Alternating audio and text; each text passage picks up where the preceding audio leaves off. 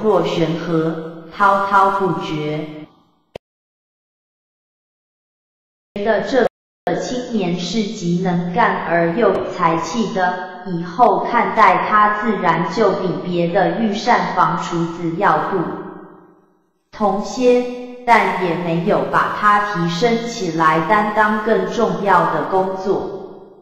日子长久了，伊尹自觉在汤王那里没被重用，很受委屈，这才跑去投奔夏桀。在夏桀那里也只不过是做一个小小的御膳官，可是那个昏王的种种胡行乱为，见了确实叫人头疼，人民都怨声载道。东方的英国正一天比一天兴旺强盛起来，大家的心都向向往着贤明昭著的汤王伊尹，把天下大事和个人出路两方面结合起来，仔细考虑了一番之后，才毅然离开夏桀，人就回到汤王那里去了。也有人说伊尹是个隐士，汤武王派人以礼去迎接他，请了五次才答应出来，跟汤讲有关太素上皇以及三皇五帝和夏禹的事。于是汤武王任命他为宰相，管理朝政。伊尹少有贤德，资质过人，博通古今。贯通天人，年二十即被聘为夏桀的厨官，掌天下之口粮。三年中，目睹夏桀的荒淫无道，民间饥寒交迫，疾苦连连。虽再三进谏，亦不被采用，不得已辞官回乡，本居绝世。自私既然无法。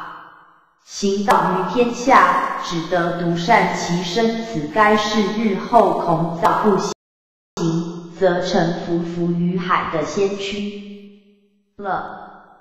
于是闭门谢客，勤研天人学术、三界哲理，以待时日。当成汤镇历经图治，需要贤人相助之际，闻之伊尹的神人授功。博通群经，道德盖世，现正隐居于有生草莽之地，耕田自娱。于是以礼贤下士至高的礼节，配以重金之仪，前来领聘共襄国事、天下事。初，伊尹始至隐居山林，不为重金龙仪所动，断然谢绝了。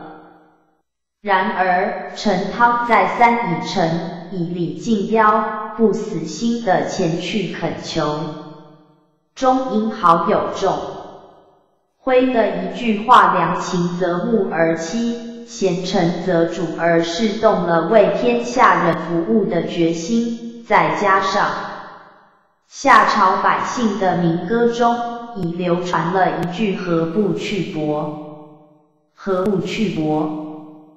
伯的友人君纳正在国都中散步着，住伯及汤之都城，因此决定辅佐陈汤之祭天，立即完成天命之术。方毅然接受礼聘，策划日后一切舒适化民之大业，开了中国人者无敌。报正帝王的革命先例，如此顺天应人的大事，终于助汤建立商朝，一来可解下民道悬水火之苦，二来亦为商代六百四十年的王基奠立不朽功业。汤死后，太子太丁为立而卒，于是就立太丁的弟弟外丙，是为帝外丙。帝外丙即位二年就死了，外丙的弟弟中人继立，这就是地中人。地中人即位四年死，伊尹就立太丁之子太甲为帝，太甲是汤武王的嫡长孙，也就是历史上帝太甲。太甲帝元年，伊尹作《伊训》一篇，又作陈述正教所当为的四命，又作谈汤之法度的粗后。伊训是指伊尹训诲太甲如何学养自己，并传授其教化百姓的种种原理原则。四命乃为政的典章制度及施政的种种禁忌警语。卒后则系汤王所留下的种种加言易行法度典范。太甲位第三年，昏暗不明。暴虐百姓，不遵循汤的法度，而且乱得败行。一尹于是把他放逐到同宫去，他自行代理国政，接待各方诸侯。太甲帝在同宫住了三年，改悔过去的错误，深深责备自己，努力向善。伊尹于是就把他迎接回来，把政权归还给他。太甲帝修德立行，诸侯都归服殷朝，百姓因此也都安宁。伊尹为了加冕他，就做《太甲训》三天来褒扬太甲帝，称他为太宗。太宗死后，他的儿子沃丁继立。在沃丁的时候，伊尹死了，就把他葬在国。帝沃丁葬以天子之礼，孟子称为圣之任者就丹，于是顺从伊尹的形式做沃丁一篇来称颂伊尹。伊尹是商王朝的开创者陈汤的最主要的助手，他不仅以施宝的职责辅佐。几位商王，而且曾把陈汤之孙大甲放逐于同宫进行教育。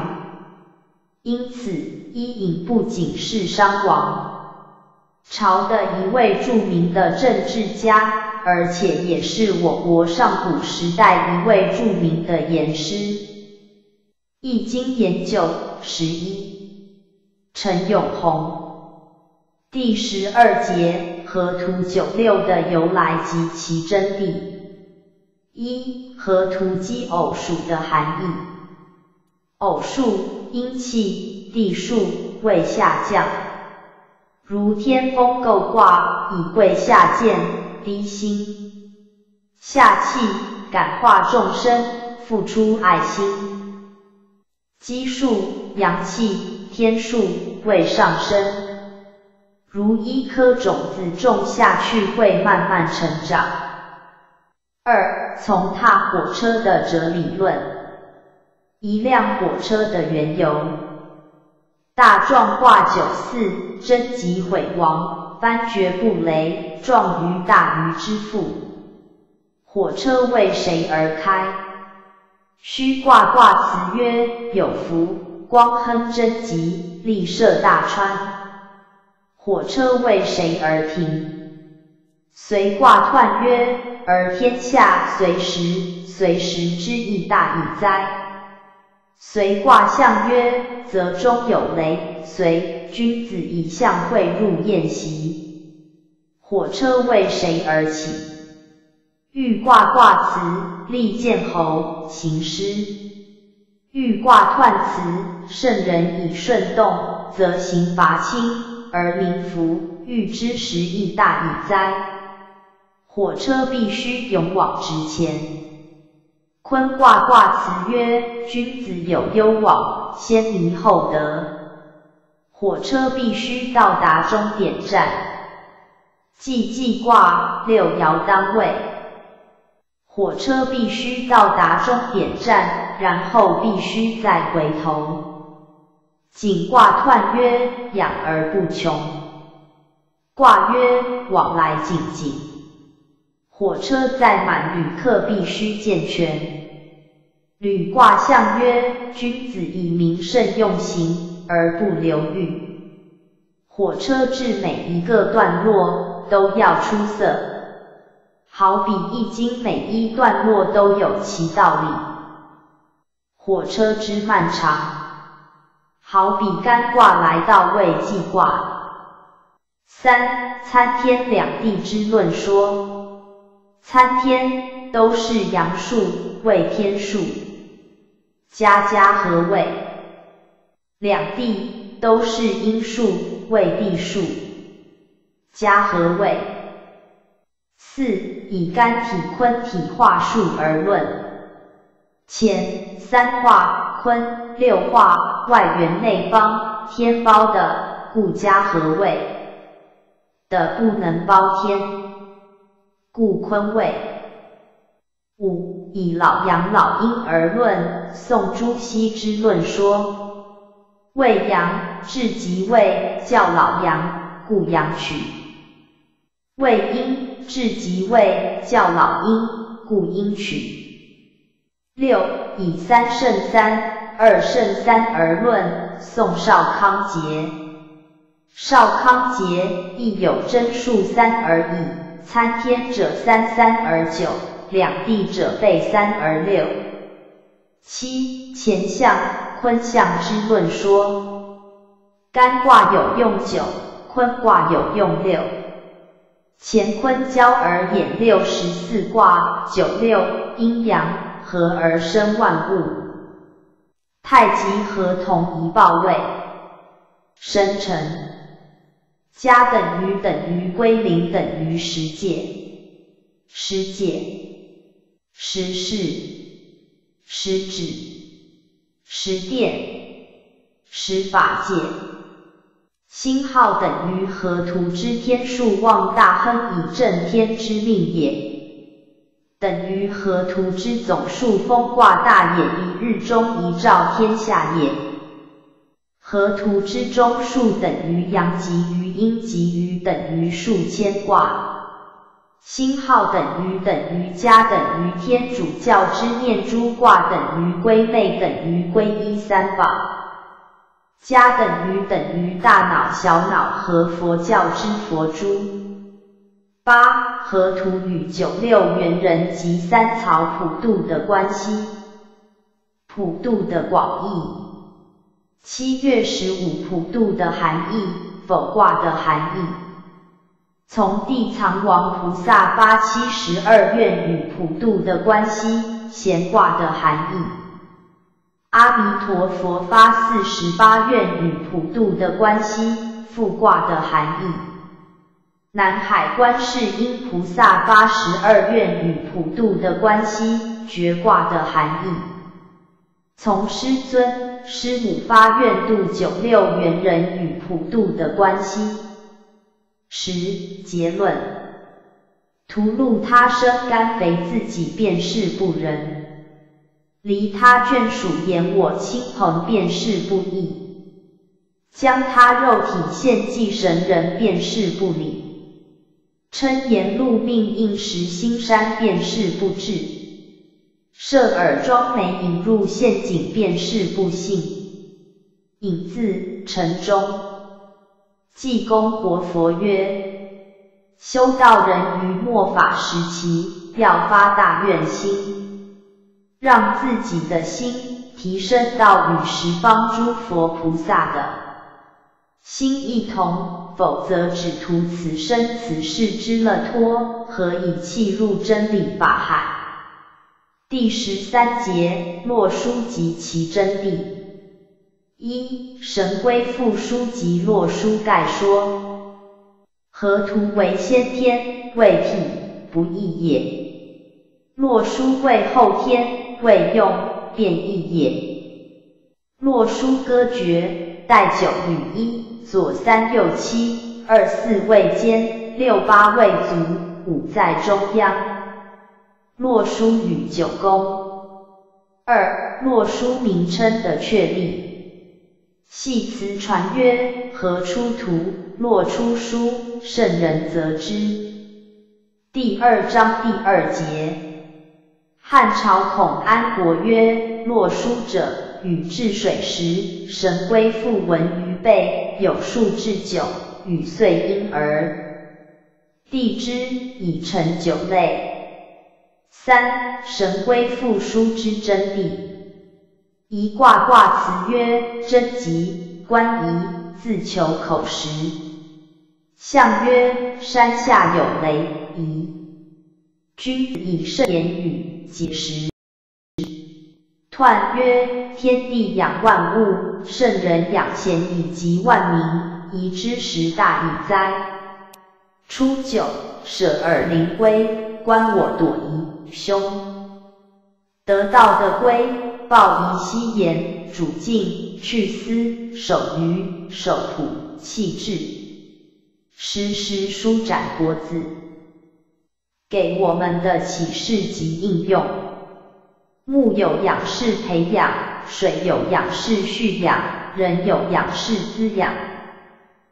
刚带以养吾之志，宽裕以养吾之量，严冷以养吾之操，果断以养吾之志，凝重以养吾之气，神明以养吾之清。克己以养吾之品，内涵以养吾之德。圣人有养而是养性，贤人有养而是养心，君子有养而是养气，凡夫有养而是养生。四神龟复书与洪范九畴的相互关系。五论洪范九畴与大衍数理的相互关系。五行五，五是五，八正八，五计五，黄吉一，三得三，积一七数真五，福吉十一，合共五十。六论洪范九畴与大衍法及天道关系。论语子曰：参乎，吾道一以贯之。曾子曰：为。子出门，人问曰：“何谓也？”曾子曰：“夫子之道，忠恕而已矣。”礼仁第四。论语子曰：“次也，女亦与未多学而识之者矣。”对曰：“然，非与。”曰：“非也。”语义以贯之。卫灵公第十五。七与数理的关系。五十位体，四九位用。系辞传曰：大衍之数五十，其用四十有九。第六章第二节，四十有九的译者何则为五十？子曰：五十而知天命，能悟之者。非圣则贤。七七不一方正，七七变一方正。七日来复，七是循环数。光谱有七个色带，音有七个音阶，化学有七个重负，水放七日有小微生物，电子轨道有七层。回教封其七日见阿拉真神，一个礼拜有七日。上帝造天地七日，人出生七七四十九日魂魄始全。念经要七人，七变一往复。归空七七四十九日魂魄全离。道家练七星剑。北斗有七星，佛拜师七位，七日开悟。牛郎会织女在七夕，彩虹有七道，亦有七阵。夫妻有七年之痒，七先生。孙悟空八卦炉练七七四十九日，变火眼金睛。佛出生踏七朵莲花，讲经四十九年，行起七家。人体的细胞七年换一次。开门七件事。八结论。济公活佛曰：百川汇海，终归一源。只要真修真办，人亏天终不负，在未来鱼龙百变的道局中，还是坚守自己的使命与责任，一条解脱的路。王志明，一前言。恭喜，恭喜！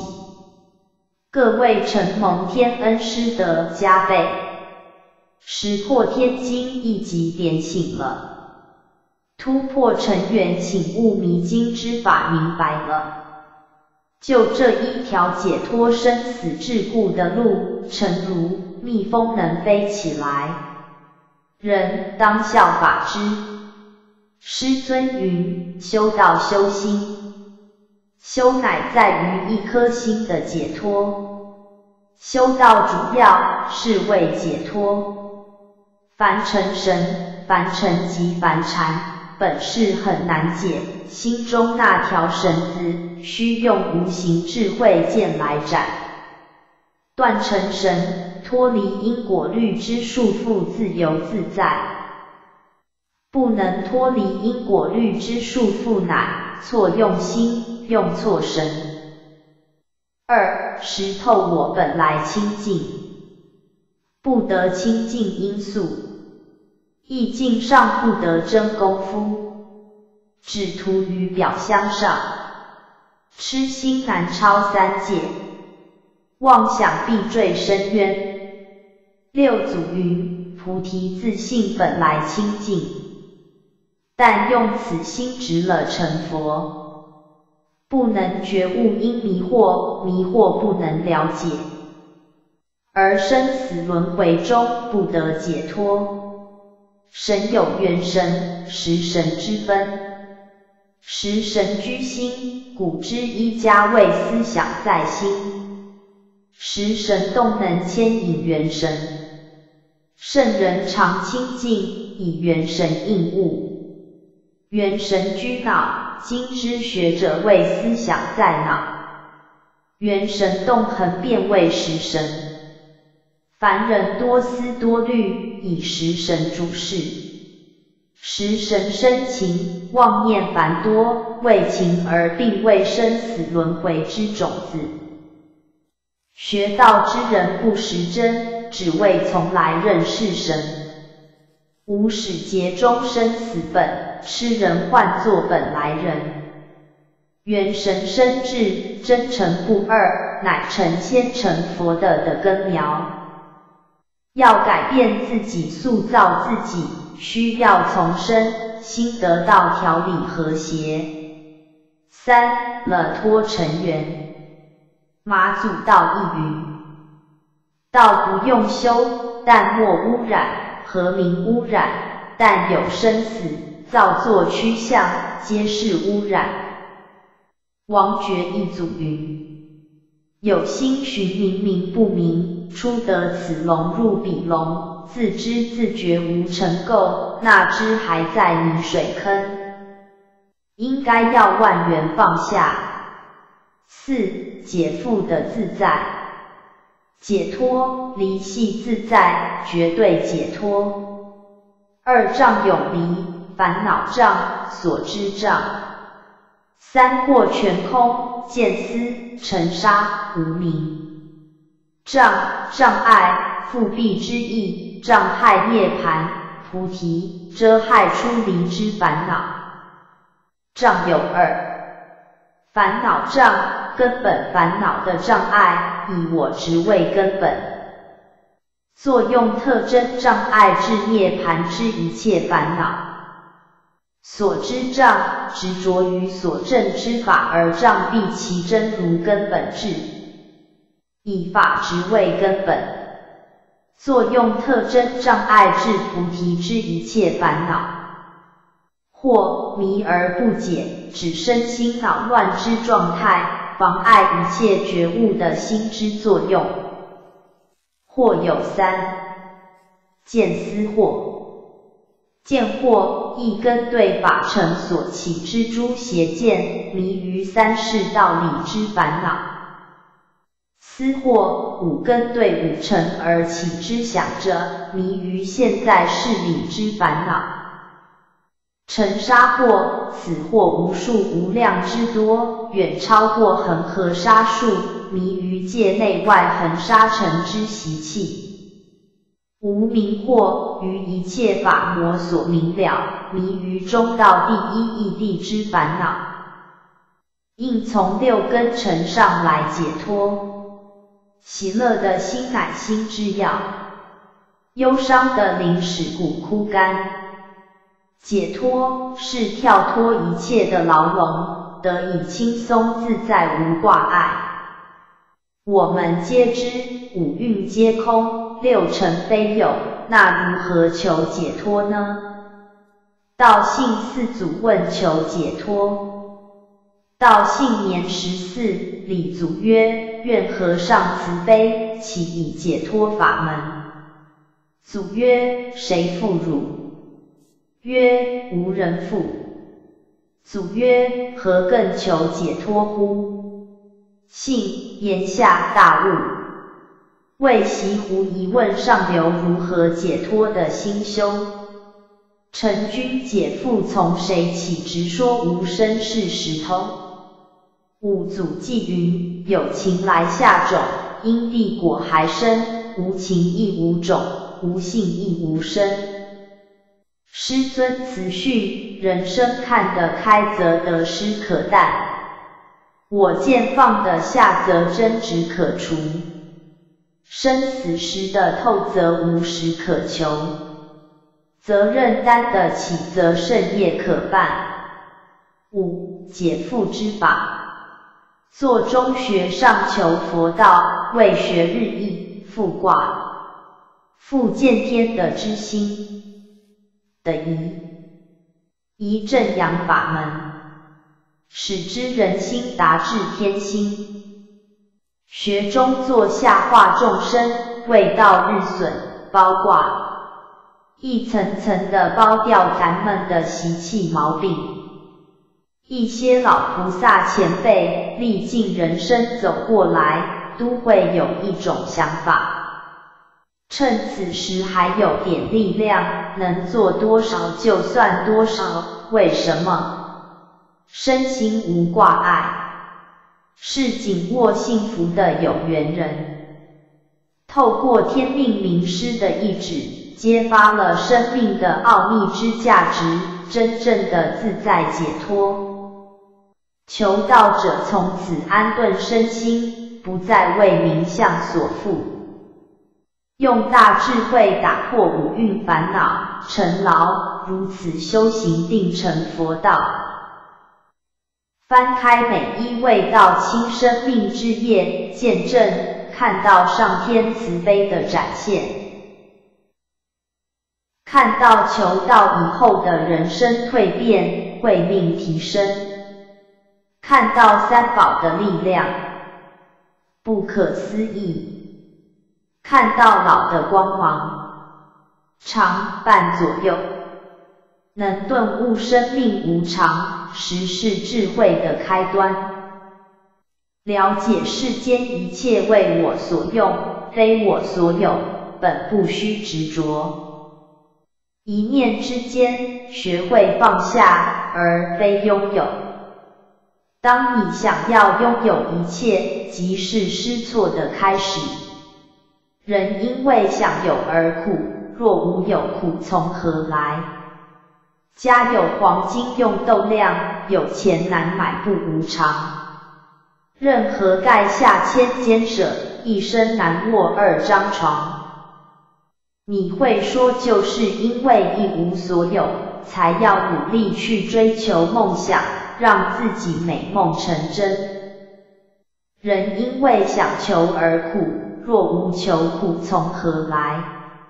人要奋斗，才不会让别人看不起。人要发挥其能力，来证明自己的实力。人因为想要而苦，若无要苦从何来？六放下何等自在。譬如，学会放下心中挂碍，就能事事无碍；学会放下心中执着，就能通权达变；学会放下心中贪念，就能知足常乐。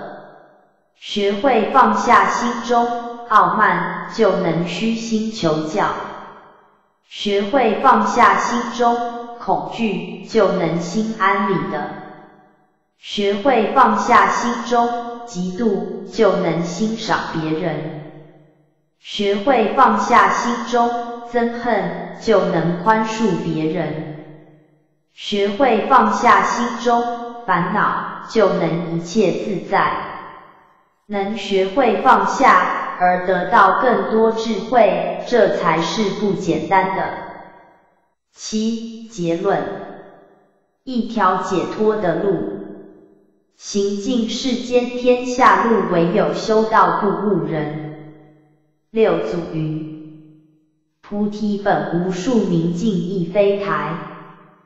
本来无一物，何处惹尘埃？浪有高有低。水一样是水，人有苦有乐，心一样是心。领导者的行持，编辑部一前言：修办道路上每一位修道、学道的同修，皆有一个使命，能够不断发挥自信的光辉。每走过的路，皆能够谆谆善诱，使同修们互相勉励，把道办好。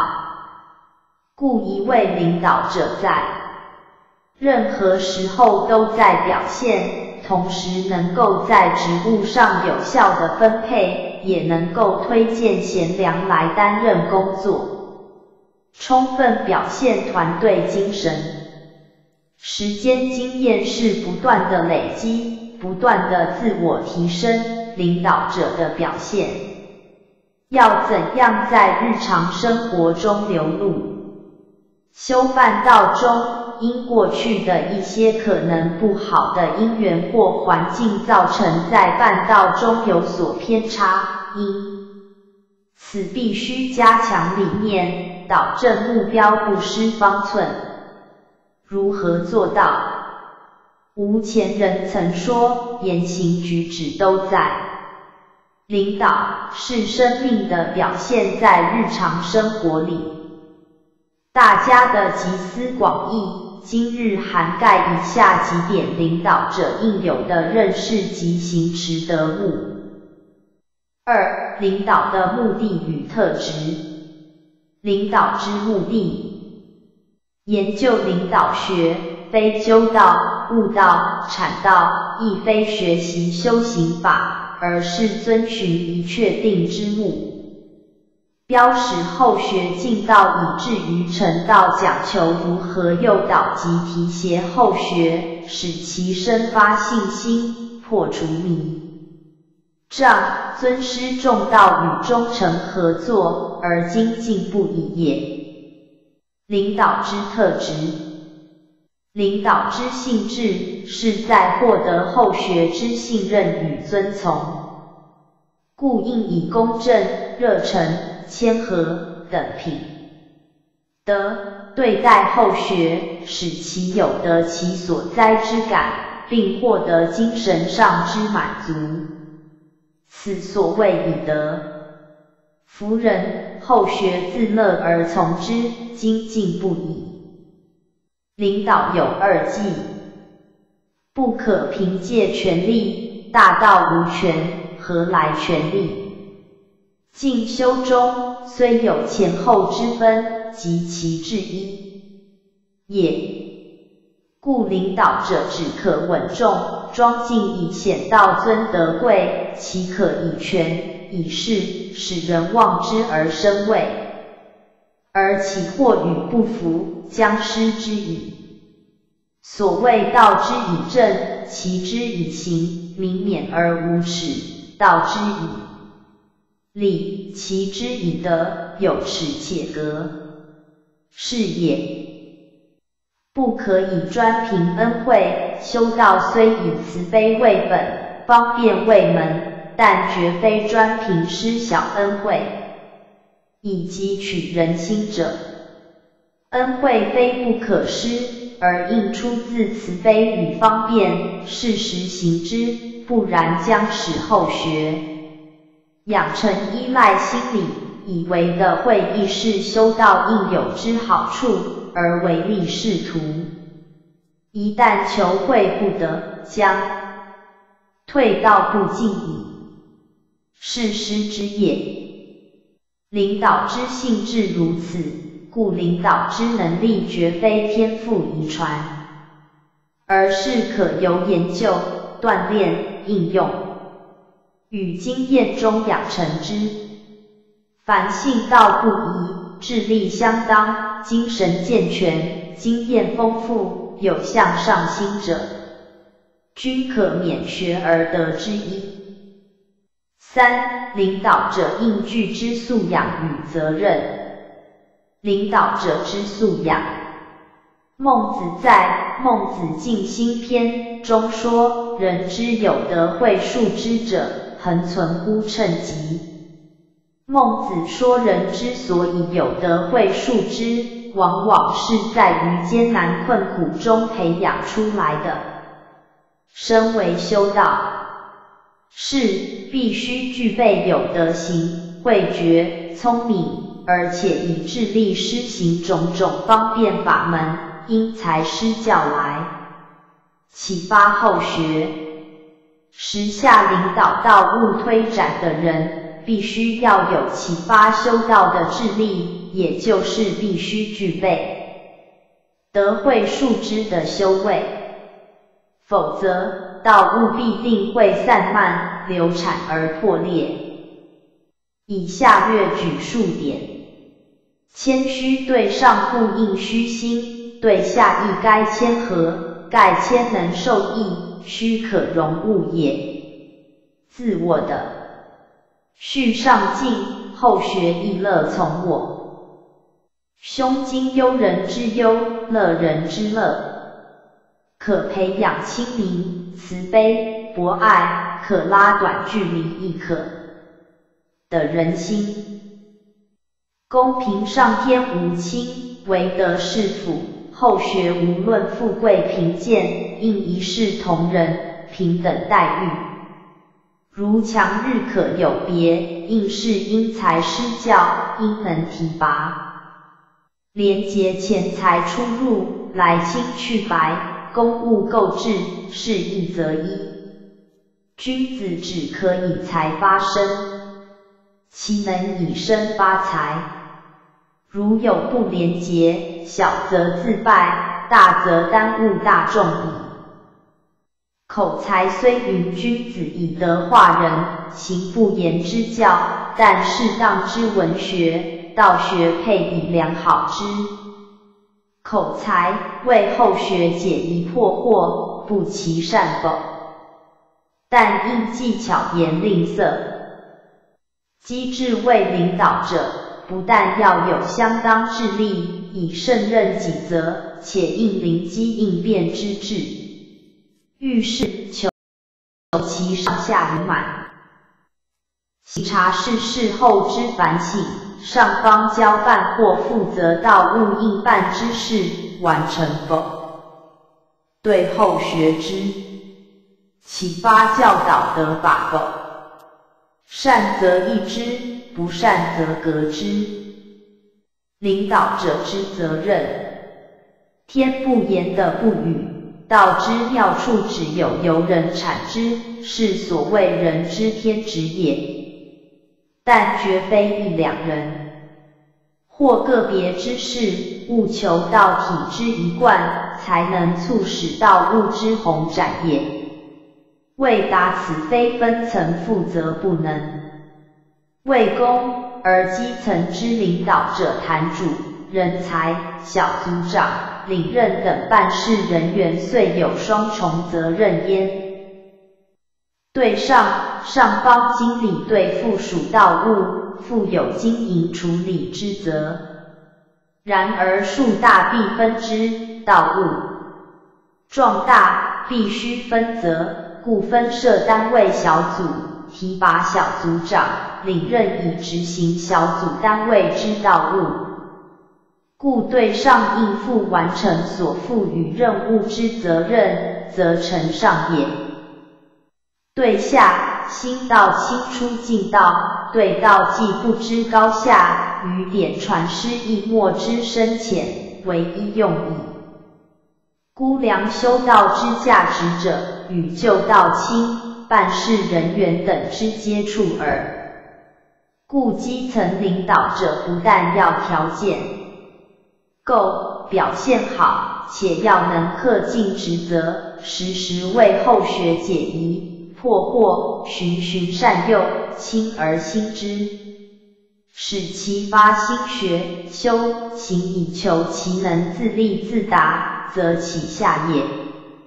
四、领导要则九条，领导者的自知自觉悟之本末，不离轻重。老子曰：重位轻根，敬畏造君。是以圣人终日行不离辎重，虽有荣观宴，处超然，奈何万乘之主而以身轻天下？轻则失根，造则失君。重等于道心理根，轻等于色身相之业。失根者是在向上受了物障，静等于灵性理君，躁等于气滞气沉，失君者是在气上者了气障，辎重等于运道心克己复礼，与直觉中至中至和，道等于圣人终日行，不离辎重。如等于道也者，不可虚于离也。佛等于行动坐卧，念念不离这个，明辨色身与灵性的大小。孟子曰：体有小大，有贵贱，无以小害大，无以贱害贵。养其小者为小人，养其大者为大人。克服人心与道心的唯唯，人心唯唯名誉、称赞、嫉妒、权柄、地盘、地位、功果、贪意、恶劳、妄想、执着；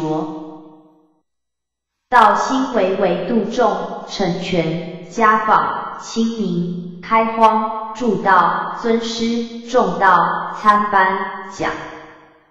道隐恶扬善，忍耐包容，为精为一与直觉中，精等于精察以克之，克之物尽，克人心之为；义等于专一以复之，复之物周，复道心之为；空中等于黄中道理，玄关窍，止于至善。时中等于君子，时中至中至和；法中等于君人，臣中父慈子孝，与国人交止于信。变化气质为中和。修行人的锻炼就是变化气质，气是暴力之气，力竭的总账，直是粗俗之直。今生的染污，如能气变中直变和，就是中和之道。中者天下之大本，和者天下之达道也。这是坚实信心的出发点，解脱苦恼的总关键。变化气质要靠自己，必须能自反。并不是听别人的说讲所能为力的。我们想度世化人，必先要化自己，然后化人才有功效。先要化除修位上的悲观，悲观者以人心表现其心态势，消极、刻薄、侥幸、浪漫、怨恨、残忍、猜疑、嫉妒等不良的习气。我们要养成乐观的天性做事，乐观者以道心表现其心态是积极敦厚、奋发笃实、感谢仁爱、信赖效法等进取的道念与信心。我们要发挥道的真理，必须建立基本的新的观念，要改革戾气恶习，增进上下互融。其重要的关键就在铲除自身的污染，使自身干净，自身干净，道物就干净，尽心去做，道物就好；不尽心去做，道物就退落。修道就是修心，心好，对事情就能诚诚实实的。坦坦白白的说实话，办实事，散发自己善美的德性，广布于四方各处，那真是像芝兰生于幽林中一样，不因无人而不芳。圣人行道化百姓，虽然下民不知其德，也成就圣人了。结论：辎重明君，克己复礼。领导者的立身立心，贵身天下，宠辱不惊。老子曰：宠辱若惊，贵大患若身。何谓宠辱若惊？宠位上，辱贵下，得之若惊，失之若惊，是谓宠辱若惊。何谓贵大患若身？无所以有大患者，谓无有生，即无无生，无有何患？故贵以身为天下者，可以济天下；爱以身为天下者，可以托天下。宠辱若惊，人赞一生，美不自胜，因为生恐人不知我的地位，人骂一句气。的要死，因为我的地位有面子问题。像这样称宠辱若惊的人，因为自己无主见与立场，所以不得不把外人的批评看重了。换言之，若人对道的修养不够，内空虚，所以处事上便不得不随环境而转了。贵大患若身，有等人为求此生之享受而纵情自欲，有等人为求此生之苟安而推翻廉耻，还有等人把自身之生死看得太重，因求生之心理超过一切，那么人格与品德临到考验时，也就没勇气做正确的抉择了。主观思想以爱生以爱天下，贵生以贵天下，以同体悲，无缘慈来爱护众生，不分彼此，一视同仁。客观条件环境之顺利，不惊其心，道情虽有变化，不变初衷。结论：贵生天下，宠辱不惊。出家跑天下，舍身促大同。领导者的理想与修为微妙玄通，欺弱善位。老子曰：古之善位士者，微妙玄通，深不可识。夫为不可识，故强谓之容。欲若东涉川，犹若畏四邻，眼若客，患若兵将士。敦兮其若朴，旷兮其若谷，混兮其若浊，为等于细微。道的实践力量能达到极细微的地方，虽小事亦不疏漏。妙等于善美，无论做什么事，都能做到中肯、终结、无过不及、尽善尽美。玄等于玄远，所表现是之善美行为，虽可看出一鳞半爪，但无法猜透前化力量，还有多么玄远。通等于通达，博施而能济众，一切慈悲施舍，能形成道德力，贯通万殊，无时。不知无事不通，善为事者欺弱。欲若东涉川等于应试，处事皆务小心谨慎，状四尺一份桌，其实三思克复。犹若为四邻等于慎独，闲居独处，拘谨心念，好似四邻，有人是指。养成庄静，不敢放肆。眼若客等于持身，进退行止，严肃仪表，活像出外做客，彬彬有礼，永不被轻视。患若兵将士等于心静，物来善应，事过善事，有若冰雪，遇热溶解，光明磊。若不至不存，战战兢兢如临深渊，如履薄裘。敦兮其若朴等于保真，居心发情，朴实敦厚，就像木材原朴，不气不造作，不偏不刻薄。况兮其若谷等于容物，气量宏大，宽阔胸襟。就如宽旷山谷，能容诸物，不迷尘欲。混兮其若浊等于处世，和光混俗，不露锋芒，不存优越感，不自我意识过重，恰似浑浊不清的水，却含软化洗净的潜移默化效果。结论：铭刻理想。加深善位，领导者的习名天职等于贵师爱资，救人整物。老子曰：圣人常善救人，故无弃人；常善救物，故无弃物，是谓习名。故善人不善人之师，不善人善人之资，不贵其师，不爱其资。虽智大迷，是谓要妙。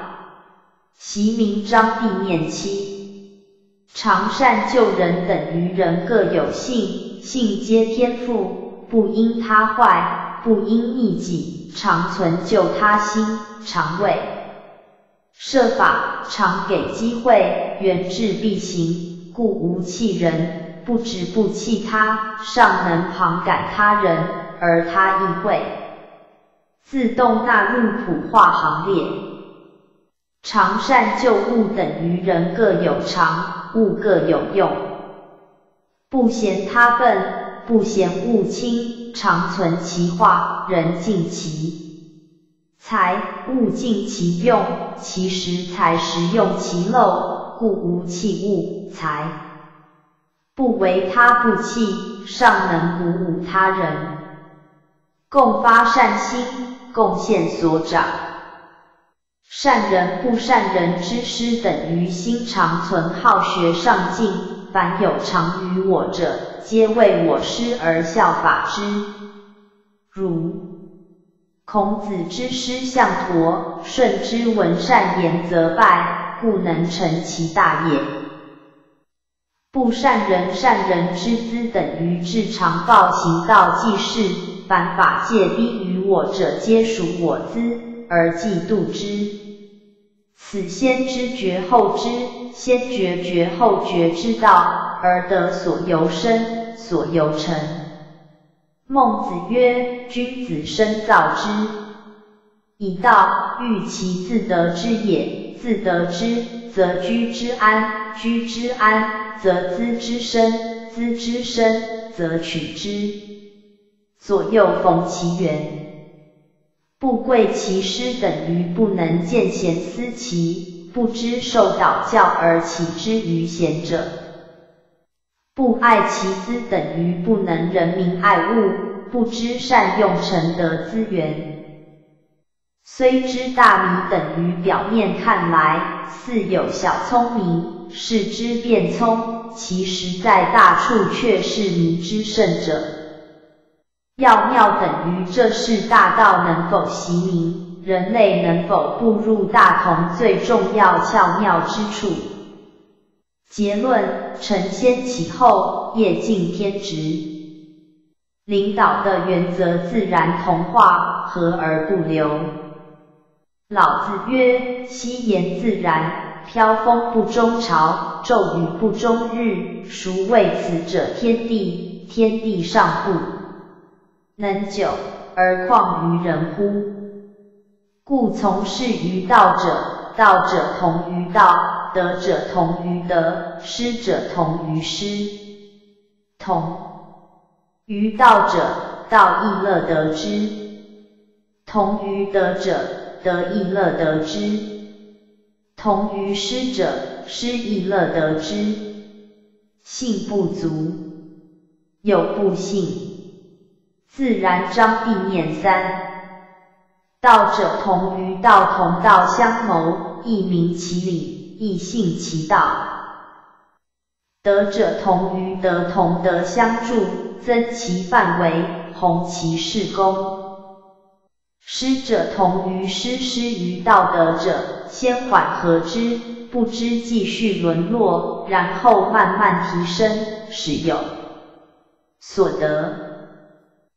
同于道者，道亦乐得之欣然相融，由切磋而过实矣。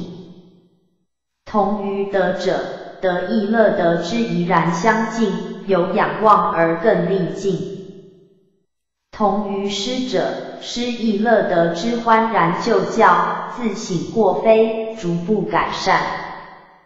信不足，有不信，智慧不充实，立场不坚定，信心不充足，自己对道还没有。正确的认识，那么你若与师道的人相接近，这定然又要出河而后流了。换言之，你若不明真理，立场恍惚，自己自信心尚且不足，善恶之判便还在，犹疑不决时，那么别人对你当然也是怀疑，他们绝不会坦诚的相信你的。故唯有先把自己修整好，才有办法解决其他。假若这一点做不到，自己本身是尚且没有完善，那么就不必再讲其他了。故凡是从事于道的人，欲使人人皆有乐得的，还是先充实自己的信心为最要。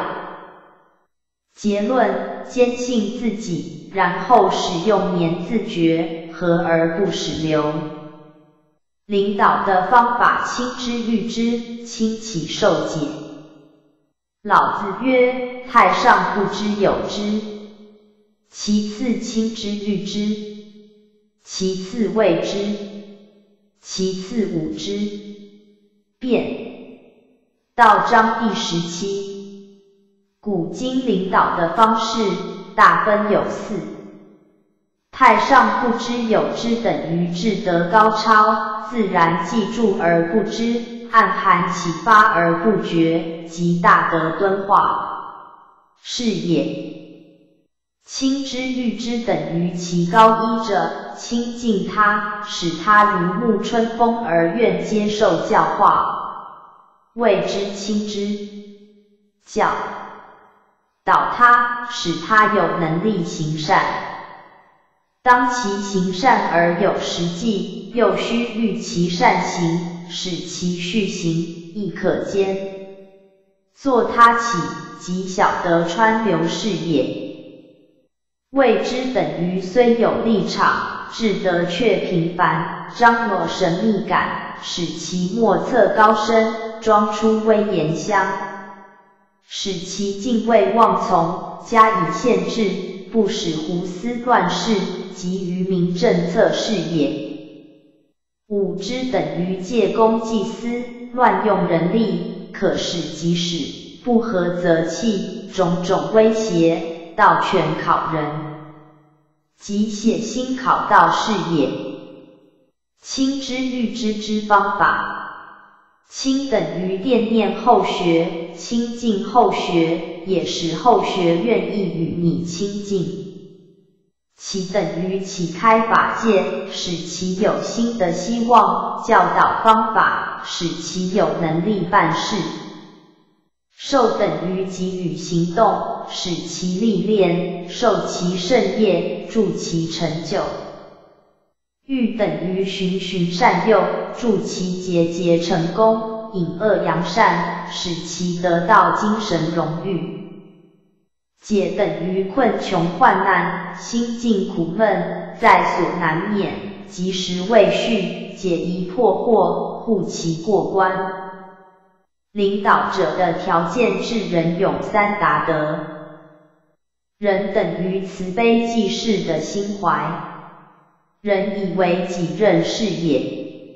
领导不以人，所领导的团体将非善团。领导道物不以人，领导一定不会成功。智等于开荒产道的智能，接受过良好的人才教育与讲员教育，历练过开道与讲道，然后能顺利施人，成为成功的领导者。勇等于牺牲奉献的精神与任劳任怨的毅力。死而后已是也，牺牲小我，以身作则，勇于担待，伟大的包容量，均是造成向心、领导成功的条件。发挥智人勇，然后能成就领导，达成德业，故名三达德。领导的前瞻广开深隐，博施济众。广开等于开发的地方要宽，人数要多。深隐等于化人的分量要深，法界要远。孟子曰：源泉混混，不舍昼夜，盈科而后进，放乎四海，有本者如是。博施等于施舍的种类多，数量多，范围阔，而且有己及人。推广行远，济众等于施舍的结果，能使大众得到救济，大道得以宏展。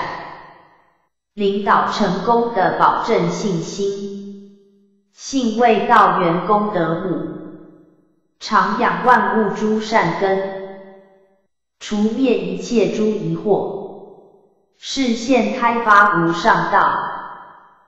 子曰：人而无信，不知其可也。大车无益，小车无越，其何以行之哉？老子曰：信不足，有不信。辩道章第十七。在上者信实不足，在下者当然没信心跟从。领导者对道若还存着不疑，对三。宝还没有信心，对天命还有疑问，对师尊、师母、老前人尚不能信赖，就不够资格。作为道中的领导者，如果对上述几项有无比的信心，则言行动作将会表现至诚的圣信，其表现一定是行人济世，为人群造福慧。行人之道就是牺牲，牺牲精神与物质，牺牲身家生命，以效命于道场。仁者也就是信义的昭著，唯有养不愧于天，福不作于人，然后才能取信于人。结论：老前人曰：我信道真，信理真，信天命真。但最可靠的是我那无比坚毅的信心，故一切的一切，其结血即在我的信心二字。不论时多少，不分尽多。九，如果你的心中还无法形成那无比坚毅的信心，则空有其血，将无法结血。不为无法领导已成圣业，是将无泥菩萨过江，自身也难保于定上天堂也。五，领导道务应注意之事项。今后我们在道路推行上还需要注意下列事项：推行四十，诚实、严实、踏实、公实。除此，老前人在道德心之话提及，修行人要说实话，办实事，注意四道：心道、口道、身道、实道，其修四欲。德育等于至中，主静存诚；厌居通天的主一个静字，纯真容中号存一个诚字。处事何举？明五伦，行八德，负责任，守纪律。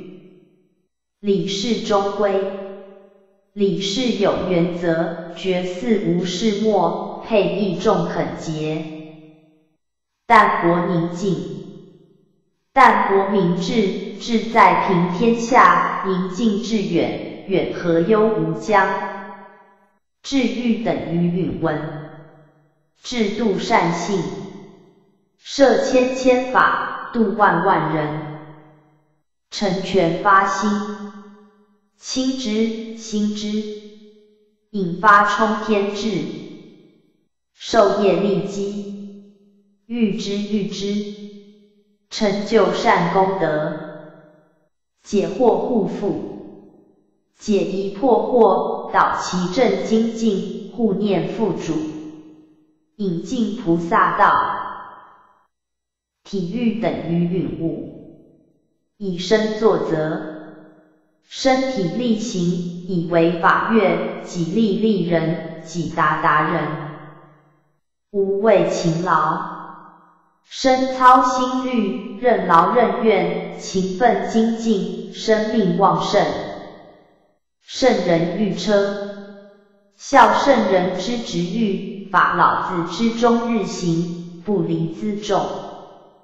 全天修行，众圣轻凡，舍身办道，任人责众，此亦道远。群欲等于治和，调和人际。我活在群众中，必以五伦调和于群众；群众活于天理中，必以天理调和人际关系。承上启下，努力以为前辈器重，以为后学敬爱，以为同辈乐相交。见道成道，四海兄弟；见道成道，道者同于道，德者同于德，并欲不悖，五教同源，枝丫同根，既绝举废，并欲不悖。六结论：深谋远虑，己利利人。我们必须策划必胜的谋略，不使外敌来袭。对于盗贼的乱盗，应当严加防范。要使大家都知道，盗贼惯用的手段是欺骗、贪妄、敲诈、恐吓。他们那会有什么目标？那会有什么路线？那有什么归宿可言呢？简直是一团骗子，专门蒙哄愚痴。的人罢了，他们专门假借仙佛的训语为号召，用来实现骗人的勾当。圣佛早曾训，是说假的显，真的隐。道盘的混乱，目前已到了真假难辨的地步，如果没有真修实学，恐难度过这一关。想要度过这关，我们唯有时发聪明睿智，时常反观自照，运用灵智妙慧，如此才能自立立人，自达达人。如孟夫子在《孟子尽心篇》中说：“日月有明，荣光必照焉，流水之为物也，不盈科不行，君子之志于道也，不成章不达。”可荣光的地方，日月必定照明；有苛坎的地方，流水一定盈满，才会继续往前流。君子之立志修道，也必定是己立立人，己达达人，然后才能成就至道。修道是应有的认识。礼一章一前言。我们人活在世上，有灵魂的存在是世界公认的。人生下来，老娘就恩赐灵魂，人才能够活下来。而我们人类只知生生父母，不知生灵之母。大家是否想拜见生灵之母？如果是，那只有认真修道意图。因为老娘思子心切，特别将道降在火宅树民，让世人缘佛子先的，而后修功果圆满后，就有机会返回李天归根面。我们大家既然已得道，就要遵照师尊师母训示去认真修道。并全力以赴。兹对修道有关知识提供同修参考，虽然有些不值一提，但常被忽视，特别提出来与浅贤大德共勉之。后学才疏学浅，尚有疏漏之处，或所言有所失当之处，敬请诸为浅贤大德。不令指正，以利精进，不胜感到。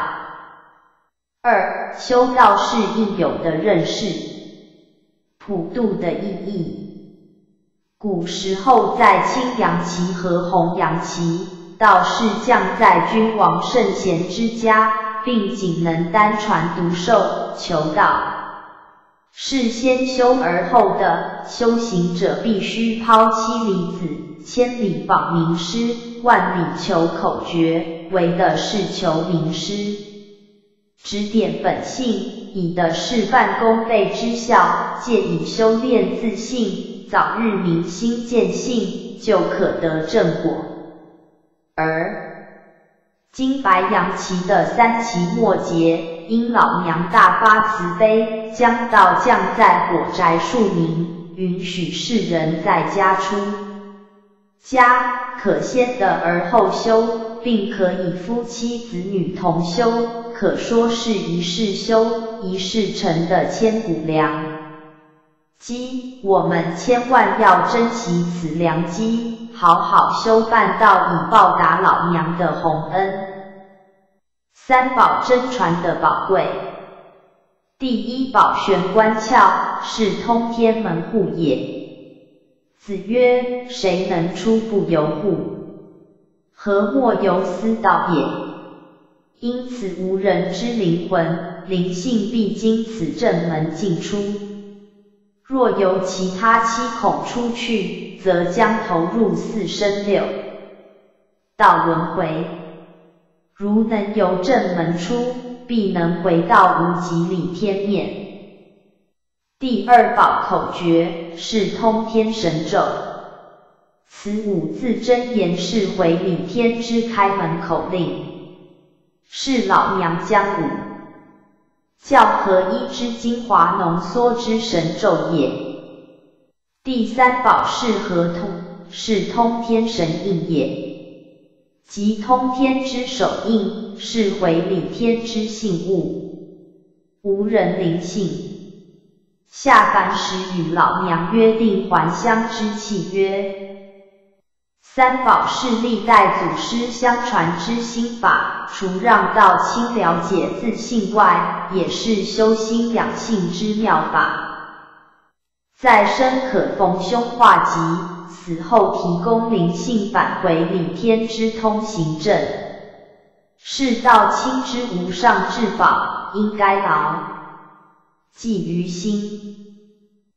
三宝是求道时有点传师所传授，将来百岁年老灵魂由正门而自然脱出尸体，不会僵硬，肉体如棉。如功德圆满，就免受四生六道轮回之苦而得正果。后学在长荣集团总裁张荣发先生的自传，读过他的母亲过世后，全身也软软的，有如安然睡觉。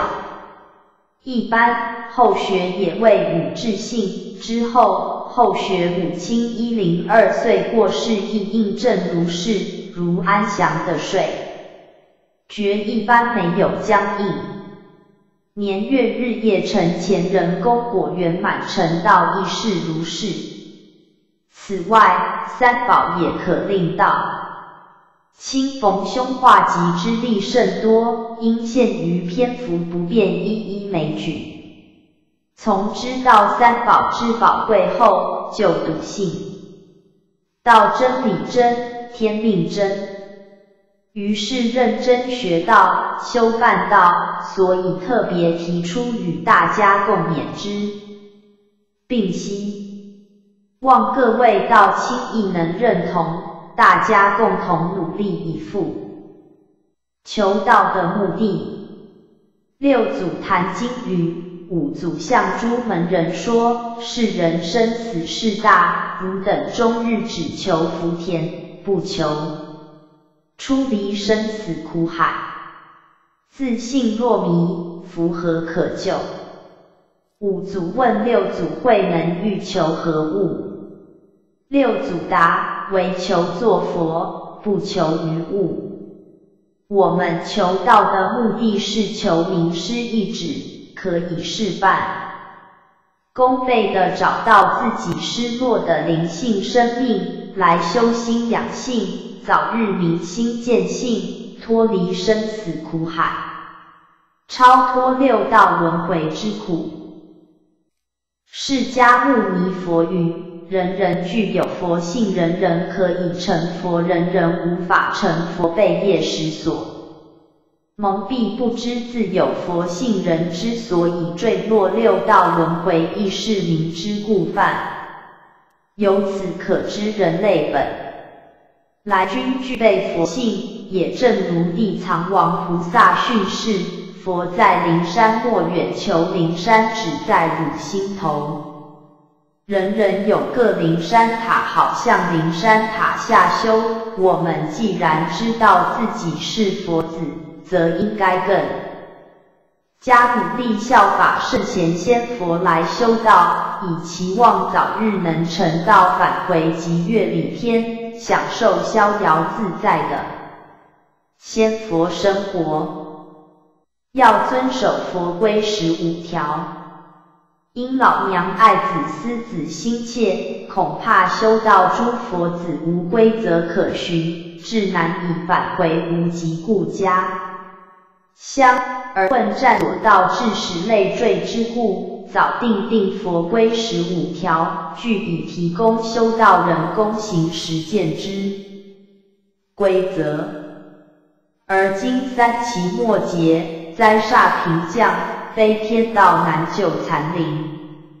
老娘恐修道人未能以力利人。同达彼岸，致使坠落之故，刹下仙佛神圣，披训垂鸾，难计其数，凡无同。修应体怀老娘之大恩大德，合力共行，促进大同天下早日实现。多研读道学，并且学而时习之。俗语说：“活到老，学到老。”学是无止境的。现代是知识爆发时代，我们要多方面学习才不会落伍。白杨时期是儒教复兴时代，对道学的研究比较普遍进行。我们一贯道是以三宝的无字真经为基础，以五教合一的精华为辅，如四书五经、金刚经、道德经、清净经及心经等等，为道清不可或缺的研读经书。《论语》云：“学而时习之，不亦说乎？”我们不但要研读，有空时要时常复习，才不会忘掉。子曰：“温故而知新，可以为师矣。”时常加以温习，每次的读后心得量必都不一样，必有进步，甚至将来可以为师矣。要多参加开班听道，以促进早日明心见性。参加开班，在佛坛上可承受仙佛的佛光普照，可增进个人的灵光。无人活于世，必有灵魂存在。此灵魂是一种灵素、灵光，入世日久，为气领所居，物欲所备。如不加以修炼，会减弱灵光，如乌云遮住阳光，使不能发出光辉。如《三字经》云：“人之初，性本善，性相近，习相远。苟不教，性乃迁。有碍于修心养性。”所以，要学如《三字经》所云：“玉不琢，不成器；人不学。”不知义，要多参加开班接受，佛光普照，多听道理，以效法先佛行功立德之行义，待功果圆满，促进早日明心见性，期望早日成道。一贯道亲不是求佛庇佑、平安天福寿的。求道是求名之意，只传给三宝，就可获得灵素，增强灵光，由此得知生死门，从此可找回失去的灵性生命，就可得天助而事半功倍的修道，并非要求福报的，应该要效法古时的菩萨仙佛苦修一般。从自身做起，借假修真，别无捷径，并要行功利得以解冤孽、消业障，甚至经常跪拜磨练自信，以增灵光，提早明心见性，使能返回故家乡。要多行功利得精进道行，并只问耕耘，不问收获。修道是要修心养性，学习圣贤仙佛的道行，以利将来成道返回理天受四生六道轮回之苦。所以，我们道修道、学道，要实践菩萨般的道行。我们要遵照师尊指示，修道修心，办道尽心努力以赴。多行功立德，并且做到难行能行，难忍能忍。勿以善小而不为，恶小而为之。俗语：积少成多，所以善小也会变大善，恶小也会变大恶，要三思而后行。我们行善布施，以积善而忘报于天者。无福施恩而求报于人者无德，故不求可得什么果位，而期望得到福报。如有此想法，则功德会缩水，前功尽弃。应该持着只问耕耘不问收获的心理，才能得到应得的功德。记得美国甘乃迪总统有一句名言：我们不要问政府为我们做了些什么，应想我们为政府做了些什么？因为是白吃的午餐，我们时常忏悔求佛慈悲，养成做佛的坚定信心。我们人类罪过很多，所以必须时常忏悔求佛慈悲，又可消业。《论语》云：曾子。曰：吾日三省吾身，为人谋而不忠乎？与朋友交而不信乎？传不习乎？如果我们能够时常忏悔，可以清洗心灵，使成为纯洁的赤子之心，则离佛不远矣。在六祖坛经内记载六祖求道的情形。五祖问汝何方人，欲求何物？会能答曰：弟子岭南新州百姓，远来礼师，唯求作佛，不求于物。他虽然不识自默默勤修，领悟力又强。结果传承了五祖圣业，荣获六祖的祖师地位。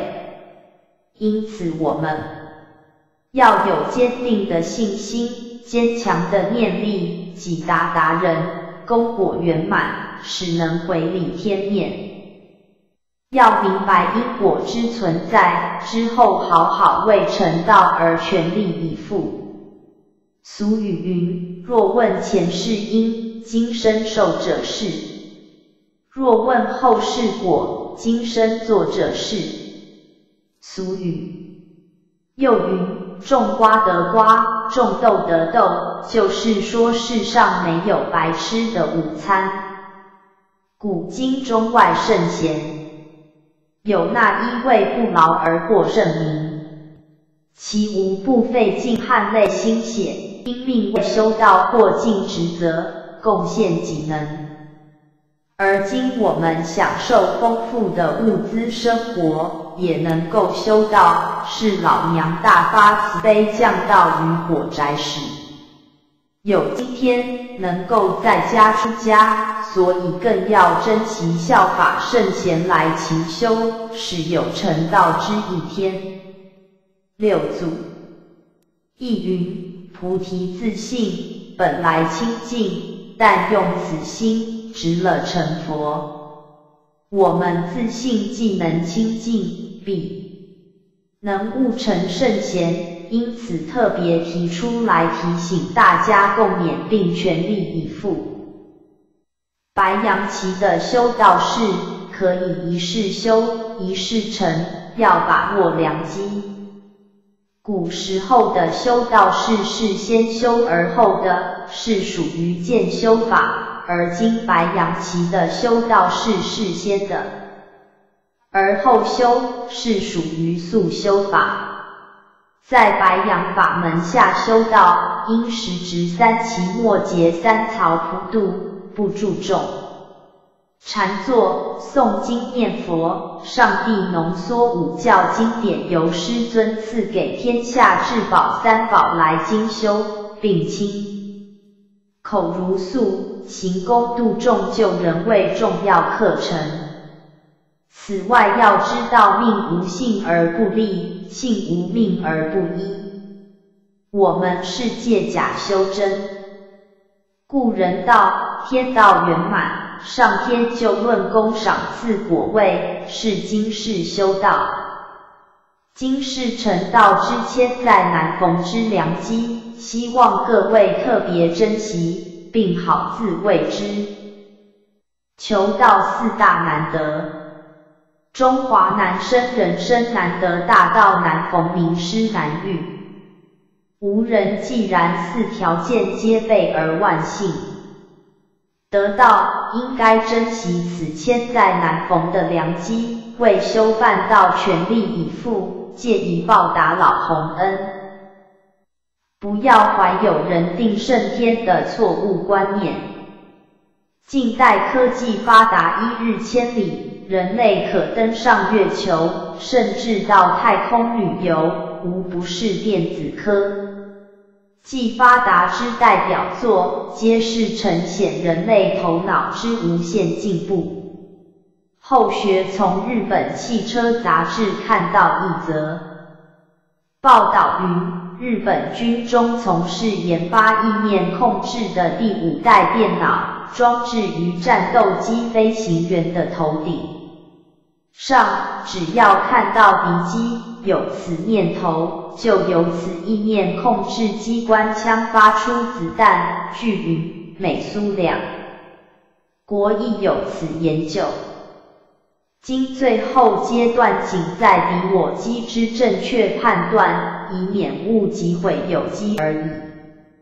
因科技如此进步神速。于是产生了人定胜天的错误观念。五教河边云：天父的母，天地之所以对人也，天以生之，的以养之，故天地之与人，由父母之于子女也。故人定胜天之说，犹如子女对父母之不孝，及人对天之不敬之言语也。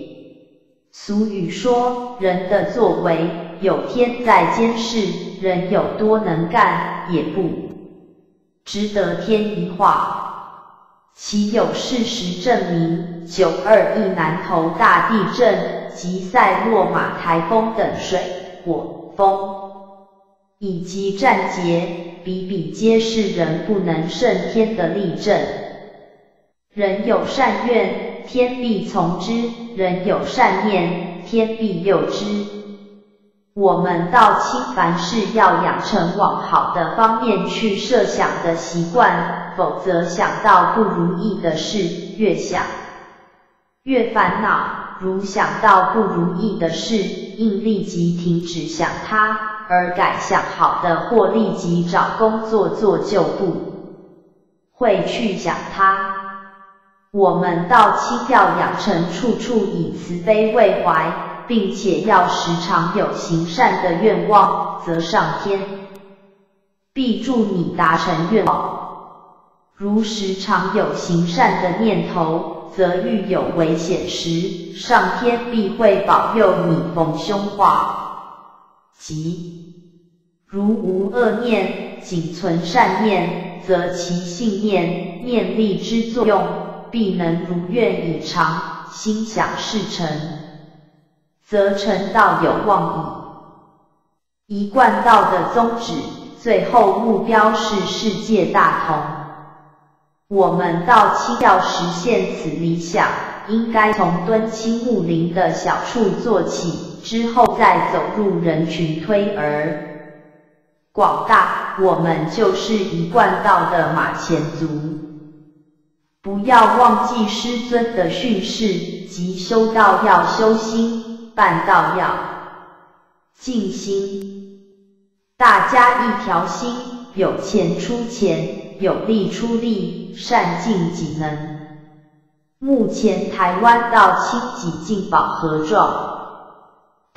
是走向各国开荒、加强道路的时候，由此是能改善全世界的天时地利人和，消灭战争，提升精神生活，使各国人民能过着祥和安逸的生活，促进世界大同之日，才能期待。环境会影响人生。近朱者赤，近墨者黑。三字经云：习孟母，择邻处，子不学，断机杼。由此可见，环境对一个人的成功影响很大。据说孟母因孟子小时候受住家环境的影响，三千后在学校旁住。下来才学好，勤于读书，是有入圣之一天。因此，环境影响一个人的成败之具。俗语说：近朱者赤，近墨者黑。所以我们到青墩青木林及交友亦要有所选择，以热心道物者未有，使可互相勉励，为修道、办道而努力。知足常乐，珍惜现在，为道物尽力而为。我们修道士的生活，不要重视物质生活，以简单朴素、重视精神生活为主，使能无忧无愁，并知足常乐。俗语云：知足者贫贱亦乐，不知足者富贵亦忧。毕竟今生今世，今天是最年轻的一天，光阴是不会倒流的，我们要珍惜今天，快快乐乐为我们的事业及道路尽情尽力而为。先天功果后天定，上天计算人一生的功果是在凡间。俗语云：举头三尺有神明。人类生于世间，为人处事，一切行动作为，甚至头脑所想，均有神在头顶上监视并记录。功过有如一部电视剧，将来回老家后，累计功过予以相抵清算，之后再判刑打。入地狱、四生六道轮回，或留住西天极乐世界，风味受果，享受神仙逍遥生活。所以生于凡间为人，必须乐于行善，厌恶作恶行为，特别提出来共勉之。人道圆满，天道自然可成。我们修道有先天与后天二道要并修。三字经云：父子恩，夫妇从，兄则友，弟则恭，长幼序，友与朋，君则敬，臣则忠。此时义人所同，凡训蒙须讲究。人类的一生要遵守此十义。并融入一般生活中，就是后天的修为，此称为人道。由此开始修，人活在世上，为人处事要合乎法理、情及天理。我们做人子女，做人父母，做人夫妻，做人祖父母，做人孙子女，是农工商各尽其职。人道就可圆满。此外，在先天方面，多听到可明真理，有佛光普照，帮助民心见性；有要静心修办道，并多行功利德进修道士之责任。待天宣化，则离道不远，自然天道可成矣。三天道之宝贵，道之可贵，正如六祖所云：“唯求作佛，不求于物。”子曰：“朝闻道，夕死可矣。”由此可见道之宝贵，并且列代祖师及礼天仙佛无不得到天道三宝而修成正果的。众生得道有四大难，即人生难得，中华难生，名师难逢，三奇难遇。而今时值三奇末节年，道降火宅数名，四难变为四易，十是祖上积德，三生有幸。而今无人得道太容易，导致不觉得道之可贵。三字经云：人之初，性本善，性相近，习相远，欲不着，不成器。此即无人修道之基准。子曰：近朱者赤，近墨者黑。知道理不可不慎，应修。道会改变人生命运。诗云：千帆百途皆成空，唯有修道不误人。凡人一心向外寻佛，拜佛，却不知自身即是佛。四结语：兹以下列三首诗作为结语，是修道成道的三过程。希望各位明白其意。一师尊。训示修道修心，办道静心，以此为自己的事业，全力以赴，则离道不远矣。一学理穷源悟性天，道传火宅生缘度。革之岂会修心窍，言后勤修效佛仙。二本来面目无一物，万物虽然本来真。火不能烧真空体，水不能盖真人生。三持斋素食莫迟延，利益无穷记长篇。句句真言来劝告，行功积闷可成仙。道学用语词汇十二。例一章，八功德水，具有八种好处的水，即一沉静。就是水澄清洁净，没有污秽。二清冷，就是很清净凉冷，没有浑浊烦躁。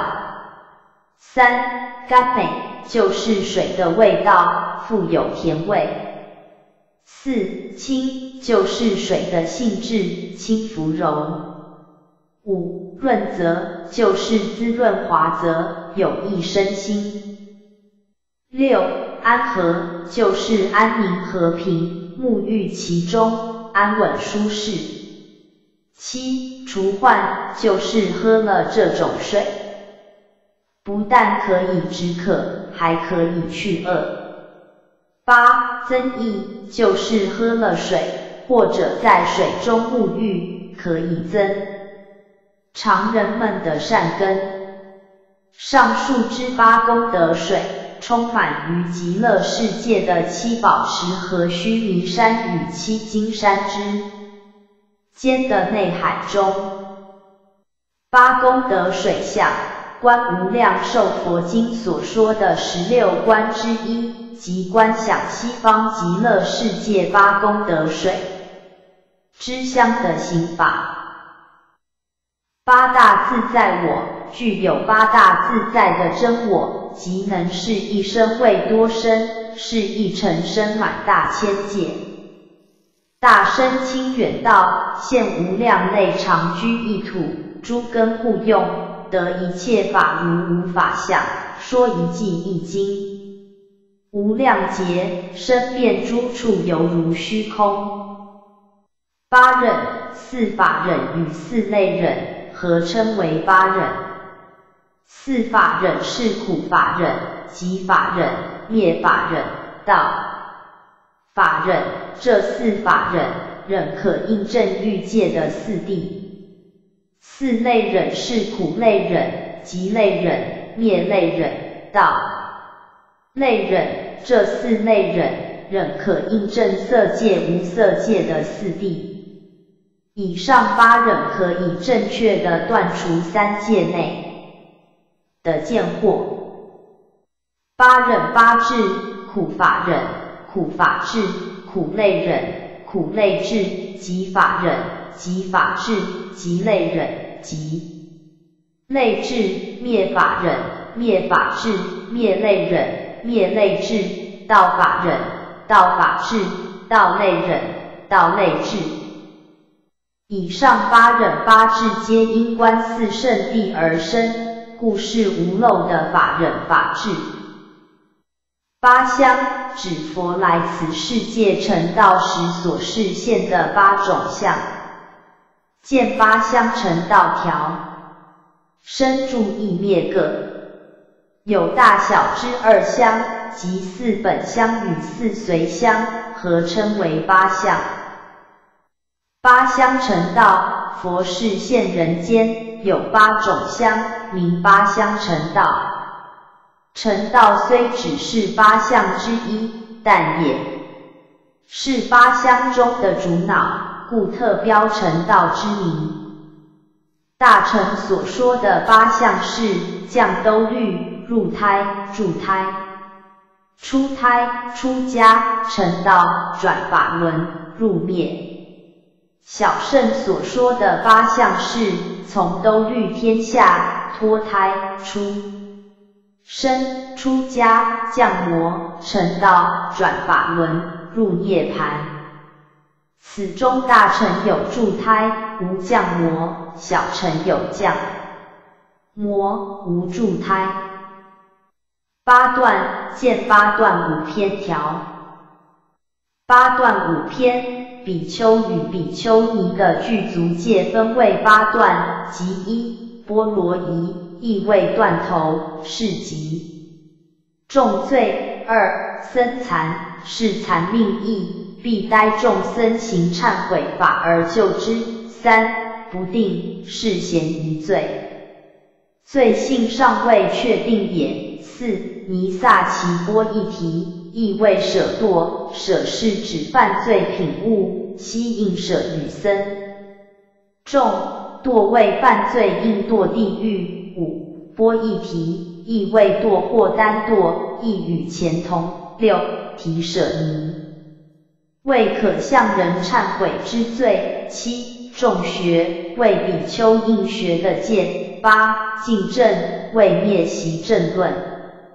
有此八段中不定众学灭正三段，何谓突吉罗？突是恶，吉罗是作，只生口二业。恶作之意，如是则八段变成为无篇。兹将具足戒中，比丘二百五十戒及比丘尼三百四十八戒，属于此八段及五篇者，分别列表于右。八海见九山八海条。八道对生死的无常、无乐、无我、无尽，直定无常、乐、我、尽者，是凡夫的四道对灭。盘的常乐我净，直定为无常无乐无我无净，是二圣人的四道。这两种四道合起来，九是八道。八教化法四教与化仪四教合称为八教。化法四教是三藏教、通教、别教。原教，因此四教是教化众生的法门，故名化法；化仪四教是顿教、见教、秘密教。不定教，因此四教是教化众生的仪式，故名化仪。以上八教都是天台宗所立。八梵，八种的梵音，即不男音、不女音。不强音，不音，不清音，不浊音，不雄音，不雌音。八干又作八间，即八间度。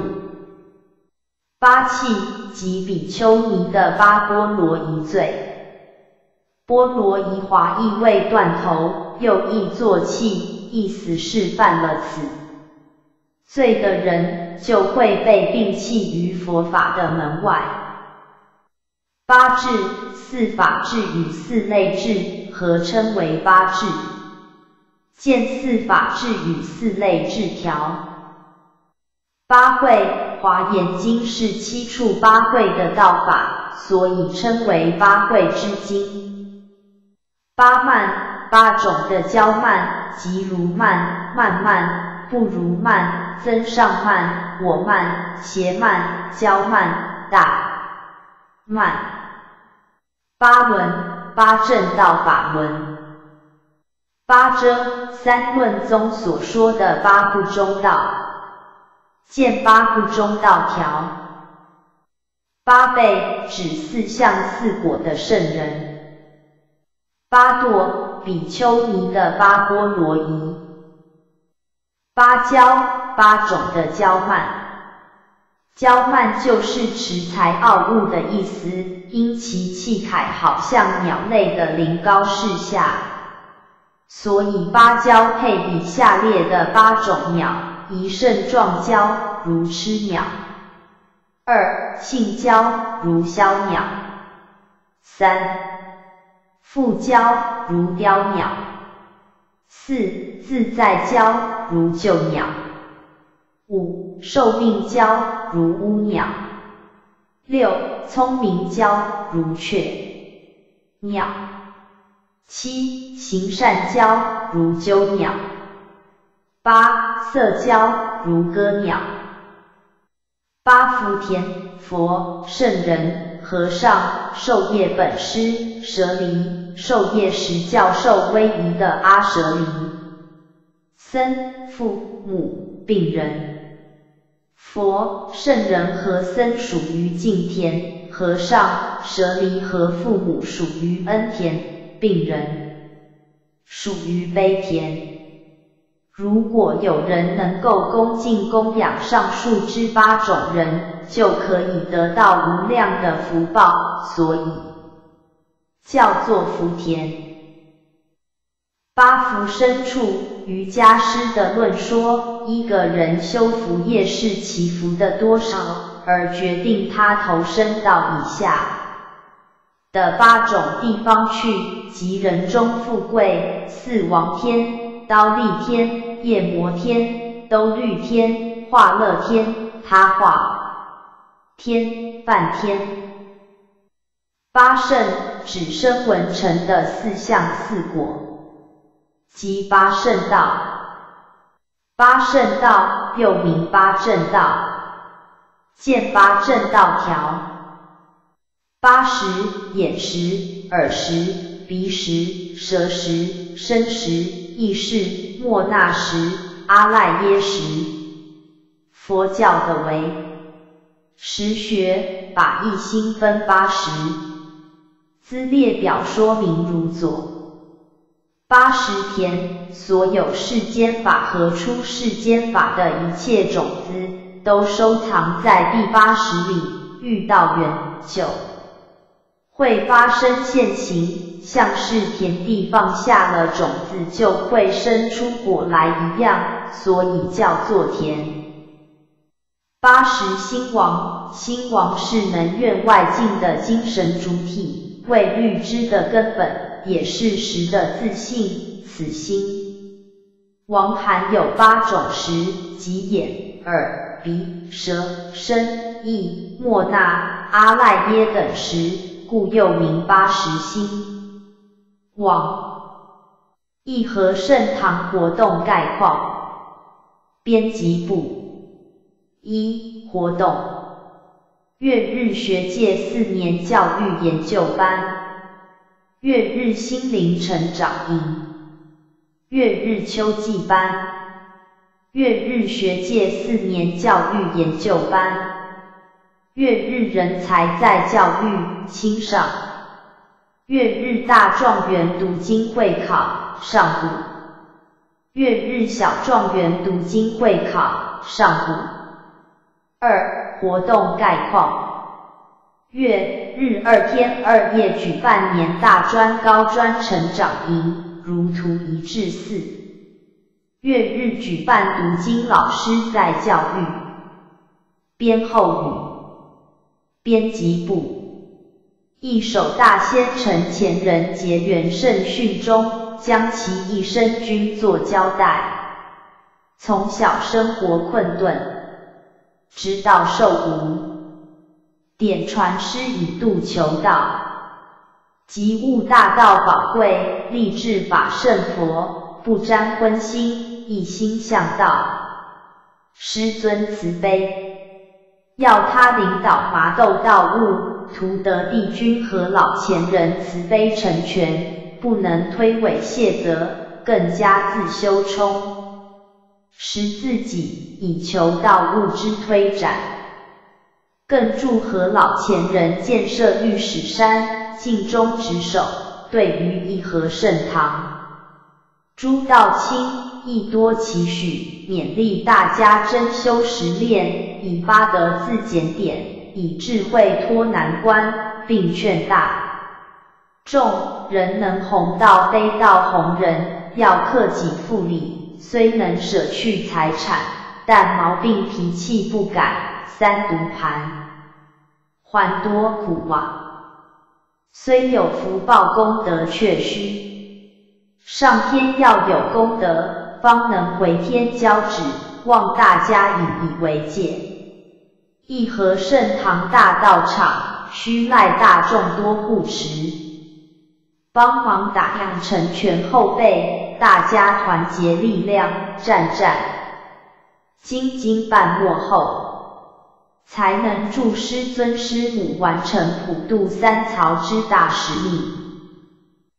承前人的话，常开示众人识和尚，和尚不识人，是提醒办道人才，在日常生活中就要谨言慎行，以做到亲之榜样，以免一贯弟子之形象受损。人生应受因果业障左右一生，贫富贵贱、祸福果报是无法控制于己。俗语：前世修来今生受，若问后生事，今生做者事。又云：人有善愿，天必从之；人有善念，天必佑之。无人修道士，若能依照王理事长坤得之开示，顺境心怀感恩、逆境欢喜接受之心情来修道，并能诸恶莫作，众善奉行，则尽道矣。易经最重要的是河图，河图指生，洛书指死，河图代表先天，洛书代表后天。河图顺数为逆数位，顺数为阳数加加等于过于不能加，所以阳数用来代表；逆数为阴数加等于过于也不能加，所以阴数用来代表。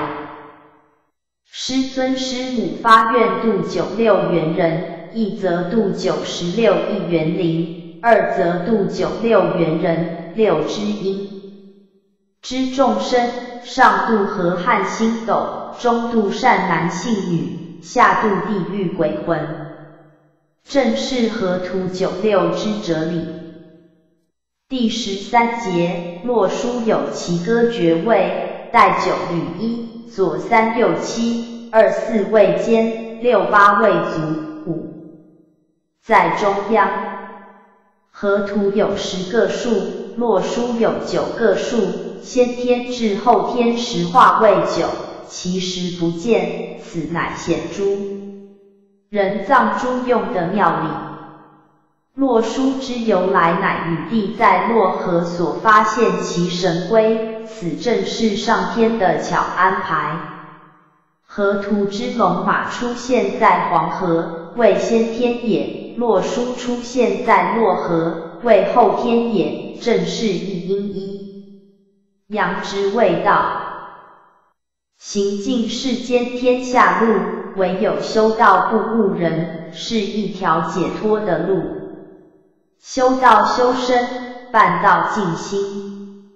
三字经云：人之初，性本善，性相近，习相远。凡人若能万事放下。修心炼性，不受凡尘污染，而恢复赤子心，则必有了道成道之一日。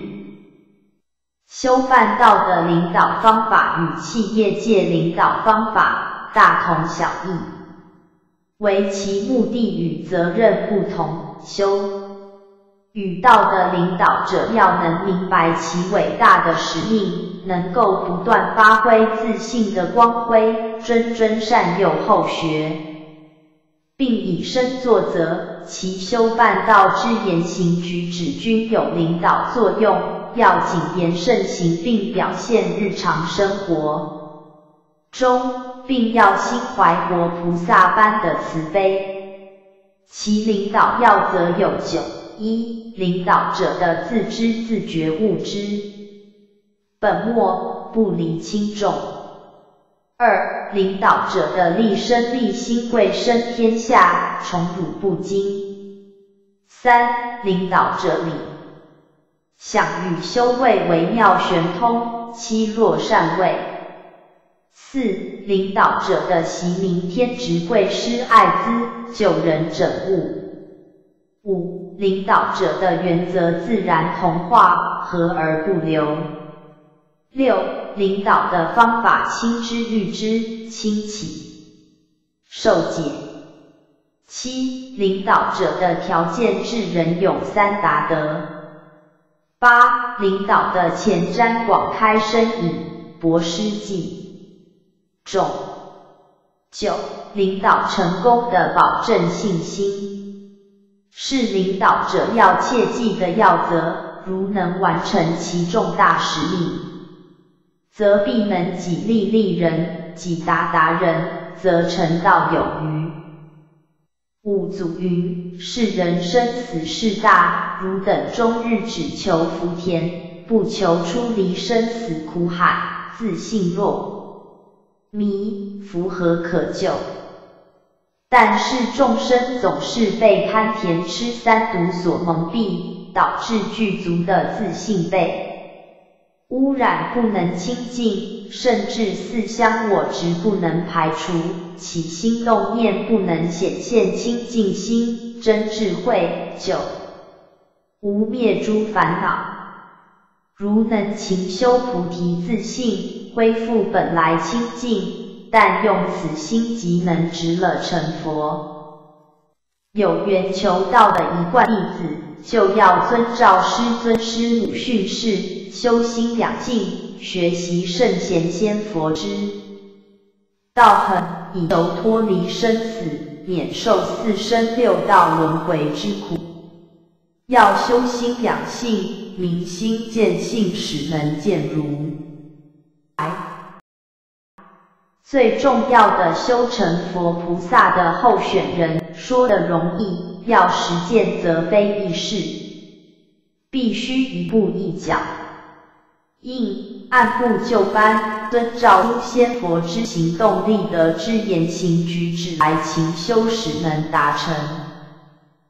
凡我道亲切记，先天功果后天定，无自三省无生多忏悔，人道圆满天道自然可成。修办道在日常生活中，多利用三宝之传修炼自信。更要参加开班听道，在佛坛上可蒙受仙佛的佛光普照，可增进灵光，可得事半功倍之效。借以促道，一世修，一世成。要把握良机，使有机会完成师尊交付之促进世界大同之伟大使命。万法由心生，如能去除贪甜痴，常佛堂参拜，增加灵光，善知识，去除我执，诸恶莫作，众善奉行，多向人微笑，知足常乐，遇人是充满感恩的心，并懂得放下，当下即是净土。注印大德方明。一、现金部分，福慧人士五本，苏宗二五本，福慧人士五本，苏恒斌二五本，胡美清五本，李家修二五本，王苍贤五本，李佳宇二五本，周玉霞七五本，廖世豪一本。二画拨楚金部分，杨德香二五本，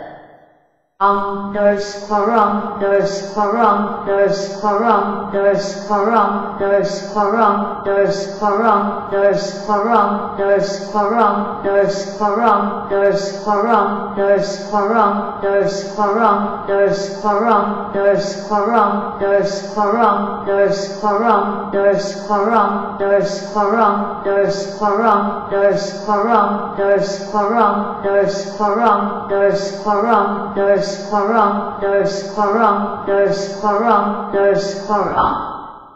十三，一和双月刊第十三期目录年月，一和盛唐介绍，八卦与九龙八凤之图像的含义不答，经典背诵专栏，选考科目中庸正式编辑部。先佛圣训，新加坡新仪圣堂圣训编辑部，理事长加言，人生重视生死路，王坤德，陈前人的话，世间财世间用了物，历代祖师介绍，第十一代祖师商汤王子，道学研究。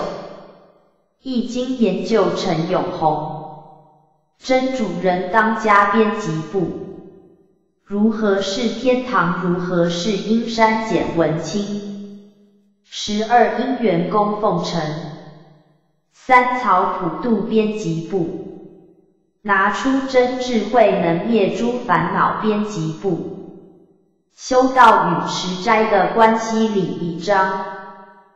道学用语词汇里一章，仙佛圣歌，期待再相会编辑部，义和圣堂活动概况编辑部，编后语编辑部，注印大德方明录编辑部，义和圣堂介绍，不答，八卦与九龙八凤之图像的含义。一楼大殿之天花板的中央布置着外方内圆之红木框造型，又配以后天八卦图，九龙八凤穿梭其中，使之由伏羲圣地流传至今已历五千多年的文化传承易经八卦的庄严与宝贵性增辉不少。我们耳熟能详的一句话：“干南坤北天南地北天地定位”，这句话阐明了先天八卦的方位蓝图。而佛堂当今以干卦与正位之弥勒祖师成定位，同样是后天八卦排列次序说卦传：地出乎正，其乎巽，相见乎离，致意。忽坤说言乎对，战乎干，劳乎坎，成言乎艮。系辞传，其者圣人之作义也。将以顺性命之理，是以立天之道，曰阴与阳；立地之道，曰柔与刚；立人之道，曰仁与义。因为佛堂是应时和运天道降世、名师传道之场所，又此位更是先后天同位之地水师卦之位，更加显示自古以来道由师传名师的宝贵。系辞传有言：一之为书也，不可远；未道也，屡迁。变动不居，周流六虚，上下无常，刚柔相异，不可谓点要为变所示。易经之八卦被民间视为趋吉避凶、保平安之吉祥信物，在很多传统的习俗当中扮演着举足轻重的地位。迎娶新娘之礼筛里画有八卦之图像，象征着保护新娘之纯洁与喜气不被外来的凶煞所扰。所以当新娘子在结婚前先怀孕是不能使用八卦的。总之，八卦也是黄道吉日之维护者。如要建造传统式三合院的大错正厅的主梁上，必定要安置八卦以镇宅光明。八卦图像的奥秘很少人能解得开，那是为得到的关系。因为八卦是伏羲圣地养则观，象于天，辅泽观法于的，观鸟兽之文与的之宜，近取诸身，远取诸物，一化开天时。作八卦，以通神明之德，以类万物之情。也就是上天借着河图五十之中，数天一生。水的天成之降道远显天之明，命于伏羲圣地大道的珍贵在于佛佛为传本体，师师亦复本心。因此八卦是上天集河图洛书最早显象于世间上象征道的性物之贫瘠，只有机缘成熟求了道才知道。所谓任你聪明过眼敏，不遇名师莫强猜。先天八卦坤卦在北方，而佛堂干卦之正位是弥勒祖师刚好形成大成卦之逆天。太卦序卦传，太者通也，也由于的天太卦之太运的来临，时来运转，使得。我们这一群白羊弟子们得天独厚，成为天之骄子，竟能得闻之道的受名师指传信理心法，在得道的当下，名师唱言说：幕后依者席位言，名人在此诉一番。渔夫时的还乡道，生来死去见当前。识破天惊的窥探性命之源头，树圣子思在中庸。一言，君子之道废而已。夫妇之愚可以与之焉，及其智也。虽圣人亦有所不知焉。夫妇之不孝可以能行焉，及其智也。虽圣人亦有所不能焉，天地之大也，人犹有所憾，故君子与大天下莫能载焉，与小天下莫能破焉。非是圣人不知道过不敢言，而是上天降道之时运所使然。而现于佛堂中对风取代了后天八卦之干卦的方位，默然中阐述着一段戏剧禅语之天机。我们都知道民间记忆布袋戏偶当有神仙或重要人物出现时，常引用一句“三花聚顶宫灿灿，五气朝元对化干阴阳”。二气属先天，了物真机不欲虚，又有后天八卦之背卦的方位也融入在白羊八卦之干卦的方位中，易经干道变化各正性命，这也说明了圣人做易经画八卦，无非是要指引末后的众生。在不义之中体会自信之光辉，在圣不增，在凡不减，历经交易变异中又能象干卦之象曰：天行健，君子以自强不息。而九龙八凤之龙是譬喻道的化身，凤凰是文明的象征，龙马不合图是文化的。渊源相传，舜位天子时，凤凰曾飞来。周文王时，名于岐山。古时凤凰河图，乃是天开道运的预兆，而不是关乎个人的祥瑞。然而龙飞凤舞不只是祥瑞的象征，更有这道场中所阐述元胎儿女在未降临凡间时与无极皇柱的无极宫是以琼浆玉液，是成龙化凤所以九龙八凤之布置，也是在隐喻佛堂即是无极宫。经典背诵专栏。选考科目中庸正事第一章：天命之谓性，率性之谓道，修道之谓教。道也者，不可须于离也，可离非道也。是故君子戒慎乎其所不睹，恐惧乎其所不闻。莫见乎隐，莫显乎微。故君子慎其独也。喜怒哀乐之谓发，谓之中；发而皆终结，谓之和。中也者，天下之大本也；和也者，天下之达道也。至中和，天地未焉，万物欲焉。第二章，自成名。谓之性，自名成；谓之教，成则名矣，名则成矣。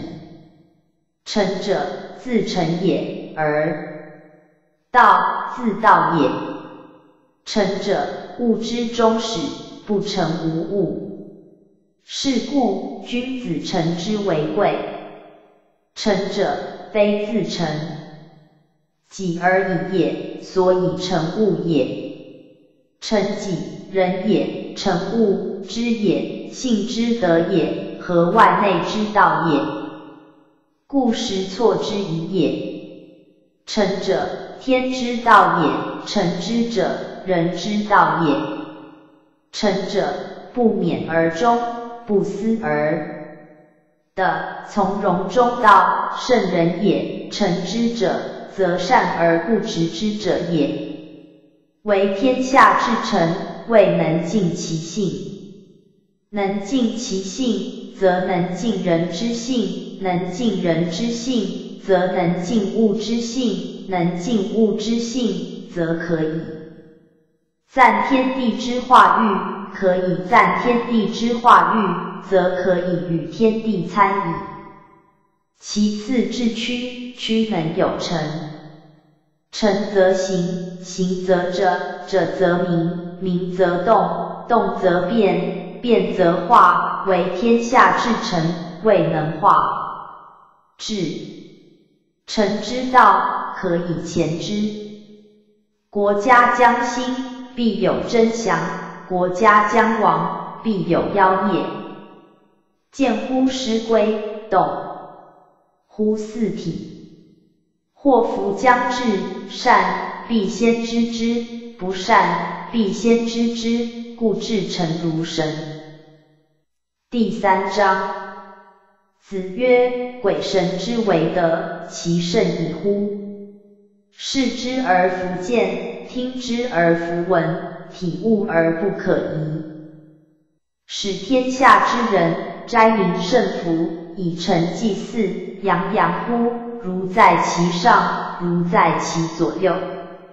诗曰：神之格斯，不可度思，审可摄思。夫为之浅，臣之不可言。如此夫，天地之道，博也，厚也，高也，明也，悠也，久也。博厚，所以载物也；高明。所以富物也，悠久，所以成物也。故至诚无习，不习则久，久则真，真则悠远，悠远则博厚，博厚则高明。博厚配的，高明配天，悠久无疆。如此者，不见而彰，不动而变，无畏而成。天地之道，可一言而尽也。其为物不二，则其生物不测。今夫天，思昭昭之多，及其无穷也。日月星辰系焉，万物复焉。今夫的一撮土之多，及其广厚，载华月而不重，正河海而不泄，万物载焉。今夫山，一卷石之多，及其广大，草木生之，禽兽居之，宝藏兴焉。今夫水，一勺之多，及其不测，圆陀蛟龙鱼鳖生焉，或才直焉。诗云：为天之命，于目不已。盖曰：天之所以为天也。于乎不显，文王之德之纯。盖曰：文王之所以为文也，纯亦不义。故曰：苟不至德，至道不明焉。故君子尊德性，而道问学，至广大而敬精微，极高明，而道中庸，温故而知新。敦厚以崇礼。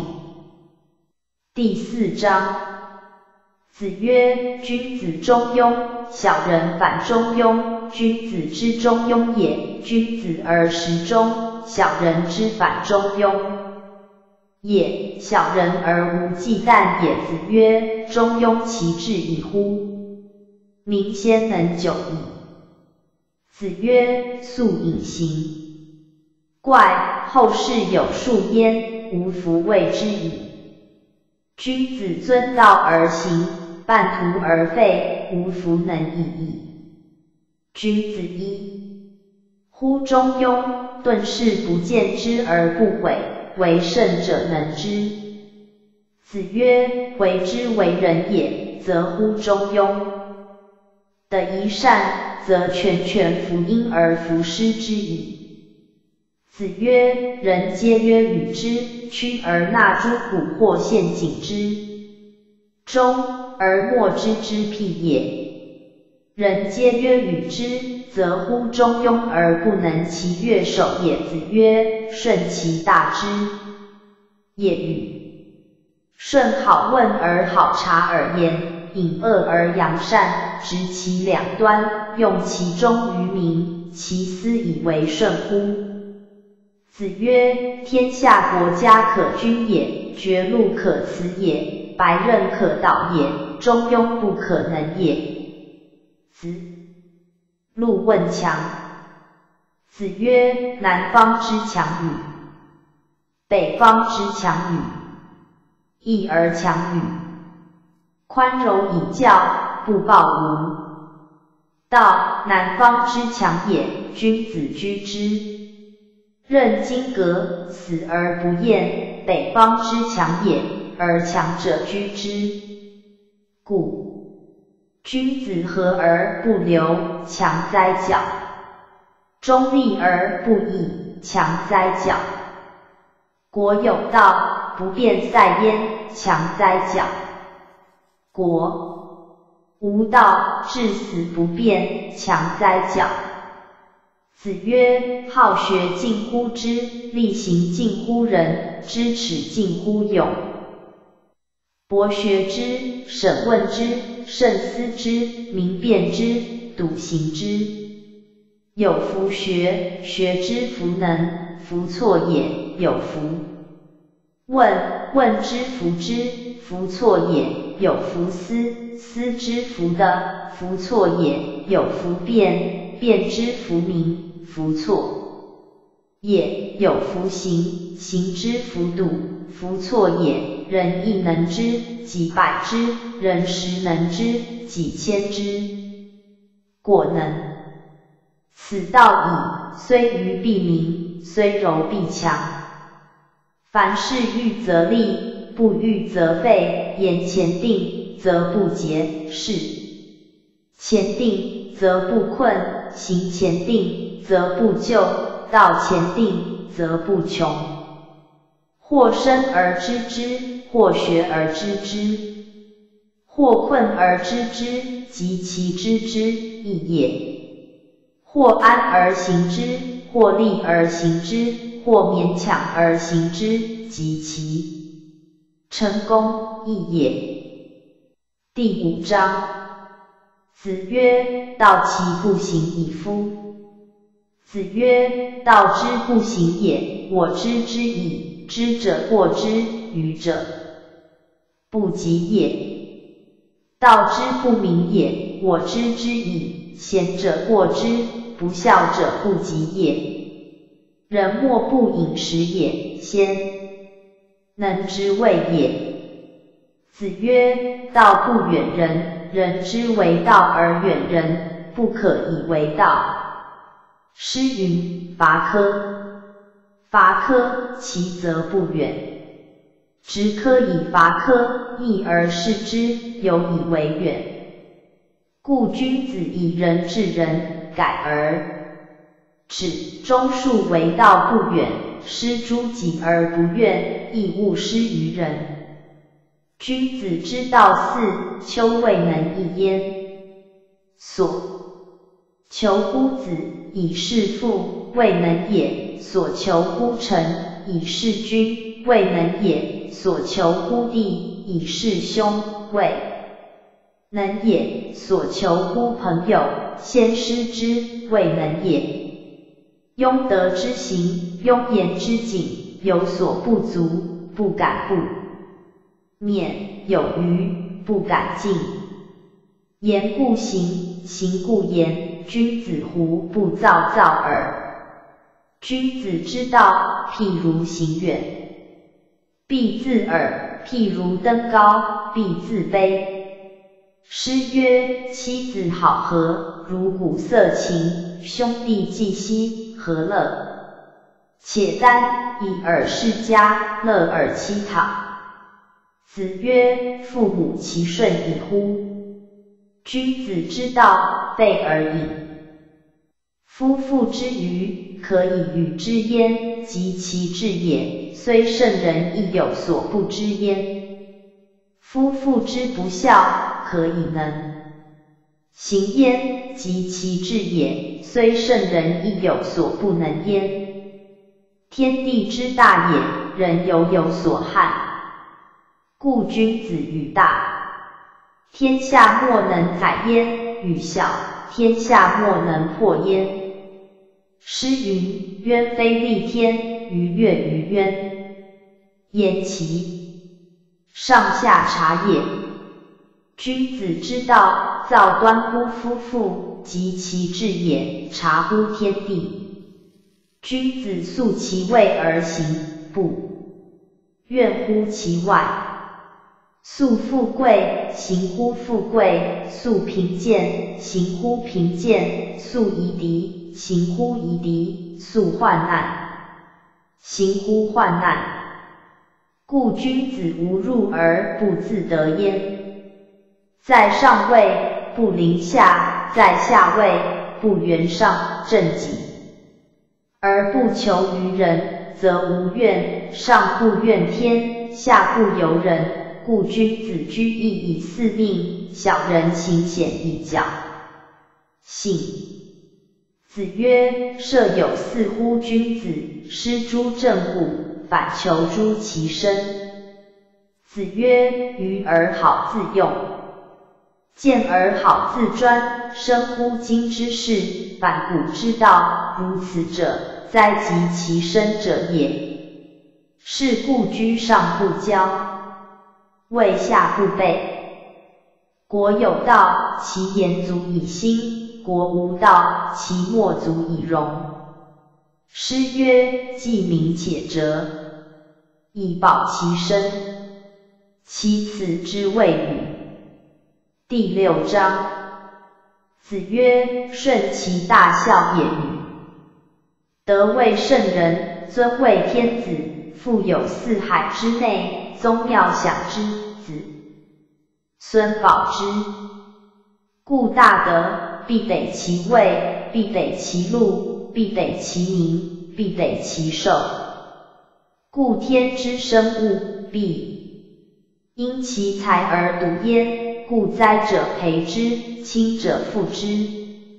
诗曰：家乐君子，献献令德，以民夷人，受禄于天，保佑命之，自天生之。故大德者，必受命。子曰：无忧者，其为文王乎？以王继位父，以武王位子，父作之，子述之。子曰：武王周公，其达孝矣乎？夫孝者，善继人之志，善述人之事者也。武王转大王，王继文王之序，一荣一，而有天下，身不失天下之显明。尊为天子，富有四海之内，宗庙享之，子孙保之。武王末，受命周公，臣闻武之德，追王大王王继，上祀先公以天子之礼，斯礼也。达乎诸侯大夫，及士庶人。父为大夫，子为士，葬以大夫，祭以士。父为士，子为大夫，葬以士，祭以大夫。其之丧，达乎大夫；三年之丧，达乎天子；父母之丧，无贵贱义也。春秋秋，其祖庙，承其宗器，设其长衣，见其实时，见其位，行其礼，奏其乐，敬其所尊，爱其所亲，视死如视生。视亡如是存，孝之至也。宗庙之礼，所以序朝暮也；序爵，所以变贵贱也；序士，所以变贤也；履绸下位上，所以改建也；变毛，所以序齿也；交涉之礼，所以祀上帝也；宗庙之礼，所以祀乎其先也。民乎交涉之礼，地长之义，治国其如是诸长乎？第七章，大哉圣人之道！洋洋乎，发育万物，俊集于天。悠悠大哉！礼仪三百，威仪三千，待其人而后行，非天子。不义礼，不制度，不考文，虽有其位，苟无其德。不敢作礼乐焉，虽有其德，苟无其位，亦不敢作礼乐焉。上焉者，虽善无真，无真不信，不信民服从；下焉者，虽善不尊，不尊不信，不信民服从。今天下车同轨，书同文，行同伦。子曰：吾说下礼，其不足真也。吾学殷礼，有宋存焉。吾学周礼，今用之，无从周。故君子之道，本诸身，真诸庶民，考诸三王而不谋，见诸天地而不备，直。诸鬼神而无疑，百世以祀圣人而不惑。执诸鬼神而无疑，知天也；百世以祀圣人而不惑，之人也。故君子不可以不修身，思修身；不可以不事亲，思事亲；不可以不知人，思知人；不可以不知天。是故君子动而是为天下道，行而是为天下法，言而是为天下则。远之则有望，近之则不厌。诗曰：在彼无恶，在此无赦。树积树叶，以永终欲。君子未有不如此，而早有欲于天下者也。第八章，哀公问政。子曰：文武之政，不在方策，其人存，则其政举；其人亡，则其政息。人道敏政，地道敏术。夫正也者，仆庐也。故为政在人，取人以身，修身以道，修道以仁。仁者仁也，亲亲为大；义者义也，尊贤为大。亲亲之杀，尊贤之等，礼所生也。王天下有三重焉，其寡过矣乎？天下之达到五，所以行之者三：曰君臣也，父子也，夫妇也，坤弟也，朋友之交也。五者，天下之达道也；之仁、勇三者，天下之达德也；知思三者，则之所以修身；之所以修身，则之所。以治人；之所以治人，则之所以治天下国家矣。凡为天下国家有九经，曰修身也，尊贤也。亲亲也，敬大臣也，体群臣也，子庶民也，来百公也，柔远人也，怀诸侯也。修身则道立，尊贤则不惑。亲亲则诸父坤弟不怨，敬大臣则不炫，体群臣则视之暴礼重，子庶民则。百姓劝来百公，则财用足；柔远人，则四方归之；怀诸侯，则天下畏之。斋民胜福，非礼不动，所以修身也；去谗远色，见货而贵德，所以劝贤也。尊其位，重其禄，同其好恶，所以劝亲亲也。官圣任使。所以劝大臣也，忠信。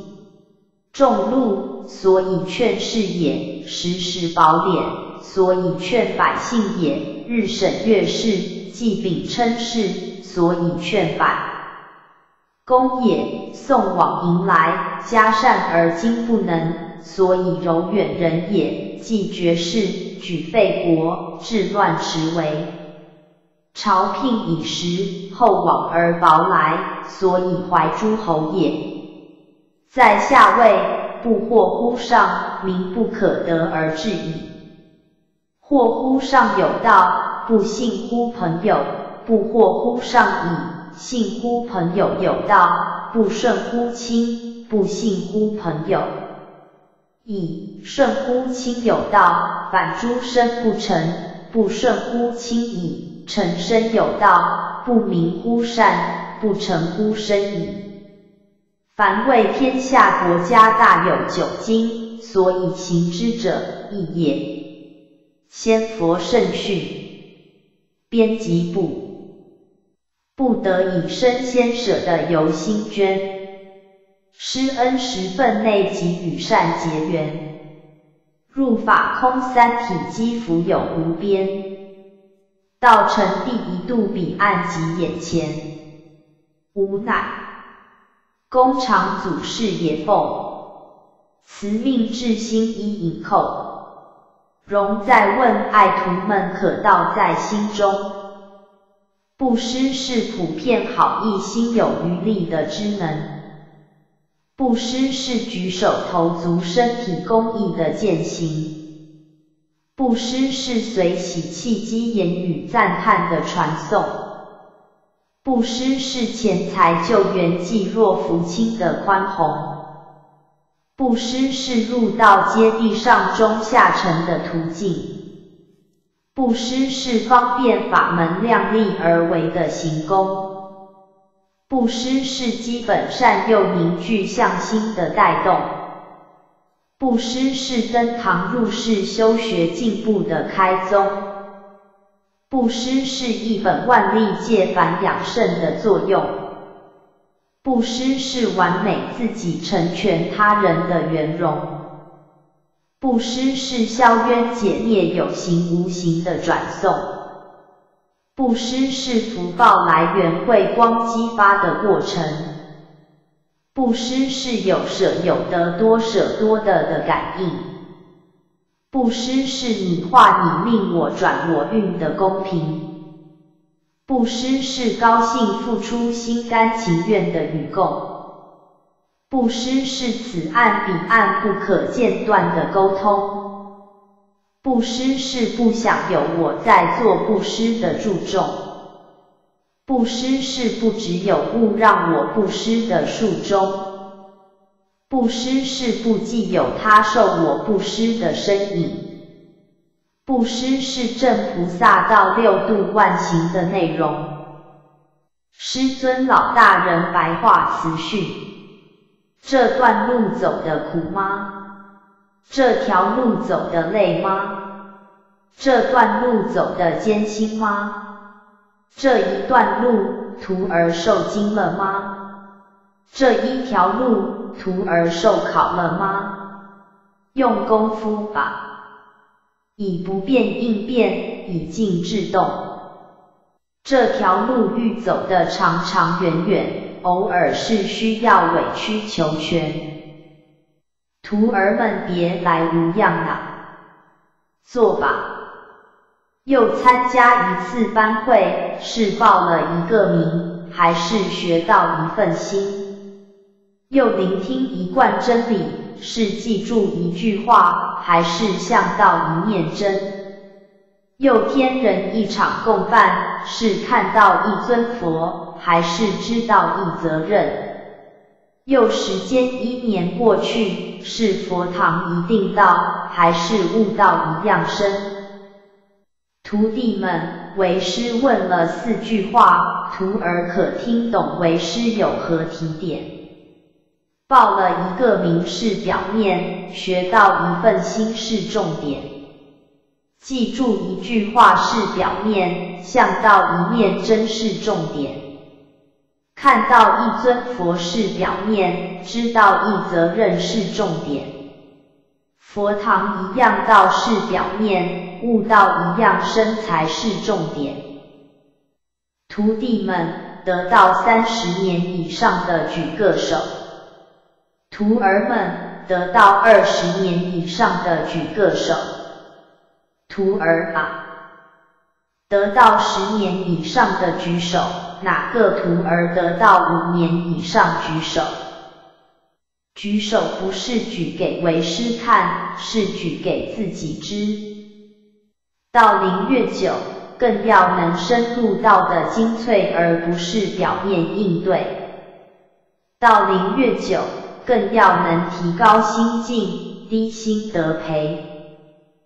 徒儿修道半道久了，往往忽略了佛规的庄严、礼节的殊胜。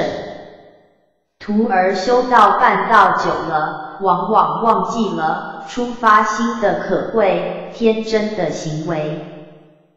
就好像今日徒儿坐在这听真理，是有心，但够不够用心？为了这一场。劳师动众一番的奔忙是诚心，但有没有开心？道若修的忧愁，办的压力，那就是有问题啦。问题出在哪儿呢？问题出在功夫不到，认理不清。为师生怕徒儿啊，任劳又任怨，到头来是颠倒错乱。为师更怕徒儿啊，无怨又无悔，到头来找不到依归。徒儿要记住，修道这条路，中、孝、仁、义是根本，不可忘，是精神的方向，不可忘。就四个字，那半道脚步如何走呢？经典再深奥，也得从浅近做起。今日为师要讲的最浅的第一步，布施。写上，何谓布施呢？徒儿说说，师尊老大人，请数位班员回答。布施二字容易，要图讲出其真实意难呐。两句就没了。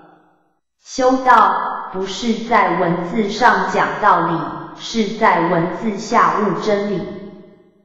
那道理是什么呢？道理是牵引迷昧的方法，真理却是亲身体验的功夫。徒儿都得到五年、十年了，可有往心地下功夫？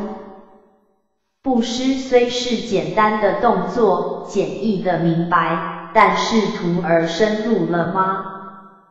学到没有侥幸，踏实了才能稳定。相信在座徒儿都做过布施，是吗？班元答：是。或许徒儿布施过十遍了，或许徒儿布施过一百遍了，但是徒儿们呐，是不够的呐。布施是六度万行之一，万行者不是行一万次，而是不退转。徒儿想想自个儿心到清的时候所行的布施是多么的自然发心呐！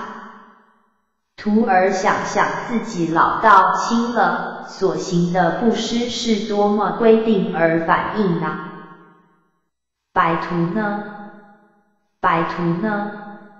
一场班会能在如此庄严的佛堂举行，白徒呢？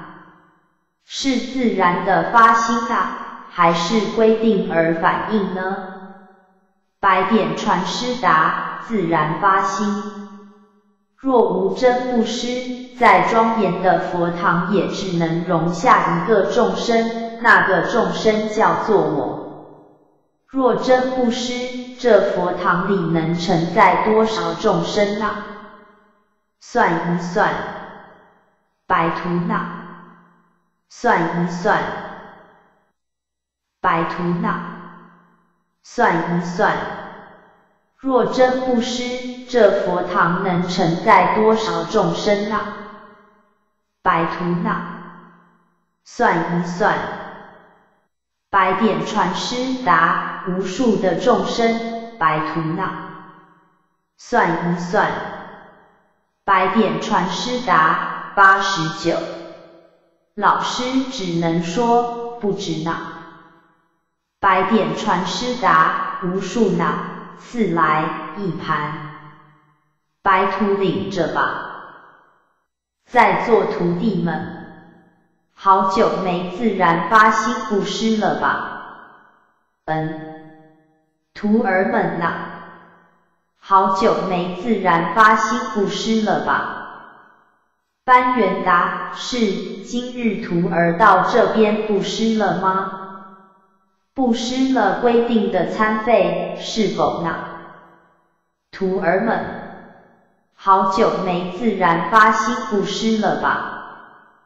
班元答：是，今日在为师面前表现表现如何？提个功德箱出来。在做徒儿准备准备，中途呢？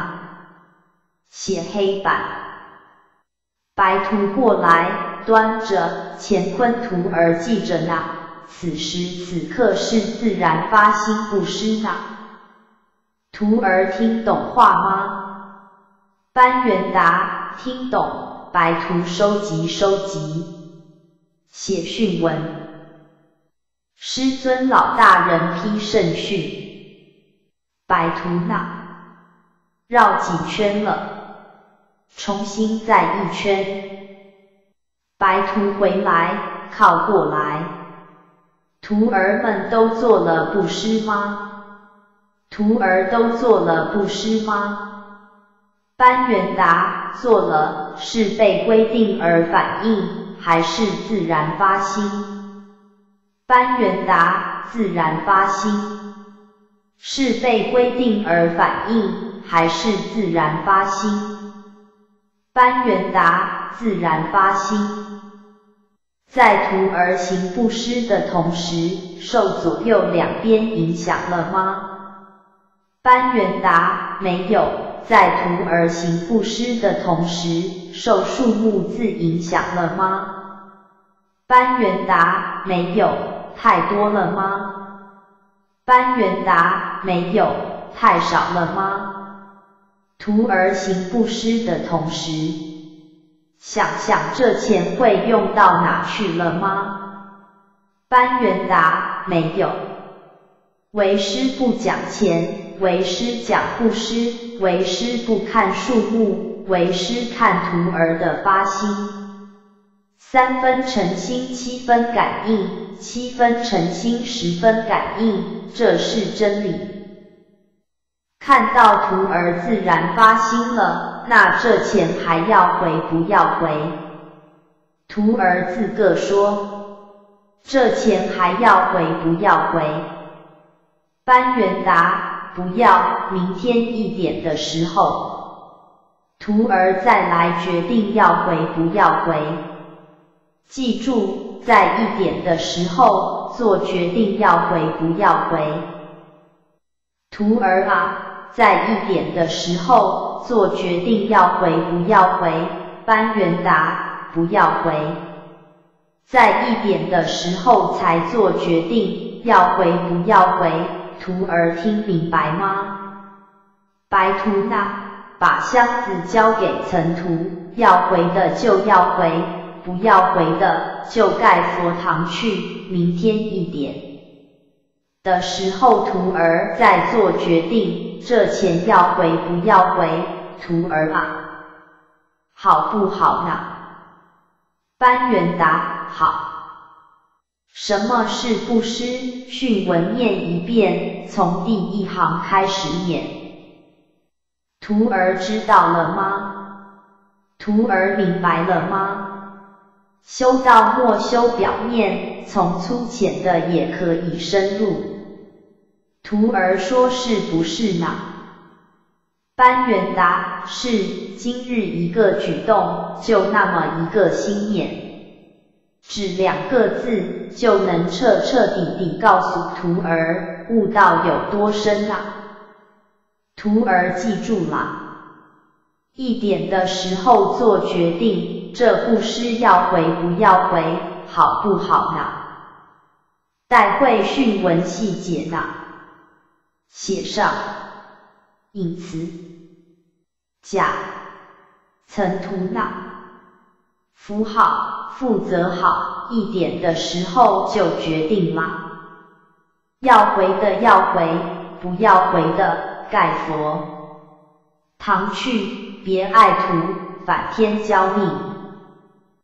诗云及时自勉，业精于勤荒于嬉，行成于思毁于随。劝君及时加自勉，寒冬独立一枝梅。李氏常家言：人生重视生死路。王坤德。古德云：我本不欲生，忽然生在世；我本不愿死，忽而死其志。庄子谓：此语总结道：方生方死，方死方生。简短的话语。除了见得两者是觉悟的智者外，同时都表达了对生死轮回的无奈，道尽了全天下人共同要面对的课题，以及心中的困惑与痛苦。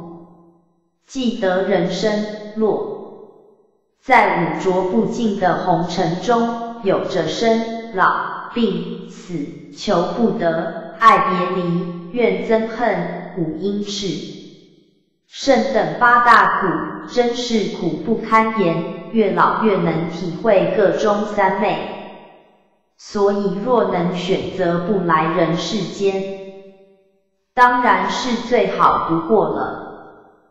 待业往生，似乎是铁的因果定律，人有否决的权利吗？当母亲怀胎十个月之。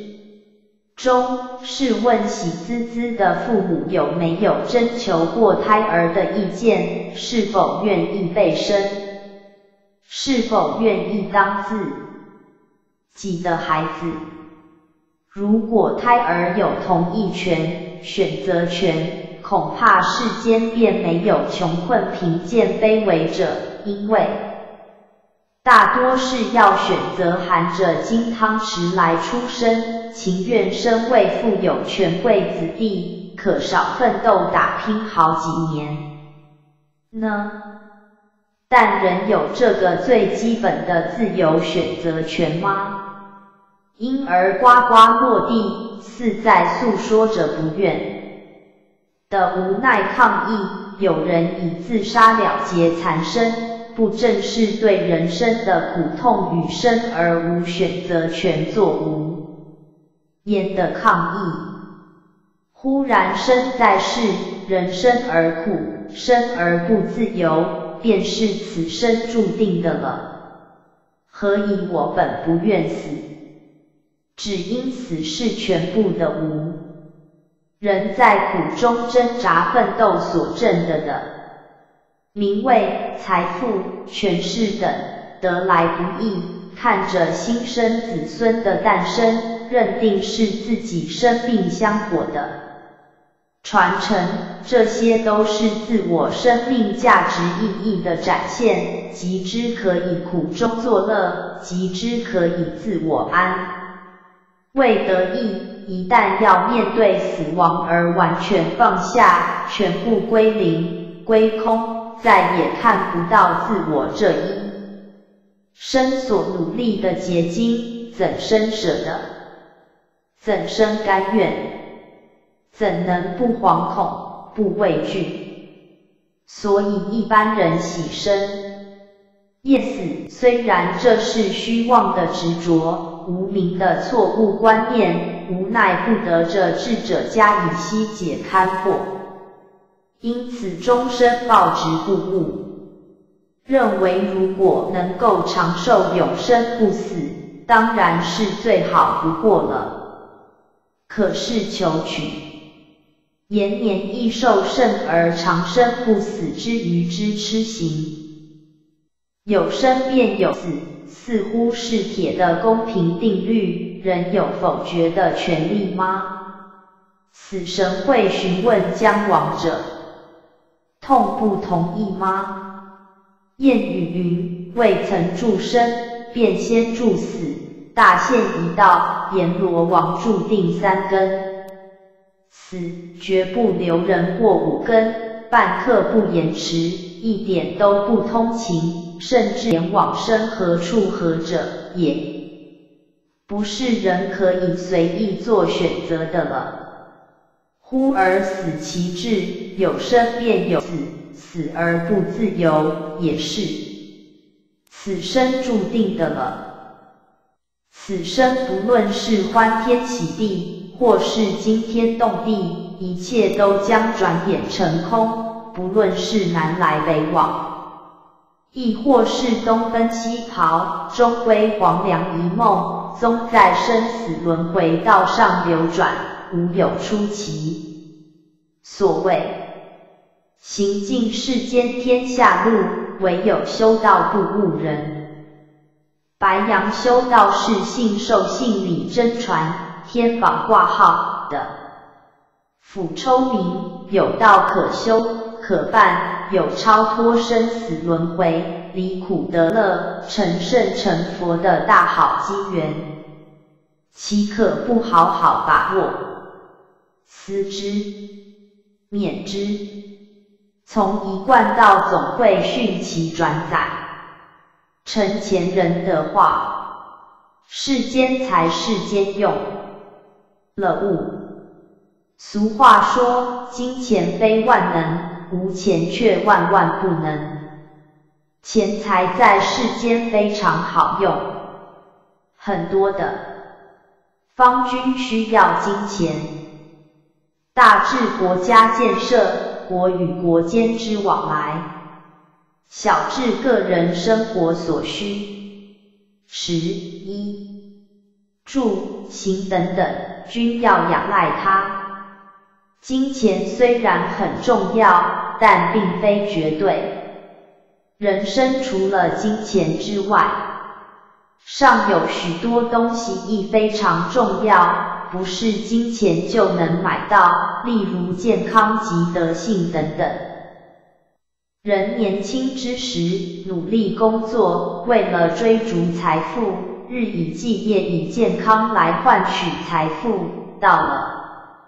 老年之时，人老体衰，在到处寻求养生之道，花大笔金钱购买营养补品，想要买回健康，但也无法买到完全的健康，这就是人生。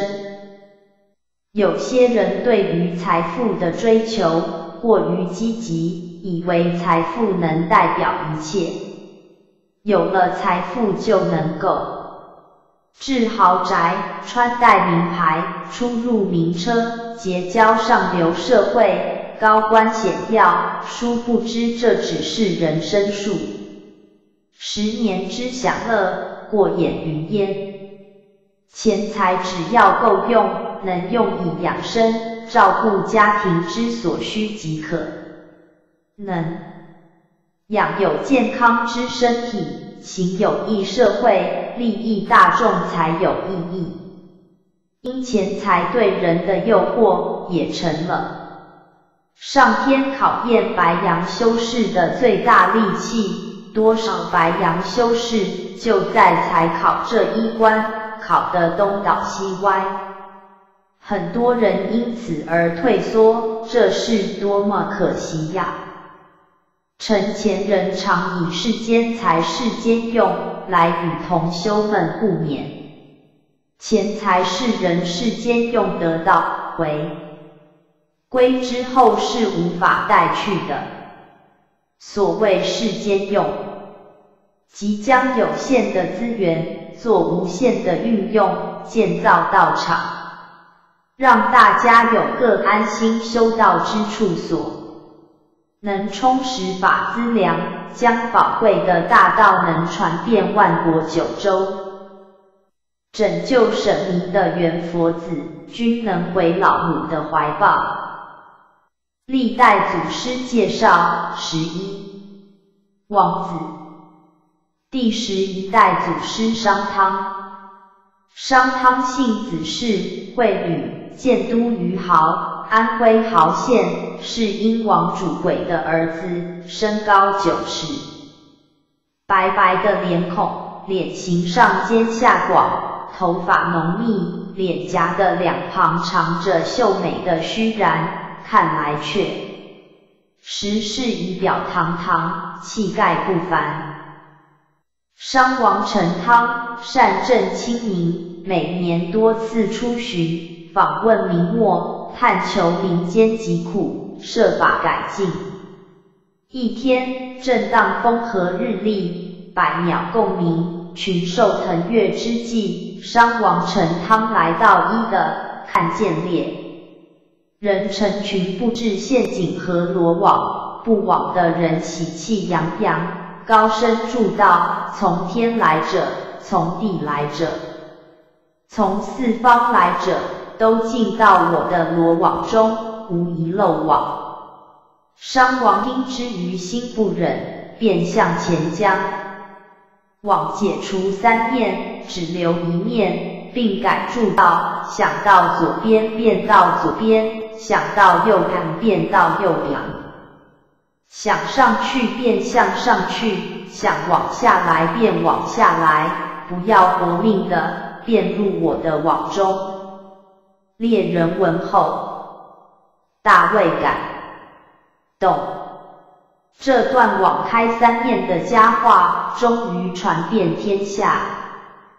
由于汤王施行仁政，再加上有贤相伊尹、仲辉的辅佐，使国势日渐强大，天下归心。这一来，终引起夏桀王的不悦，下诏擒拿汤王，并降之关于军台。信经伊尹的奔走，准备了大批的国宝、金饰、青铜、白玉、珍玩、美女，一半献给桀王，一半献给桀的宠臣赵良。的赵良的疏通，方将汤王给放回来。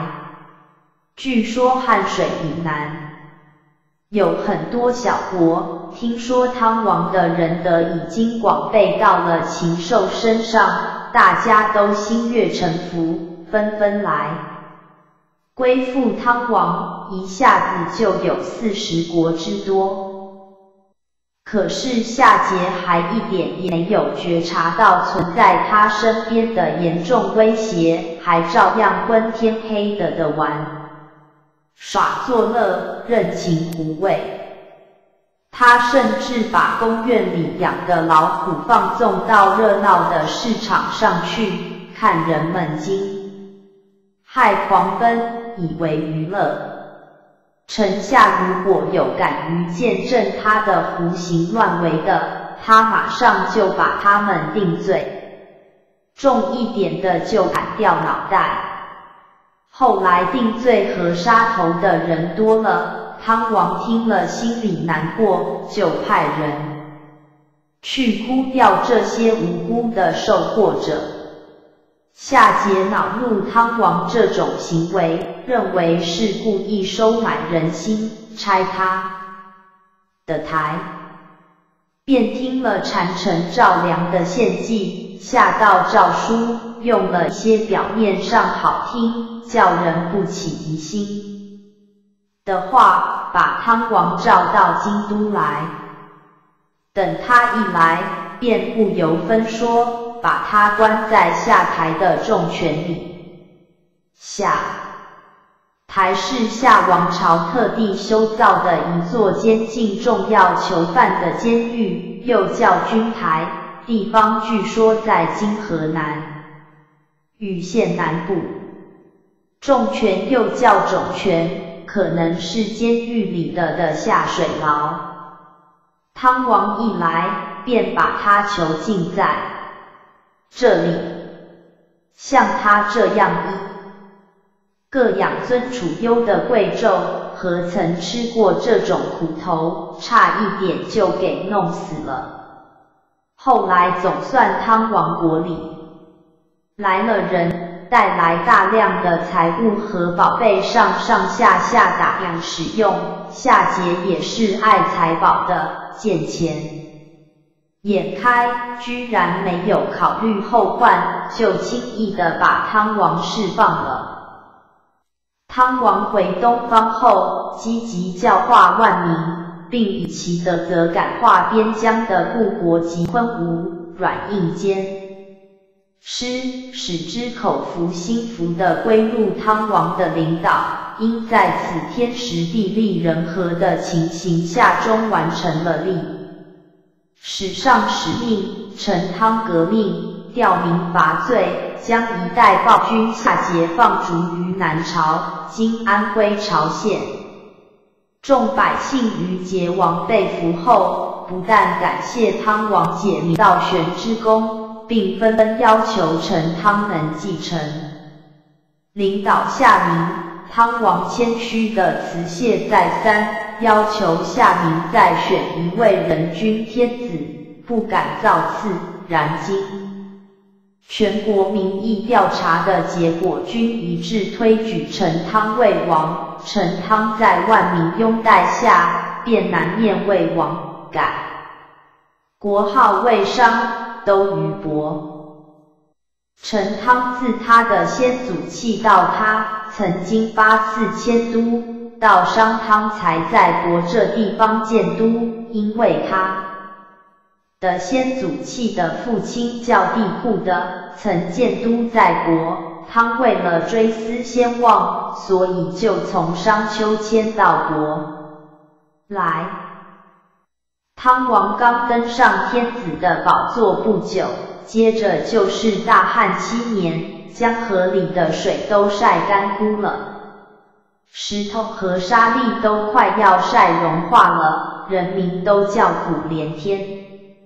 求雨老是求不下来，史官补了一课，说应当拿人来做牺牲，才有下雨的希望。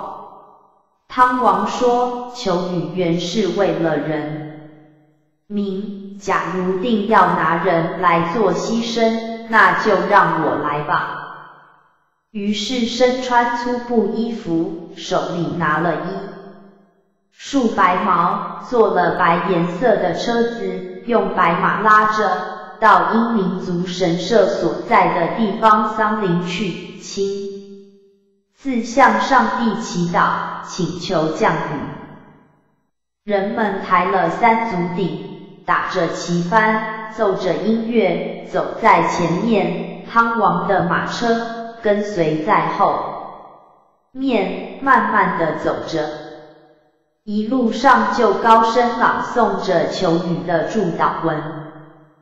到了桑林，汤王下车走向。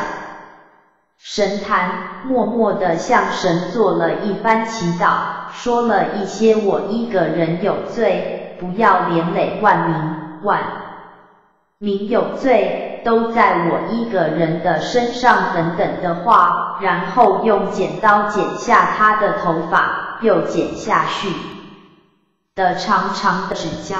一起丢在神坛前面的火堆里烧掉，这表示他为了人民不惜牺牲自己。可是剪法断掌这种牺牲，在一个做天子来说是很难得的，像汤这样能够关心人民痛苦的帝王，真称得上是一个贤王了。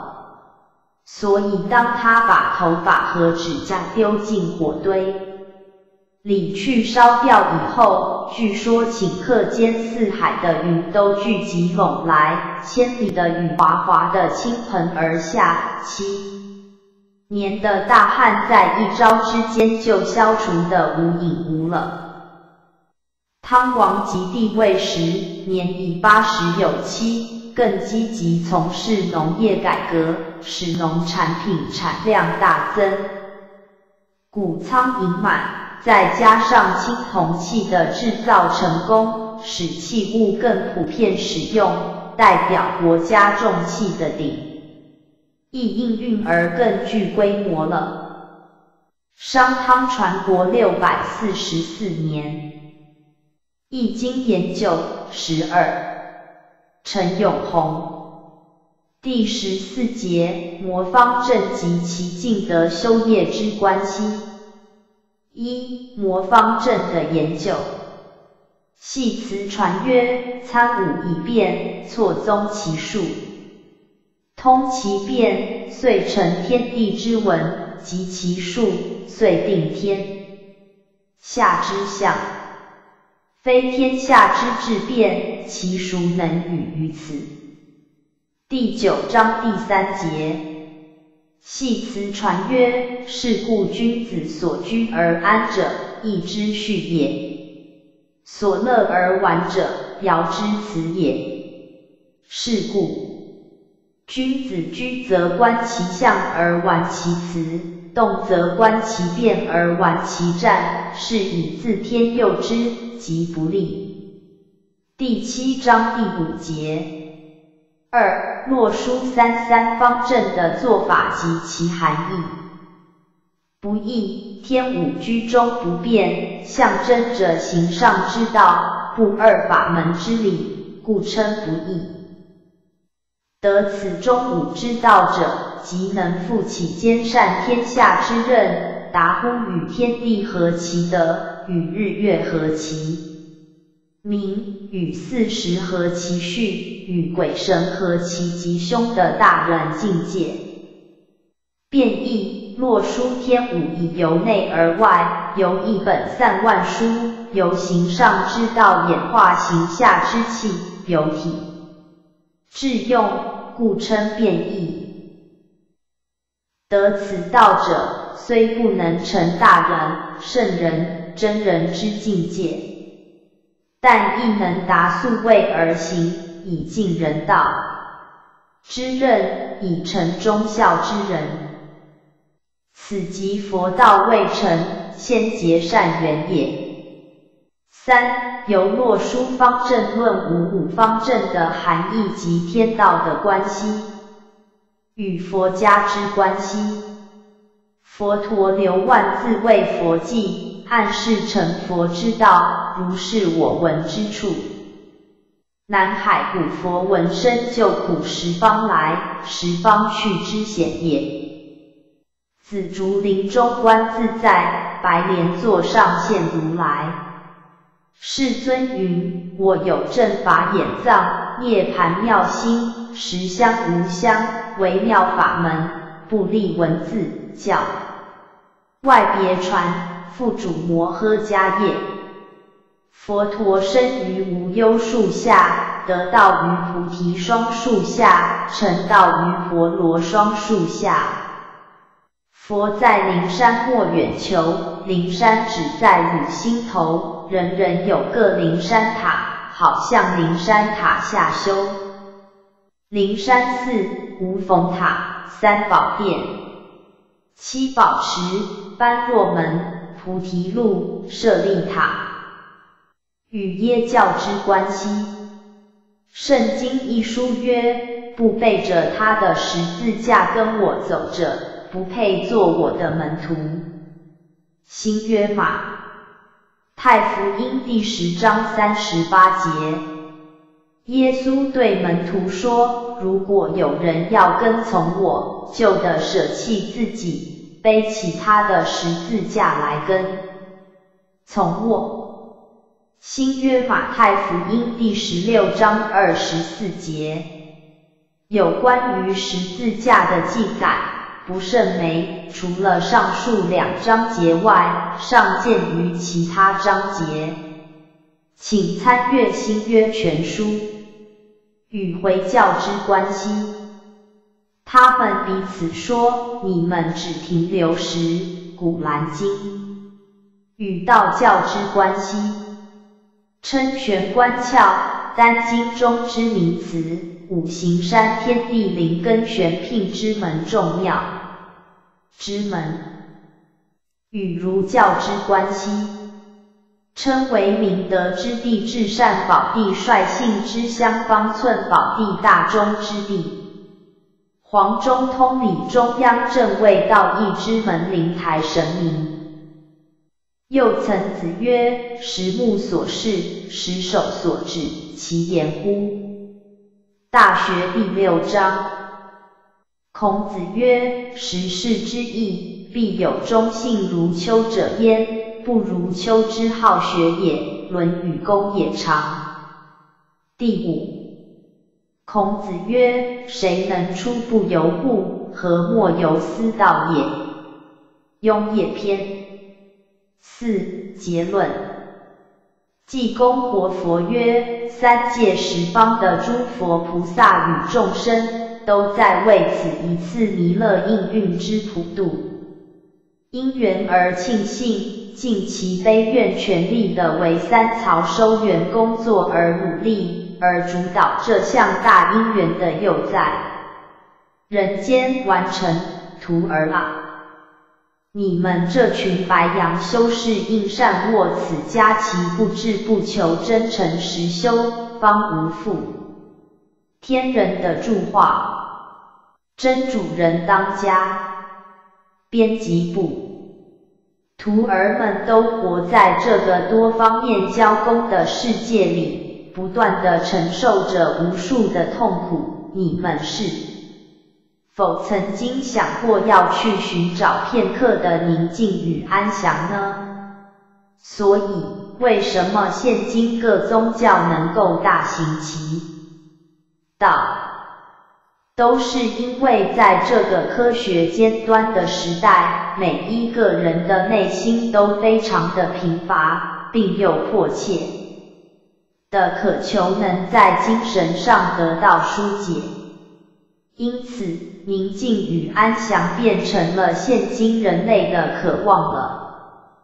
如果你们想得到宁静与安详，在座有人当老板级的，就回去试试看。如果员工对你埋怨说老板不加薪水，或是员工跟你有劳资纠纷时，你就多用一些爱语去关照他，给他鼓励，以鼓励来代替责备。为师相信，大部分的人绝对不会跟你计较薪水，也不会跟你有劳资纠纷。也就是说，大家都希望减轻压迫感，而你平时却不断的要他去开发市场，要他去受训，那么他活在这个充满压迫感的环境里，一定会感到非常的不安。相反的，如果你给他一些爱语，一些鼓励，那他绝对。会为你拼死拼活的为你尽忠，你们相信吗？如此，彼此间便减少压力与冲突，您静与安详不就自然的显现出来了吗？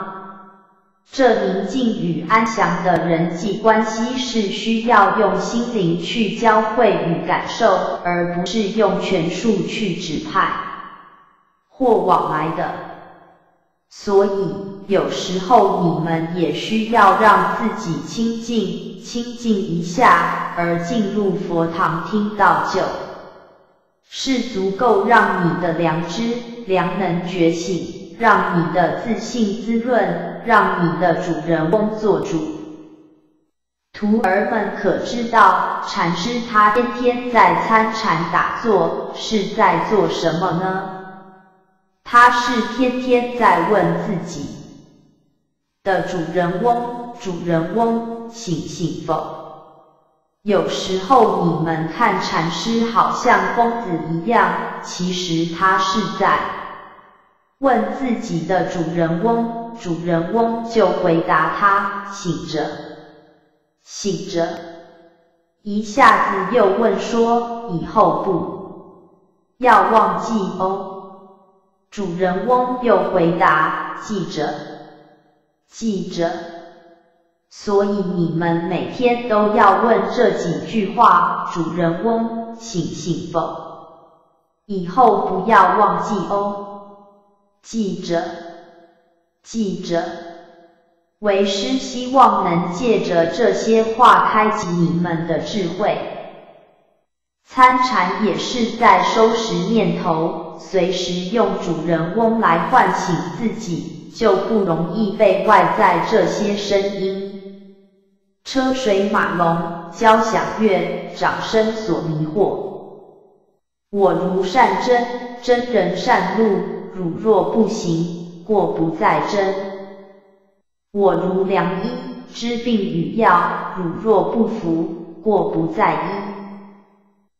大家在这个团体当中好好的修行，钱钱们提供你一个良好的环境，就当善握良机。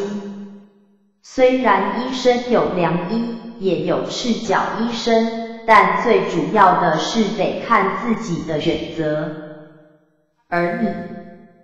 们今天既然遇到这么好的一个机会，就要好好反省过去的种种贪、甜、慢、疑，去接受佛菩萨之善愿的引导，由此岸走向彼岸，懂吗？今天大家都得了同样的病，也就是第一号杀手，这个癌症，生死就是你们的。癌症呢？对不对？只是有的来得早，有的来得晚，就是生生死死的轮回病呢。三十年、五十年、七十年的岁月，如果这一段岁月过去了，你还能够回忆什么呢？那岂不是个难以挽回的生死之癌吗？所以说是梦，是梦，世间就如同一场春梦，而梦总是会醒的。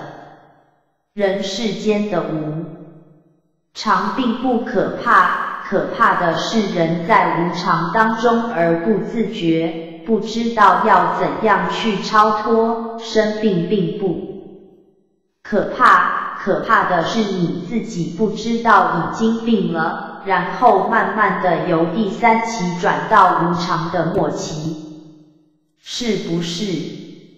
如果你仍在原地踏步，那么无常就永远如影随形的跟着你。庄子有句话：天是棺材盖，地是棺材底，走了三千里，你我还是在这里。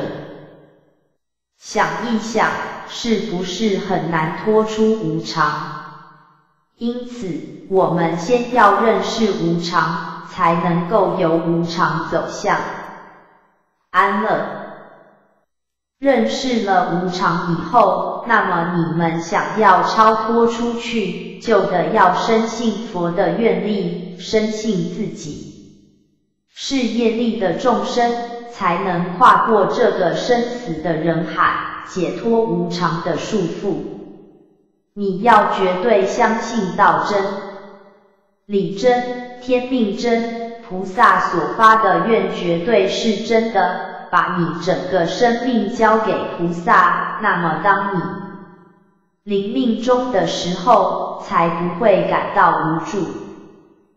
现在你在迷的当中，由菩萨给你引导，慢慢的你就能够自信自度，你就可以找到自己的那个真佛，那个真实的生命。为师的爱徒恼，人是迷的佛，佛是物。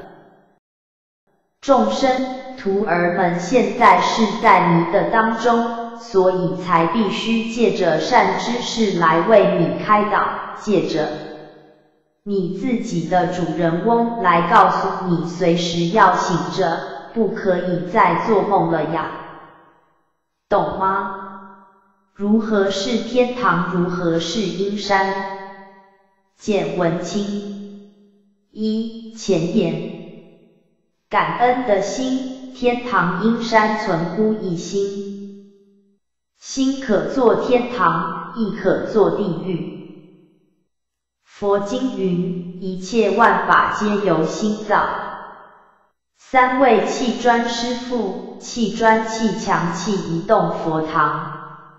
二天堂乃道德之通，天堂代表祥和、宁静、愉悦、清净，是世人唯一选择择的地方。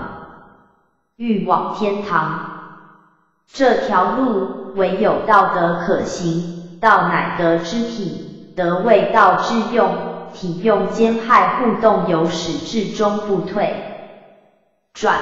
而天堂自现，在修梵道中如何接受更多的磨练、考验及体证？透过十二因缘、六度万行，通过种种考验，使令悟入，进而来了解生命之真实意。而咱们的心思动念实证。是邪是对是错，乃决定我们的去处。因为天堂果位乃是人间定，成功果实乃努力忠诚。三道之所在，庄子道在提拜，道在瓦砾，道在使逆道本无形，却成全一切行；道本无相，却成就一切相。故有生成造化之机，有运转乾坤之能。明慧正见，明辨是非善恶，不存人我。故事两位武士的争执，风动与幡动。实质思维，对实境的体证和老前人一生办道精神。出口正语。口出清凉语，代天宣化，引迷入悟，善语恶语，举止正也，修道人应有的内涵，作为道亲的风范，守身正命，以道为最高标准的修持，君子死守善道，如莲花出污泥而不染。作为精进，道悟、道学、道心，在面对多种考验中成长。立心正念，心静则佛途径，念兹在兹，二六十中不离道。修持正定。行一切处亦不着一切，要有大将之风。纵然面对考验现前，亦能维持到心不退转。四得之所失，得乃道之用。道虽无形而能显，如四季日夜。修道人为一大事因缘而来，必有所作为才是。例我很有爱心，爱无形无相为从行动表现周前人于新加坡办。道有意求道人的发心修道，非止口说，要能至心一处，魔所不办。认理实修，道真理真，天命真，修道不能失真。尊规守矩。佛规礼节是修道人的守则，开荒产道，即往圣之绝学，开万世之太平。宏观的道面向到各地开荒的前贤大德至最高，敬意并效法他们修办道之精神。三施并行，布施能舍，才能除贪念。舍身济世，不为自己求安乐，但愿众生的离苦的菩萨愿力，一心一意为道忘躯。任明邪正，博学之，审问之，慎思之，明辨之，笃行之，不知命不以为君子。忍辱负重。为达成功前，再大的苦也要忍下来，因为春天不远。不但改过，有过则改，如了凡四训，子路闻过则拜，知耻近乎勇。五阴山乃气质之爱，阴山代表黑暗、痛苦与无奈。如芸芸众生的佛性，皆被无明烦恼所系缚。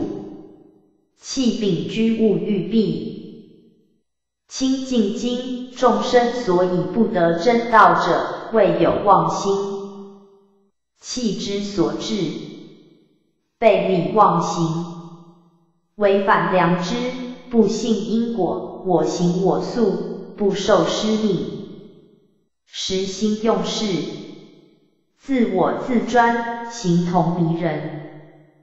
八邪居心，明修栈道，暗度陈仓，有目的之修道，良心被欲心所侵，一计退缩。如狐疑不信，不信则退，朝秦暮楚，道心不坚薄弱，易受外道蛊惑。舍本逐末，不求实际，只重外在，朝三暮四，欺师灭祖，七上蒙下，违反道规，反道败德，道中之罪人，违规破戒，戒律如法律。六直之所限，人因习惯而养成的一种特质。习惯有好有坏，先天不足，后天可补。若再不补，因山事后，反怨败德，背道而行，违反初初心。明知故犯，明知山有虎，偏向虎山行，明知故犯谓之罪。贪邪气正，不能坚持道念。弃本逐末，舍前弃后，不遵前提后，自障又障人。钱财不清，三清之一，不负己任。人能弘道而道非弘人，邪说诱人，不依正法，自专自误，送发力事件，为时被母。天时应运，不及时把握时机，违反真理，阴山背后凄凉。七结论：八正道，十五条佛规。提醒我们，慎独的真功夫，修办的真实意，以人心和天心。谈经语，菩提指向心密和牢向外求玄。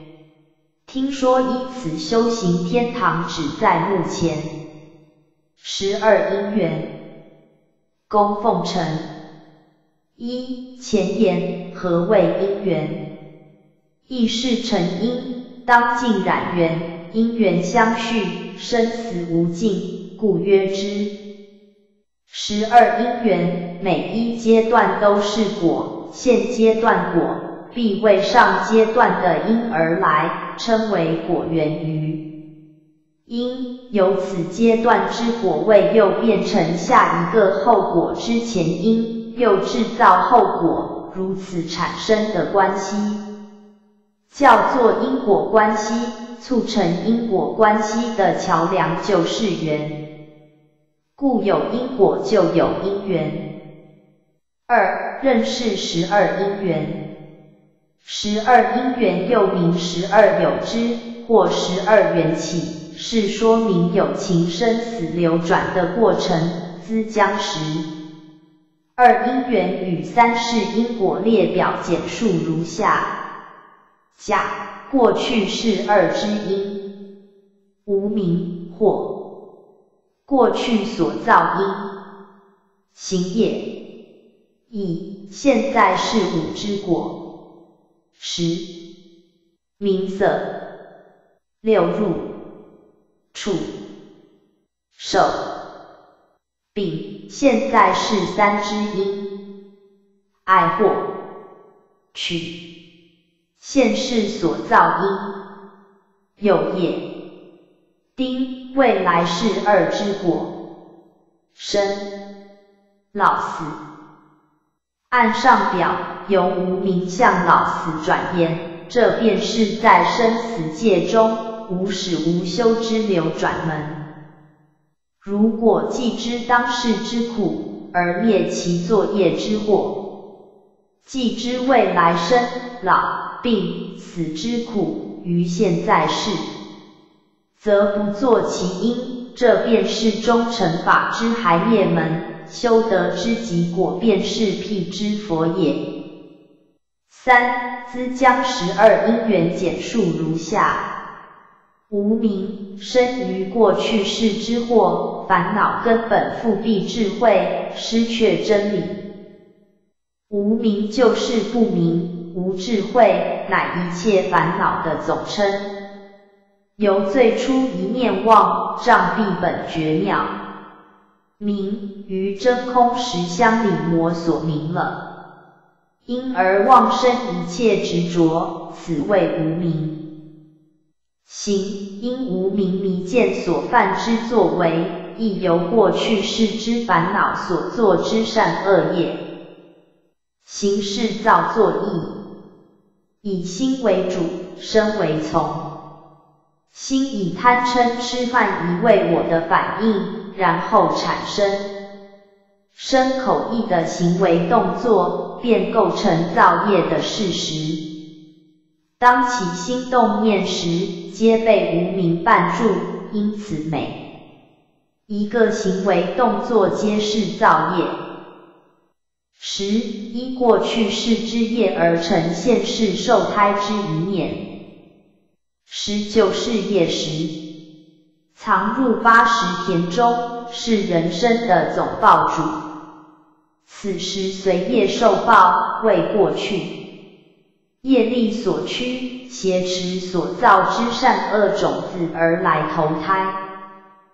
名色有神识曰名。有形之约色，在母胎内六根尚未具足之活动也。明色明指心识即神识出投胎时之位，色指形体即父精母血混成之肉团。由于一念爱染投入母体未明，染父母赤白二体而成胎位色。因为出头胎时六根未成，实心不能显发其了别功能，但有心的名称，没有心的作用，所以不称为心，只称为名。出头胎时形体未全，五官未具。不便称身，故但称色。此为因胎出明还没有完成六根的一个阶段。六入六根已具足，将要出胎之真后。六入即六根，在母胎十个月的中间，由明色渐渐成长到六根完备于出胎后。对六尘境有互相摄入的作用，故名六入。处出胎与外界开始接触，至二三岁之间，还未明了苦之感觉也。触即接触，根成合合而成处，指出胎后六根与一切外境之接触。当小孩。二三岁时，天真淳朴，六根对境，但其单纯之知觉，没有真爱的分别，此为六根交际一切外境的一种作用。受自外界所受之苦乐渐渐有感，约在十四五岁之间，受即领受，领受所处之境。根境相对于为顺二种境界上，生起苦乐二种感觉谓之受。当四五岁至十四五岁时，年纪稍长，知识渐开，知道接受一切境界，对于饮食、衣服、玩具等都有所求，具能分别好丑，为不生贪爱之心耳。此为对境所起的一种情绪，对境分别苦乐之感受。爱约在十四五岁以后，升起种种强盛爱欲，包括相对之增欲。爱即贪爱，与所对境能起贪爱。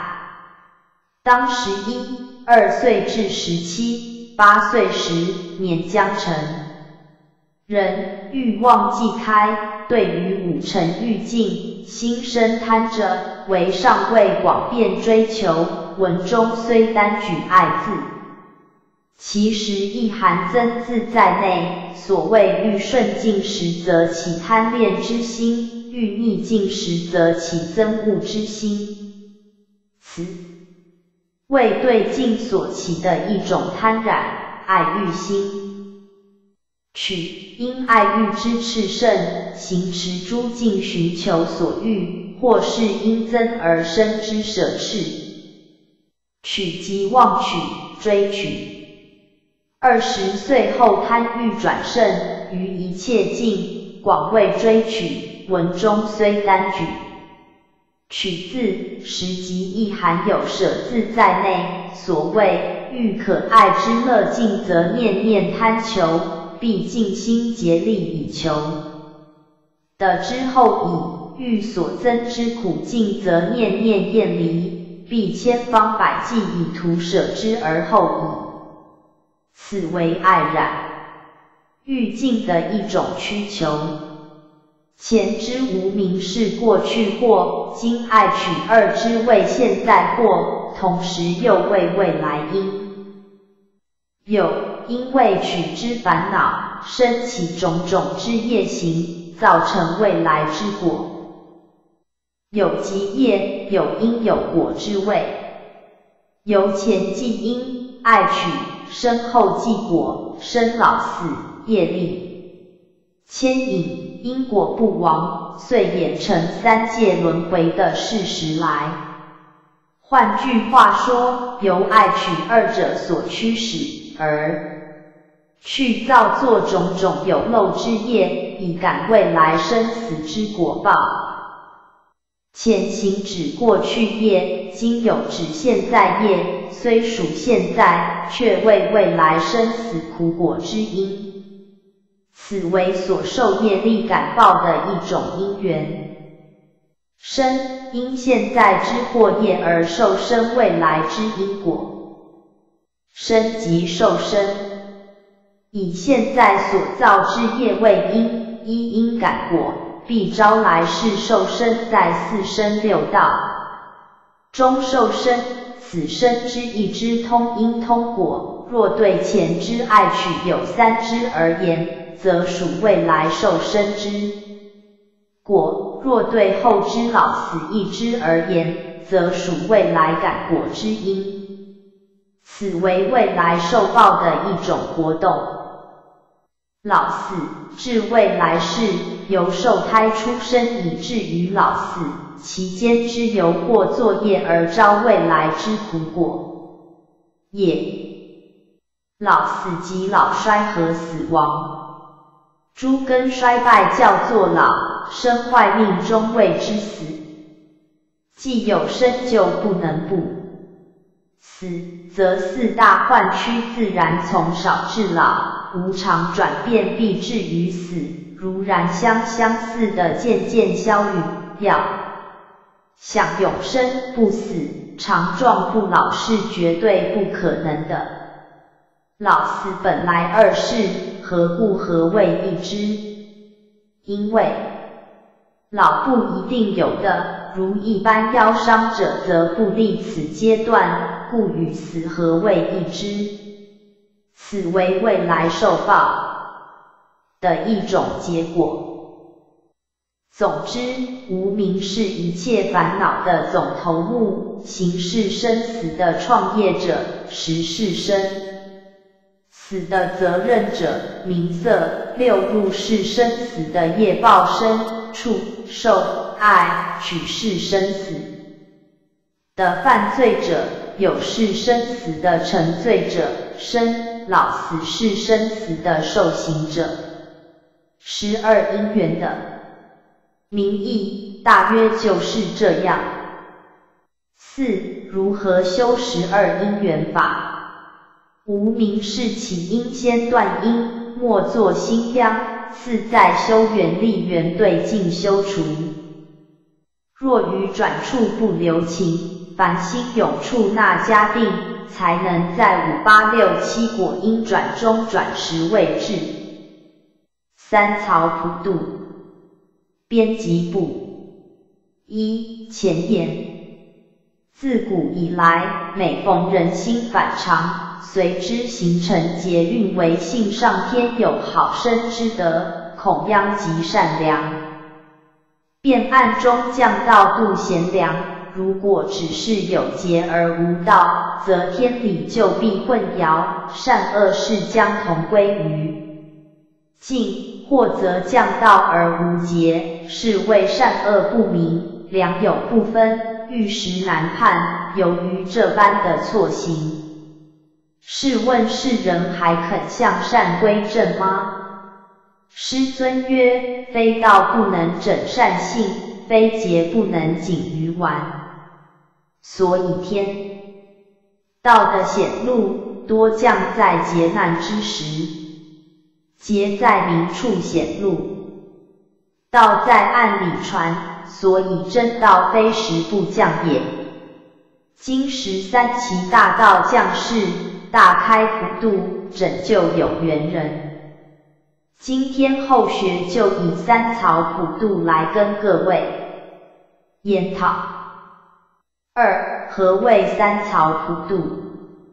三曹即天曹、天神界、人曹、世间人界、地曹的腐鬼魂界也。普渡普者，普化、普遍、广大也，变化三界也，天地人界。渡者，引渡也，由苦海之此岸引渡极乐之彼岸也。三普渡之因由与道降火宅，道是非时不降，非人不传。现今天时已到末劫年，人心不古，为己之利益，人伦道德荡然无存，人与人互相猜忌，互相争斗，造成社会动荡不安，国与国战争不息，成为人间大地狱。因此，上天慈悲，为挽救天下苍生，道降火宅，特命祭公活佛、月慧菩萨掌道盘大开普度，使人间善性个个能得道修道，脱离劫难。四普度三草与人生，初开普度，上天老定力，度生不度死。后来承蒙三官大帝、地藏古佛等恳祈洪恩，才获准阴阳齐度，才有三曹普渡的成立。太上无极混元真经曰：上可渡河汉星斗，弃天诛仙成大罗；中可渡人间生灵，芸芸苍生脱轮回。下可渡的腐幽冥、恶鬼畜生可超生，上可渡河汉星斗、弃天诛仙、天曹。过去修行之事、炼气之客，因为遇上天开恩普渡，不能超气入理者，以极弱。干忠臣、孝子、烈女、劫妇、义士等。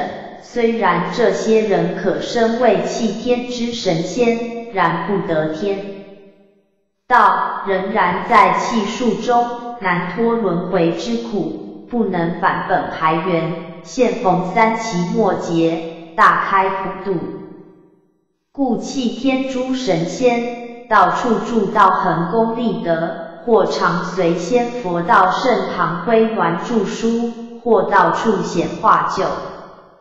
苦至公元果满之时，就找寻前世有缘之人，担任引宝求得天道，返回李天，永脱轮回。但是弃天神仙之度法较为繁难，今举一例如下：以前南部有位极虔诚的道亲，一天晚上，他梦见一位王爷托梦给他曰：“我前。”是与你前世有缘，望你能渡我求道。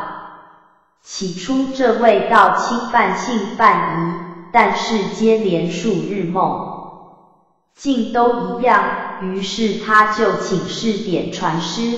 点传师说：“这是你的前程所感，理当渡他。可是神仙并无肉体，一点即能直超三界。”返回无极里天，故度神仙之功德费要很多钱，这下可难倒了这位道亲，因为他的家境并不富裕，岂有余额超度此仙？为此大为烦恼，点传师慈悲为怀，不忍见其忧虑，便联合几位虔诚的道亲一起分担。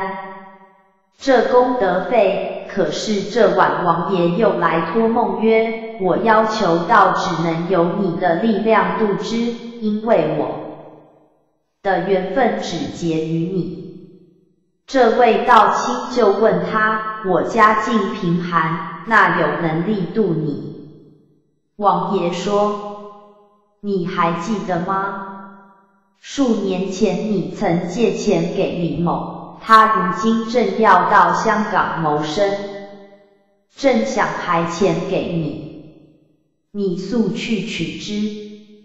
这位道亲于是次日立刻到李某之处，果然正如王爷所言，他的钱后再奏上家中少许的钱，正好足够，遂能顺利的超度了此王爷。此后他没有，显然皆能得王爷相助，因此行道也极为顺，这是他前程所致。终可度人间善男信女人曹。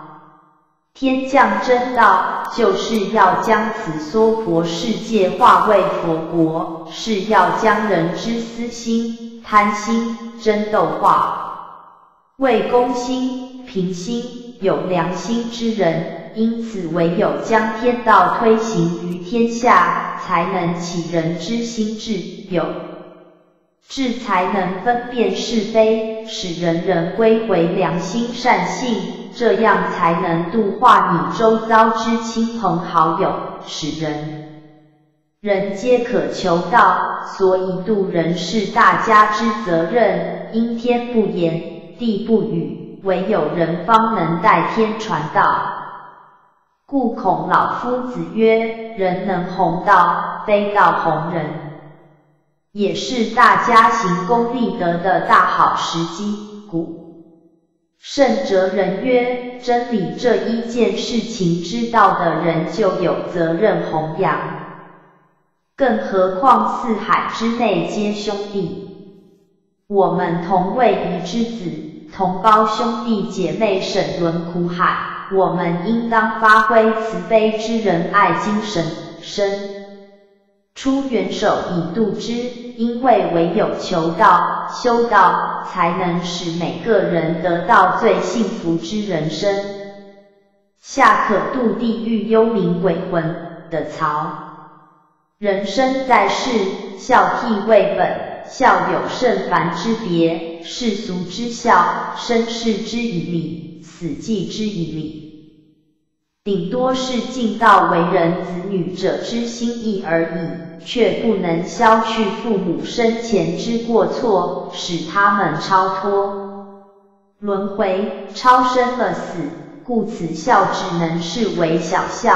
如有真心做孝子，自当追思父母生我育我之功劳，恩重如山，四海难以报答。更印度之使能脱离轮回，而欲超拔父母者。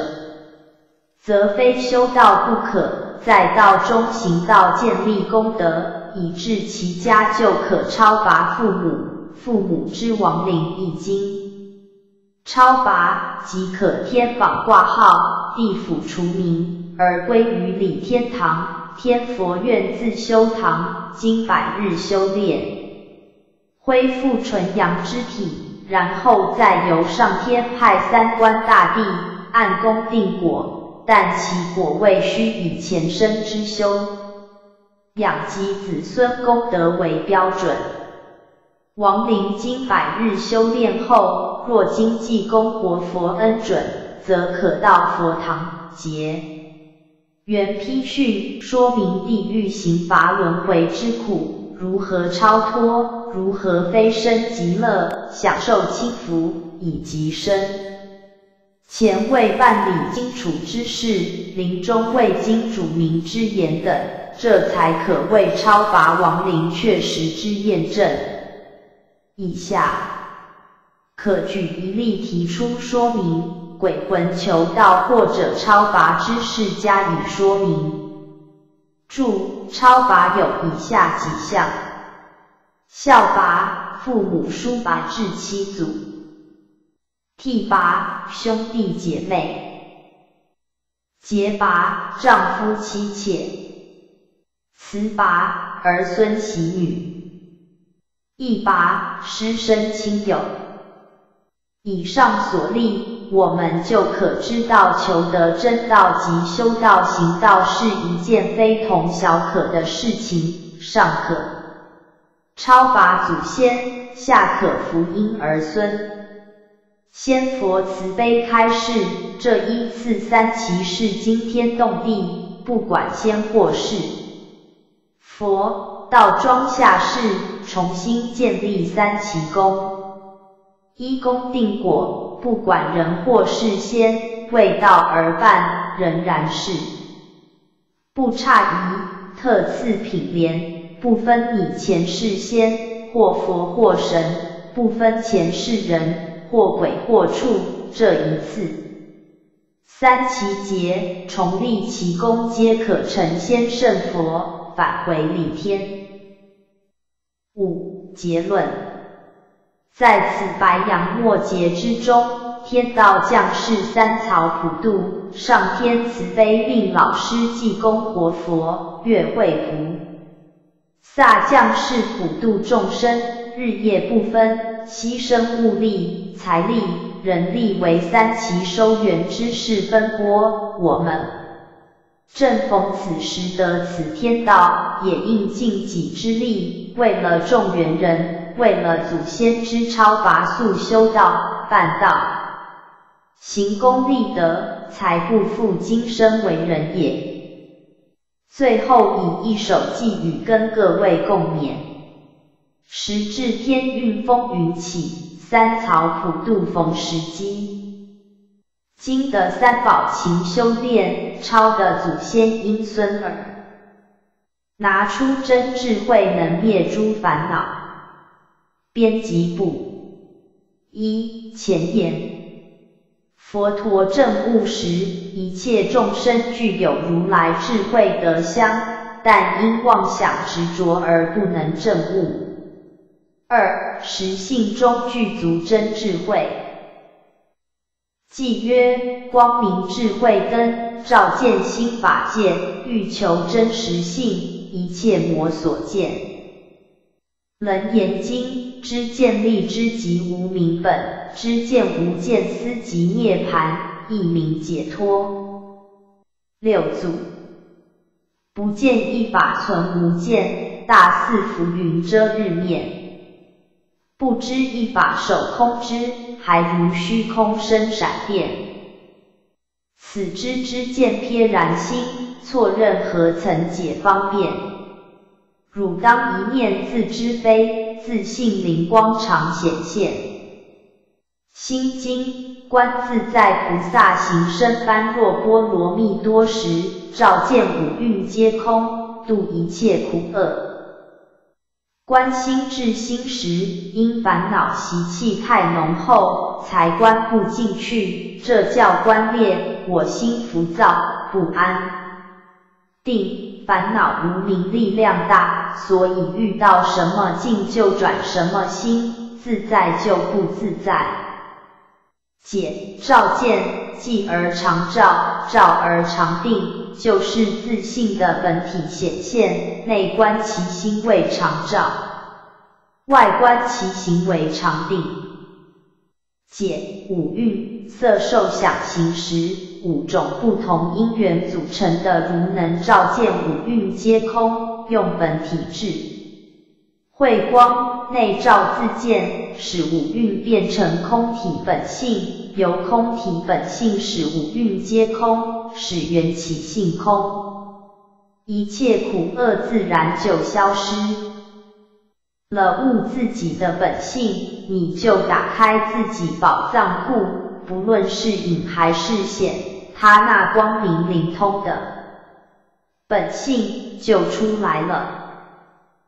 三妄想是智慧的大障，我们的真如不守自信，随缘结成妄想、妄识、妄念、妄心，刹那不停，胡思乱想，被五欲财色名食睡所束缚，结成诸烦恼。而不能证得。神识都是缘的引导，如果神识找不到缘，神识就回归自信，那就是全妄皆真。神识变成真的，真的就是佛。解如实神欲缘，就要转祖缘为助缘，要转识为智。六祖转处不留情真。的智慧就出来了。妄想是一种虚妄不实才产生妄想，因为妄想似梦，所以称为梦想。如众生迷时认为诸法皆真。如果你透视一切都是佛性，那你的妄想就会变实性。见天是佛性，见地是佛性，完全都是佛性。解没有一项不是佛性生的，自性充虚空变法界。初步修道时，心动就是妄想心，就是生死心；不动是清净心。如果修到大菩萨境界，心境是清净心，心动而对一切事物分别时，也是清净心，并不是妄想心，它完全是清净心。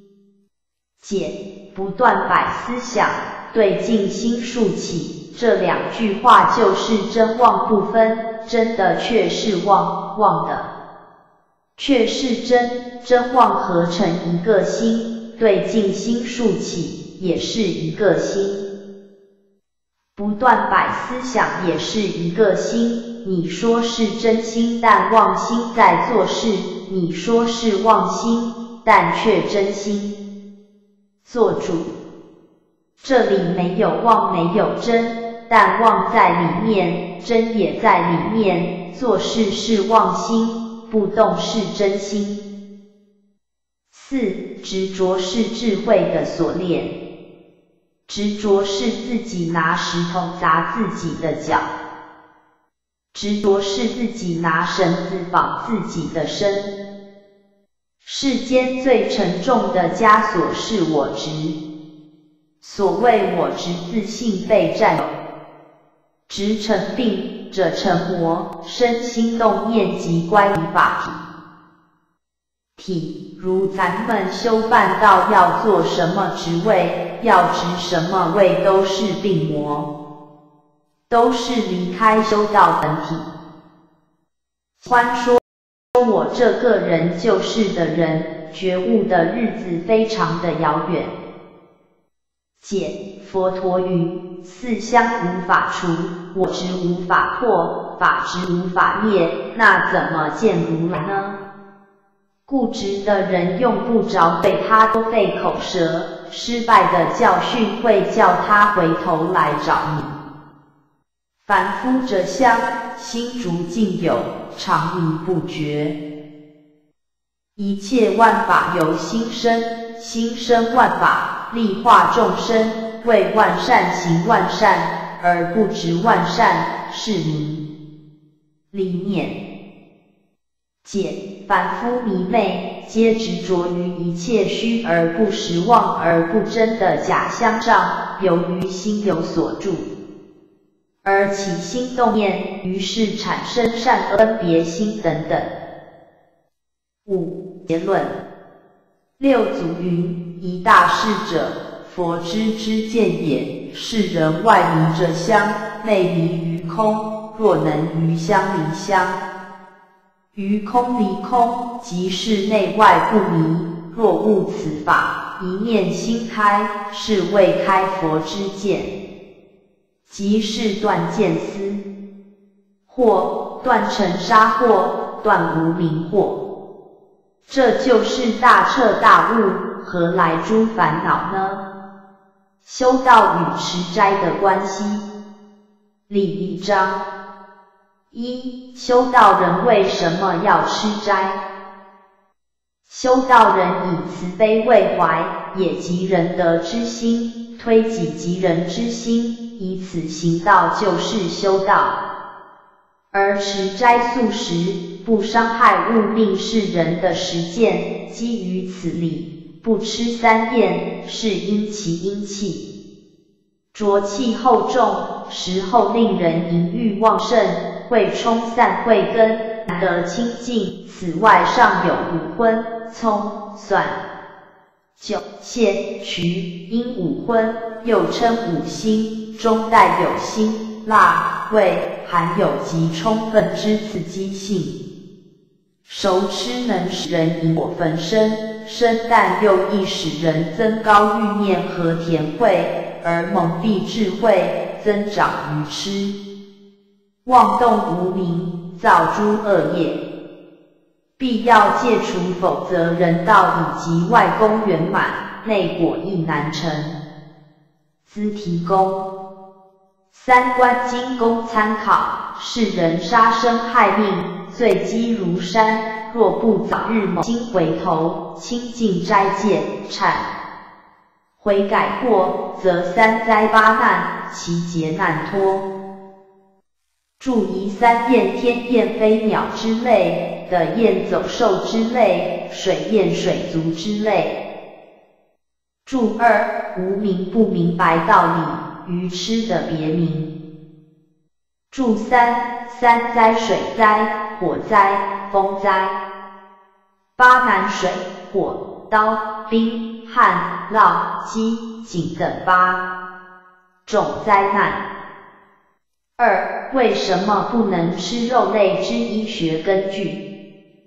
根据医学研究报告，不论什么动物，当被杀时，必会产生大惊吓外，又会产生怨恨之心，由此在体内产生毒素，并分布于全身，故吃下其肉，即吃下含毒之肉，于我们内，而我们每天不断吃下其毒素后，日积月累，我们体内也就有毒素排。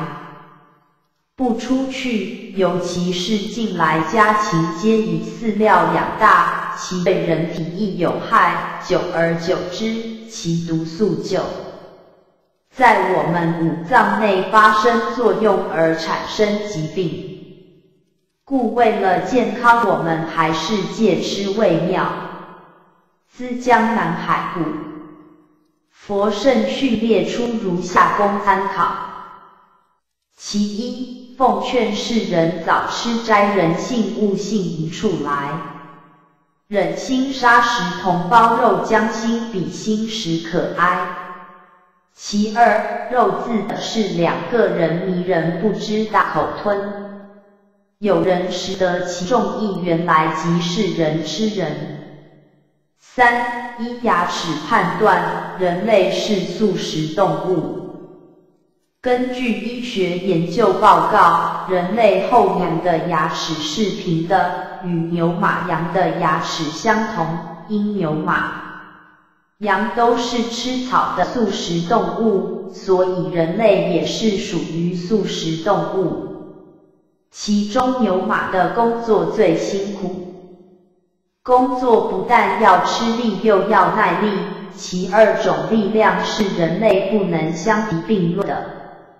后学从自由时报看过报道，于网球及马拉松赛之世界级选手，在比赛前一星期就要吃全斋，否则耐力不足，不能胜任全赛程。其耐力有如牛马，必须依靠茹素。四吃斋的好处。素食的好处很多，只有自己吃素才能晓得。如人饮水，冷暖自知。兹将其好处列出几点以供参考：可培养慈悲心，可行功利德，身体清洁，先佛易于护佑，不致遭入劫凶；可增好智慧。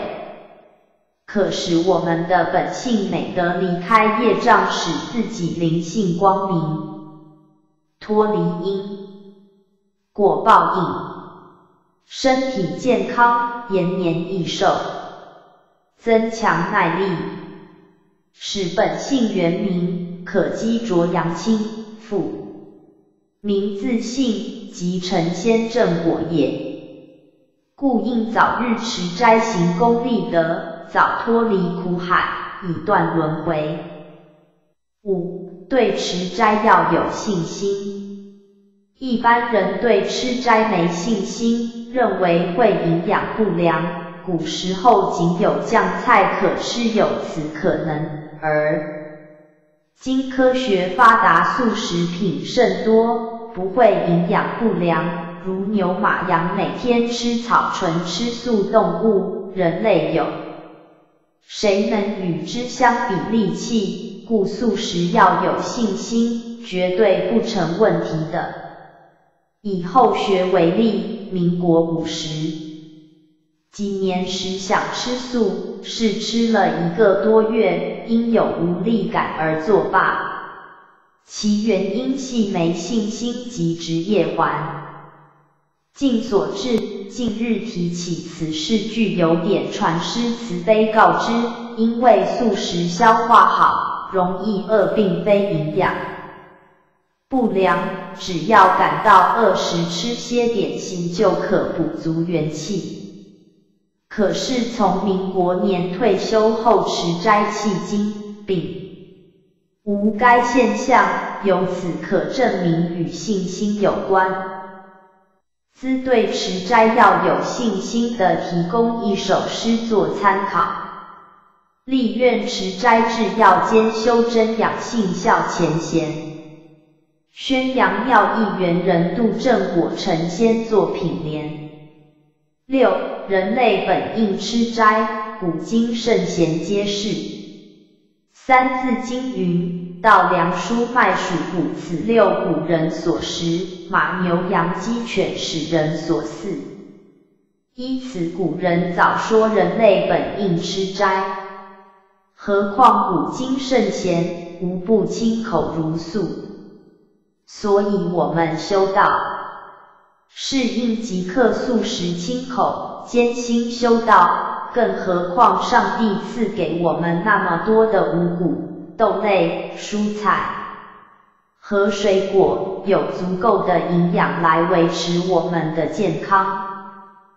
鱼肉类之营养在蔬果类亦可取得，修道是以慈悲为怀，何必一定要肉食呢？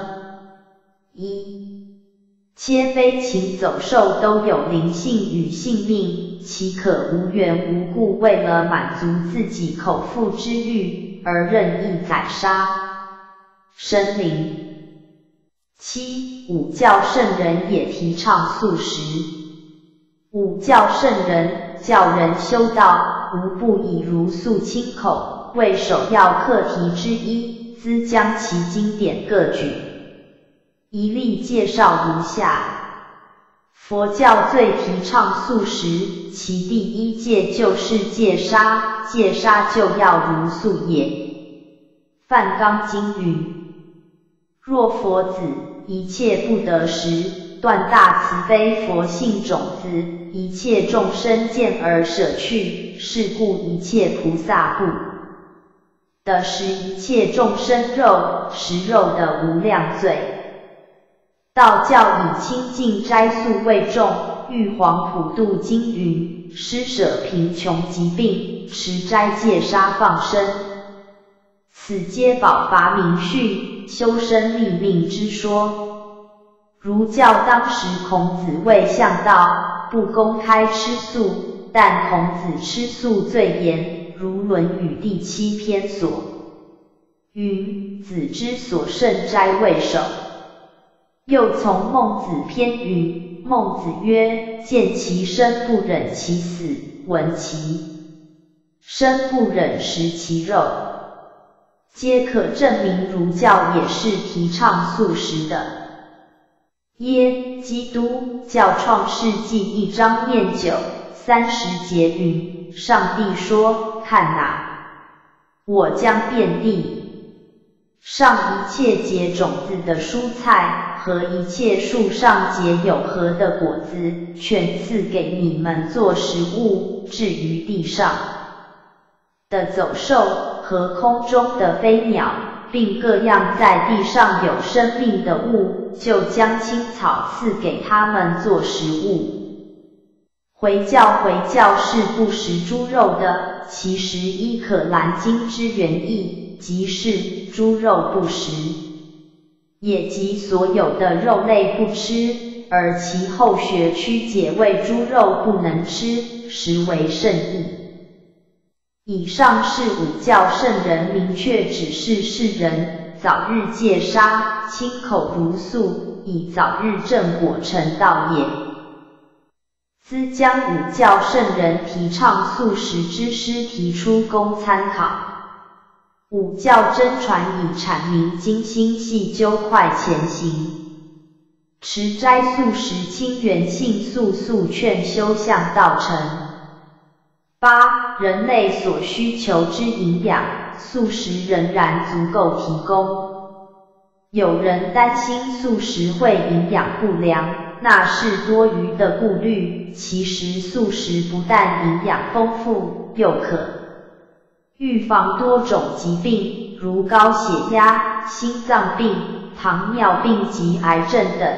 在医学上是不可置疑的事十，若长期素食，使人延年益寿，是不可否认的长寿秘诀。人类需求的营养素，包括糖类、脂肪、蛋白质、矿物质、维生素和水等六大类，除水取之不尽不列入。讨论外，其余五种营养素在素食中都丰富的来源。一科学营养素资料介绍如下：糖类五谷水果为主要来源，脂肪普通五谷、豆类及核仁等含量最多，不亚于肉类。蛋白质谷类与豆类、麦芽和谷芽的蛋白质较动物的营养价值更好，牛奶则较低。矿物质钙，牛奶较多，有些绿叶蔬菜含量也高。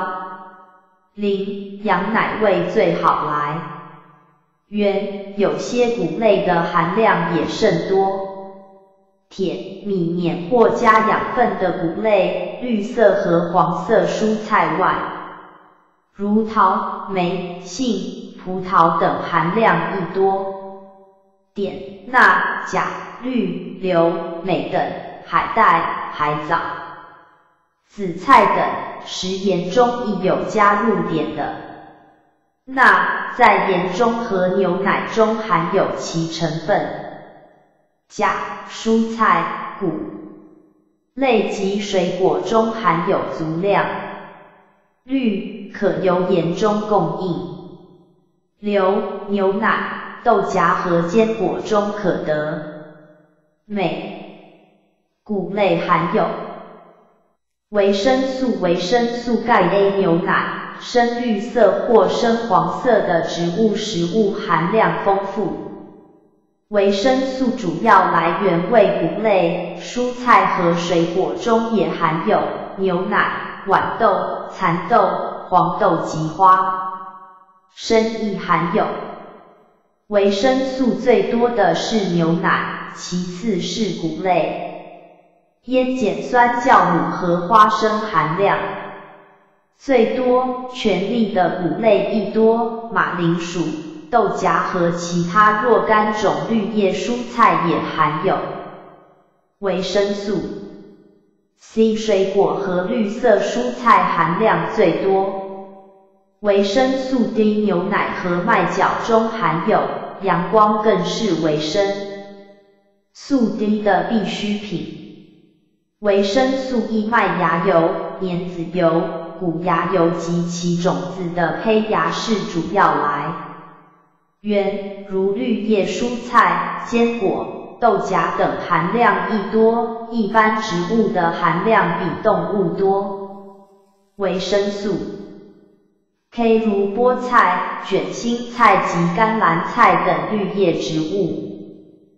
以上人类所需求的营养素，谷类、蔬菜及水果中均有所包含，只要各餐配合。得宜没有营养不良之顾虑，并且长期素食又有延年益寿的绝好良机，何乐而不为呢？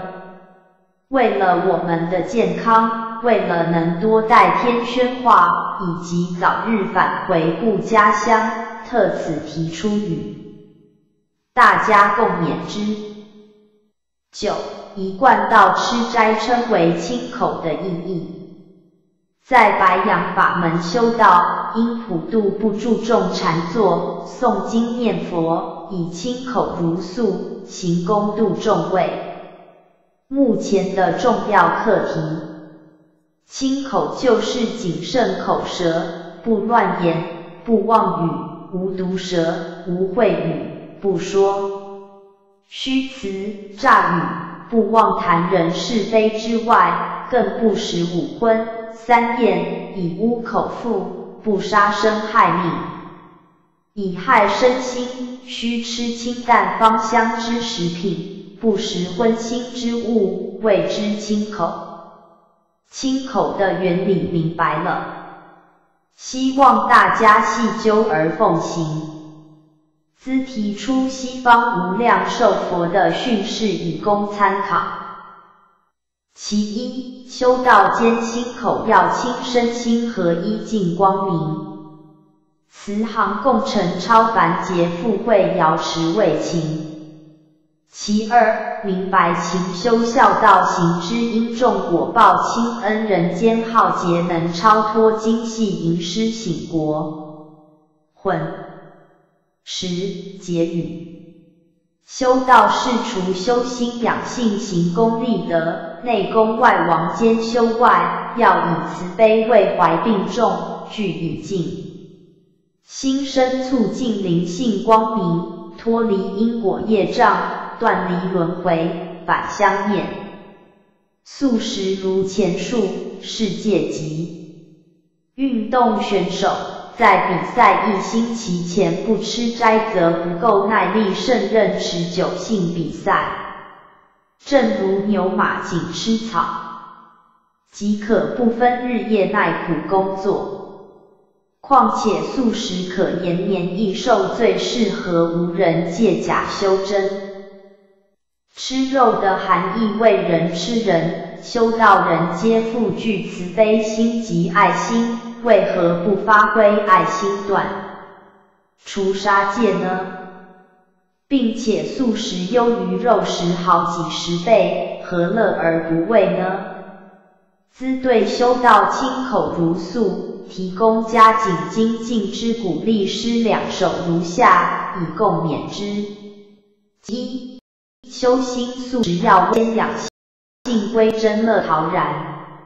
自在园林光耀县公园果满正金莲。其二，如今修道最名聪素食持斋练性功，正法崇光扬四海，慈州到处整迷童。道学用语词汇十三，礼仪章，人欲界中的有情为六道众生之一。思虑最多，因过去世中曾修中品善之因，故今世照感人道之果。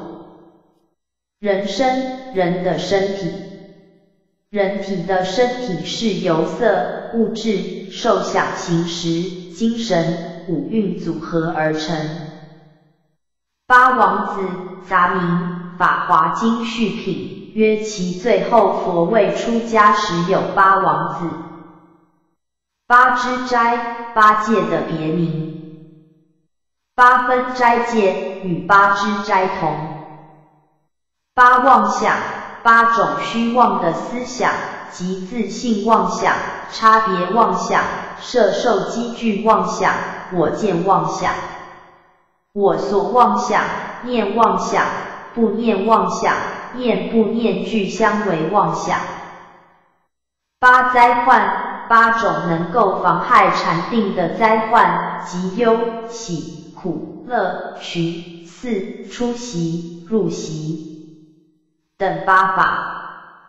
劫末来临的水火风三灾是属于外灾，而此八灾患是属于内灾，谁能够度？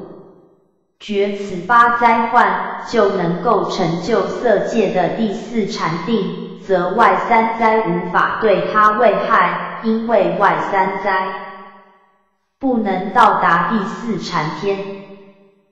八倍舍又名八解脱。见八解脱条。八施名数为杀、盗、邪、淫、妄语、饮酒、老病、死。佛施此八法而修道也。八为无，八被舍。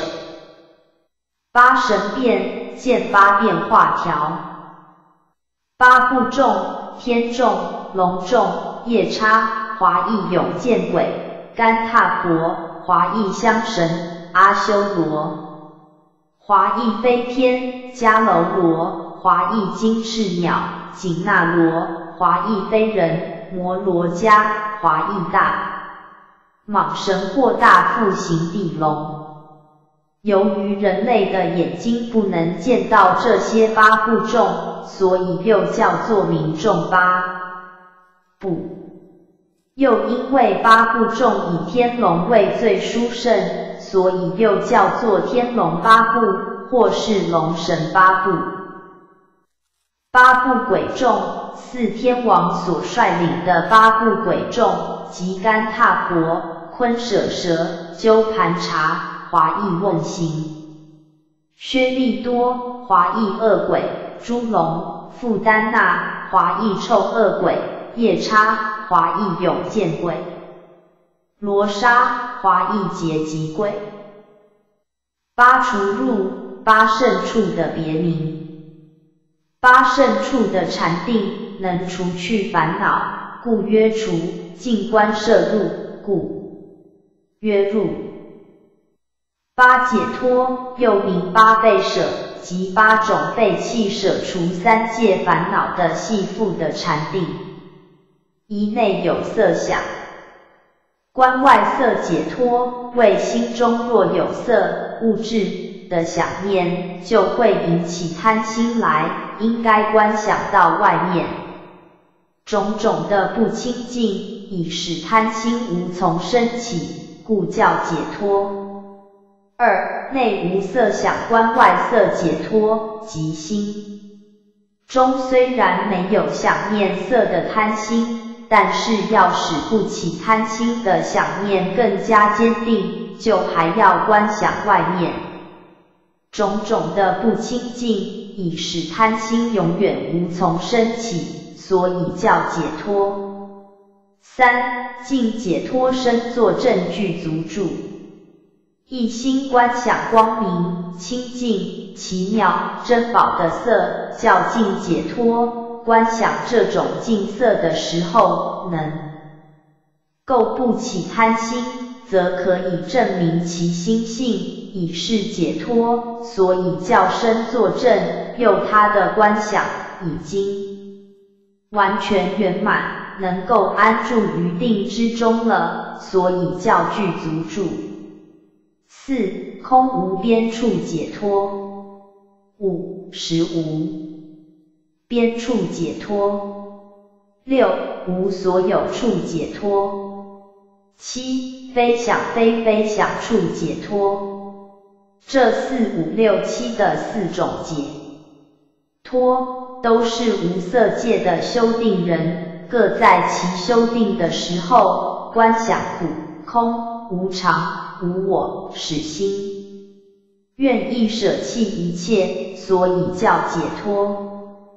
八灭受想定身作证具足住，灭受想定又名灭尽定。为人若有眼耳鼻舌身之五根，就会领受色声香味触之五尘，领受五尘就会。生出种种的妄想来，若有灭除受想的定功，则一切皆可灭除，所以叫灭尽定。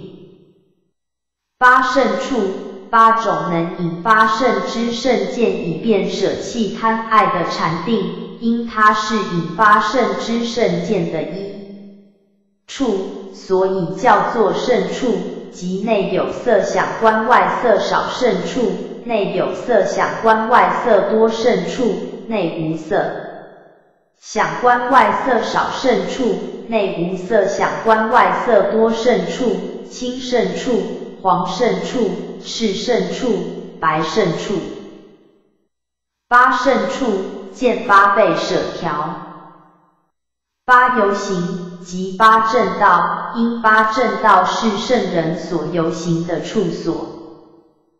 八境界又名八境法、八尊师法、八不可越法、八不可过法等，简称为八境。因为都是规定弥众恭敬比丘、尊重比丘的事，所以后人称之为八敬法。一百岁弥，要礼初下比丘足。二不骂比丘，不谤比丘。三比丘尼不得举比丘过比丘的，举比丘尼过。四比丘尼具足戒，须在二部僧中受，先于尼僧中作本法，再求比丘僧为之受戒。五比丘尼犯僧残罪，应在二部僧中铲除。六每半月须求比丘教戒。七不同比丘同住一处结下安居。也不得远离比丘住处结下安居，未便立请求教戒部。八安居圆满，应求比丘为比丘尼作见闻一罪的三种字字，自由举罪。八叶印，八叶莲花所开放的印香，以及阿弥陀佛的图印。八叶院即胎藏界的中台八叶院，见八叶莲台条。八叶九尊见八叶莲台条。八叶中台见八叶莲台条。八叶莲台即胎藏界曼陀罗的第一院中台，中央是大日如来，四方的八叶翅膀。身开夫华王、无量寿、天古雷音等四佛，以及普贤、文殊、观音、弥勒等四菩萨，合为九尊。这是三密相应的时候，无人的肉团心所开敷的像。八叶莲花，密教对须弥山的称呼。八叶肉团心。密宗教人类的心脏做八叶肉团心，因为它的形状好像一朵荷莲花。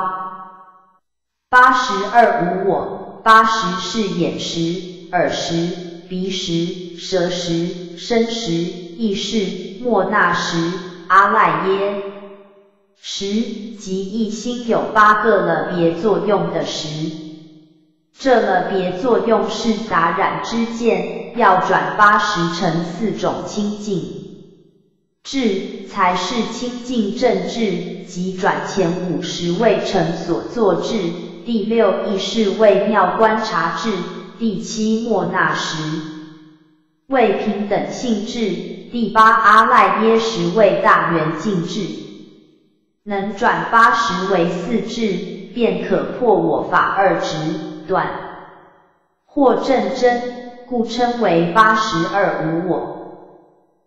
八十体以所有八十的体性都是一体，这是为十宗的意义。八十体别，所有八十的体性个别不同，这是为十宗的正义。八众法，三三位，四禅定，四无量心。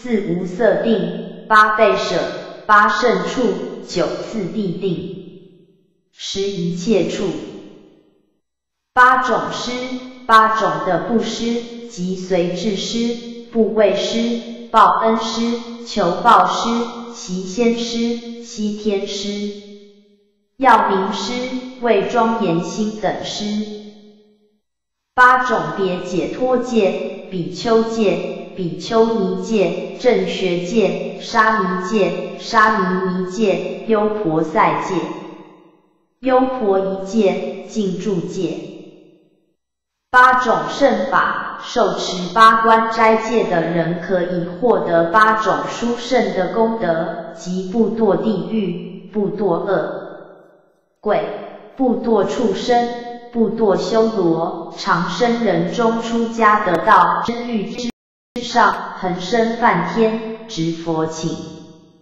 法，得菩提。八种六性六分别六具六我六我我所六爱六不爱六非爱非不爱。六。一和盛堂活动概况。编辑部。一活动预告。月日学界四年教育研究班。月日国语启会班半天。月日冬季班，月日学界四年教育研究班，月日年终悔过班，神元山，月日年终悔过班，花莲。二活动概况，月日举办学界四年教育研究班，月日举办心灵成长营。月日举办秋季班教育，编后语，编辑部，师尊老大人的训示，学到最浅基本的第一步是布施，其重要性是入道之阶，梯途径是方便法门量力而为的行功，也是一本万利借凡养圣的作用，是此案比。按不可间断的沟通，也是正菩萨道六度万行之内容等共列出念条，另提示了四重点，即学到一份心，向到一念真，知道一责任，悟道一样深，并且要无人记住，修道这条路忠孝仁义是根本不可忘。又训示，修道不是在文字上讲道理，是在文字下悟真理。布施是六度万行之一，万行者不是行一万次，而是不退转也。古谚云：人生如戏，戏如人生，并仅庆生不庆死，可见人是喜生厌死。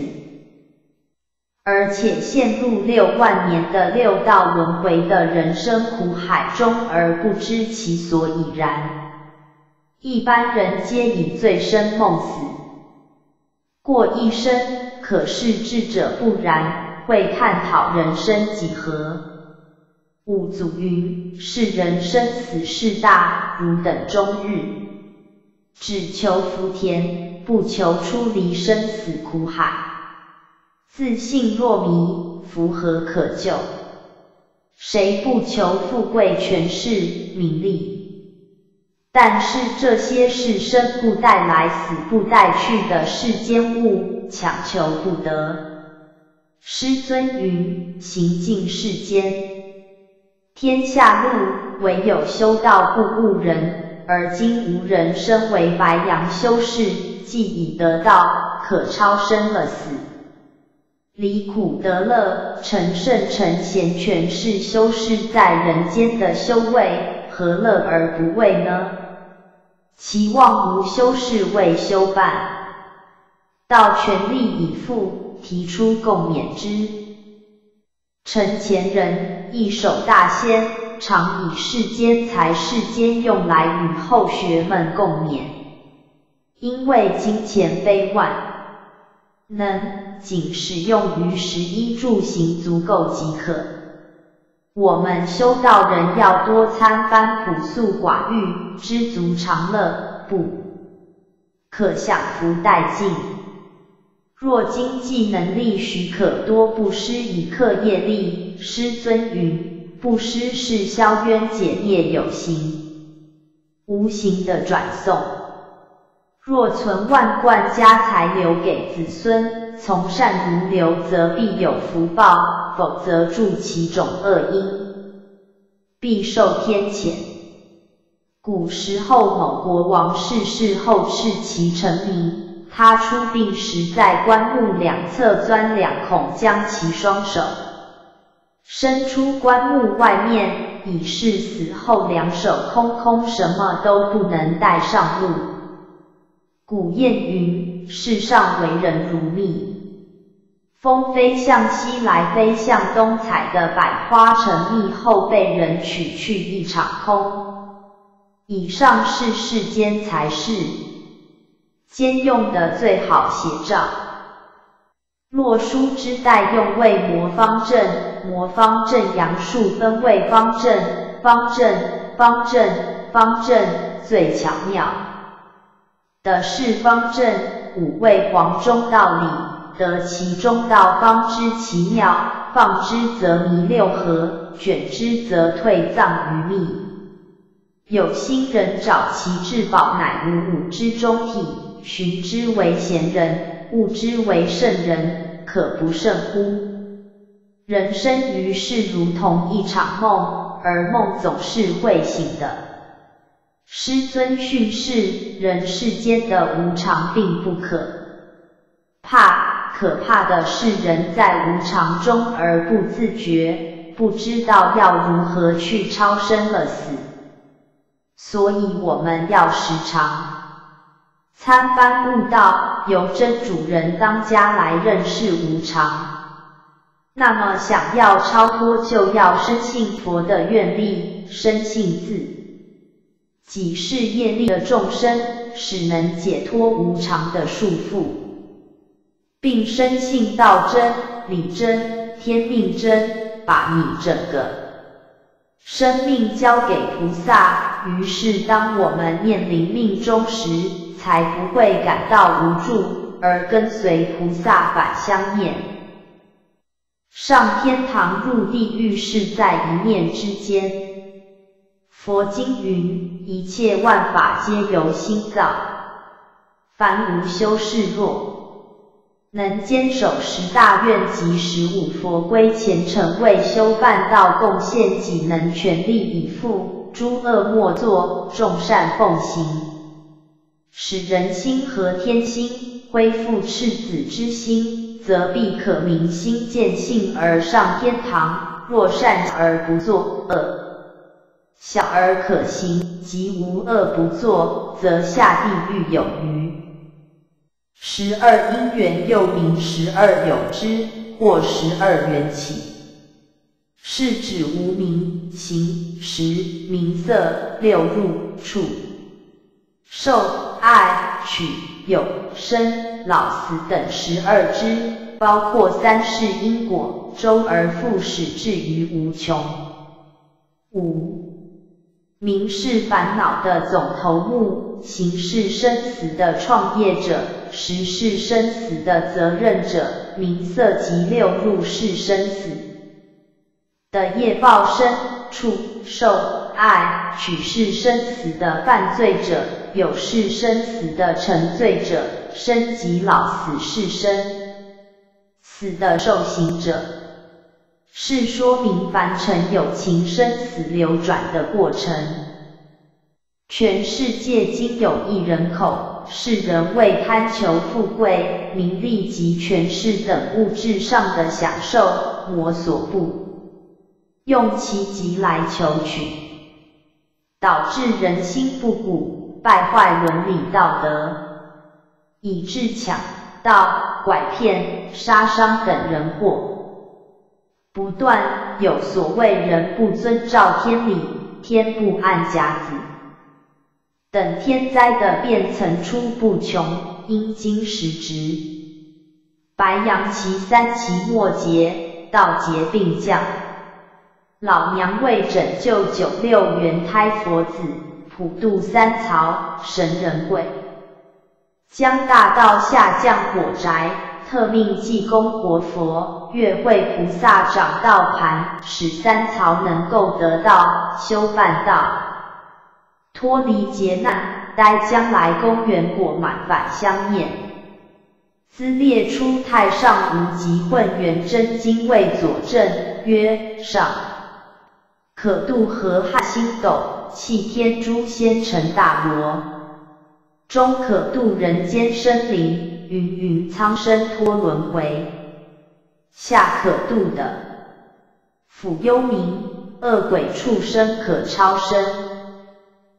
白羊修士若能依曾子之一日三省吾身之自戒信条来检讨忏悔，全力从事修办道，并遵行关圣帝君所云：孝悌忠信人之本。礼义廉耻人之根，而且多不施行功乐愿，必能己利利人，己达达人，则离道不远矣。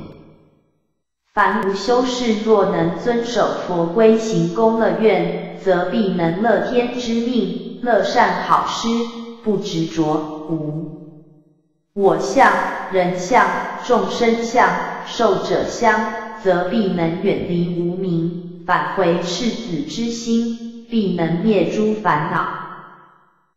根据医学研究报告，人类的牙齿形状是属于素食动物，清口如素的好处甚多。不再列出人类吃鱼肉是弱肉强食，在工作上的用力与耐力，如上述世界级运。动选手仍然必须靠素食来取胜。修士要明心见性，脱离因果轮回是必修课程。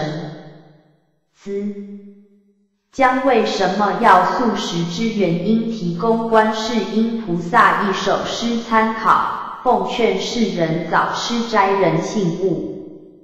信一处来忍心杀食同胞肉，将心比心时可哀。肉字本是两个人迷人，不知大口吞，吃它半斤还八两，算来还是人食人。资江桃园名胜编录部分经文以供参考。禽兽一切皆性命，无故自食改生灵。一切化身皆活命，何苦强攻不往寻？注印大德方明，廖世豪一本，王瑞麟二五本，王博洋二五本，福慧人士国安五本，福慧人士五本，甘秀英五本，更正其事。一第十二期注印大德苏宗庆，物职为苏宗。二邹玉霞物职为周玉霞，特此更正并致歉意。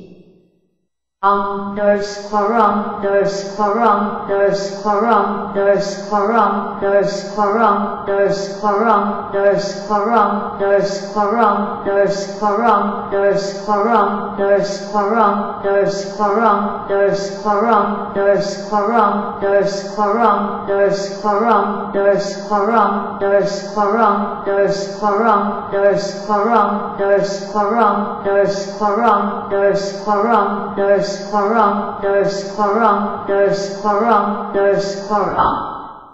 十四，一和双月刊第十四期目录年月，一和盛堂介绍，三楼门庭文物摆设之含义中门对联不答，经典背诵专栏，选考科目《论语》选读编辑部。先佛圣训，新加坡新一圣堂编辑部，李氏长家言，道观古今，得朝日月王坤德，历代祖师介绍，第十二代祖师太公望王子，道学研究，易经研究陈永红。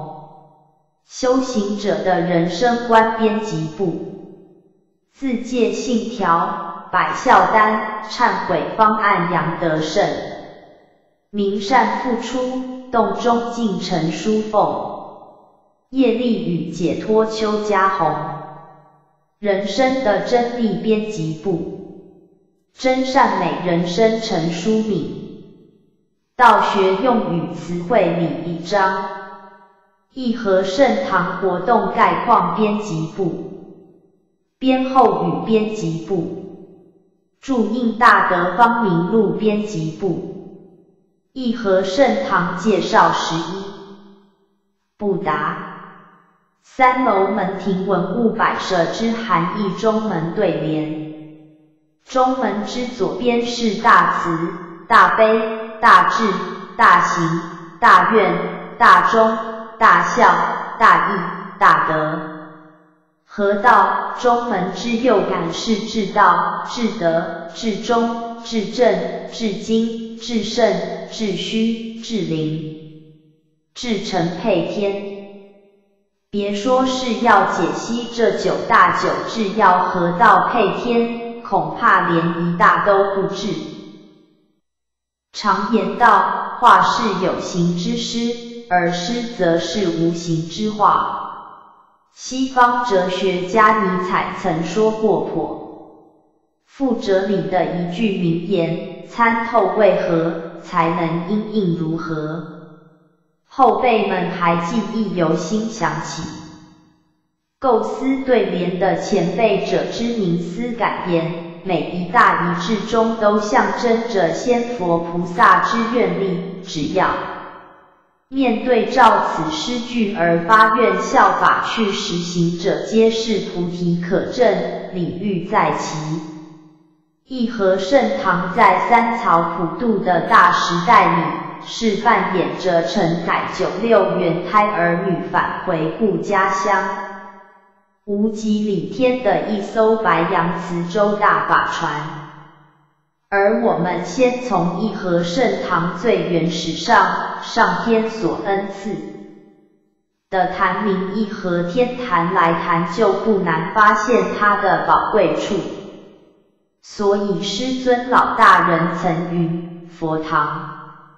是仙佛的欢喜地，是三曹普渡的事务所，是众生性灵的加油站。佛堂是天堂的界少所，是学佛的改良所，成道的修炼所，西方功德的加油站，众生性灵的救济站，培养品德的大学校，毕节的众福地，仙佛的欢喜地。舍念的清净地，佛堂为什么是诸佛菩萨欢喜来的地方呢？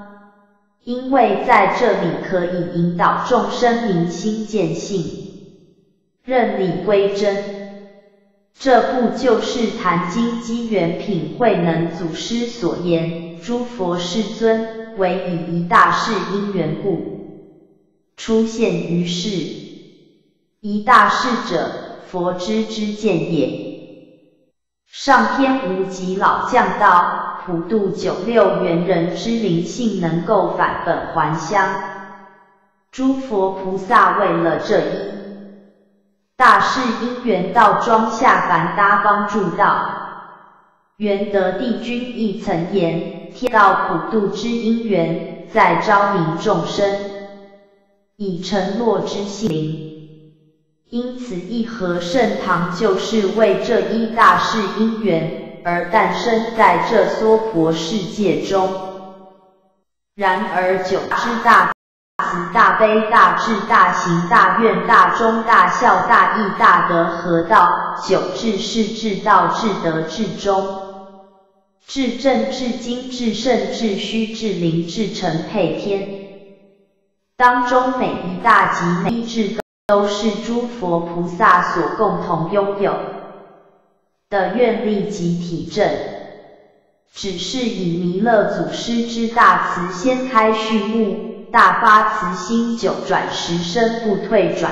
五缘大慈同体大悲，其实这九大愿力所凝聚的目标，都是要众生九六缘人求。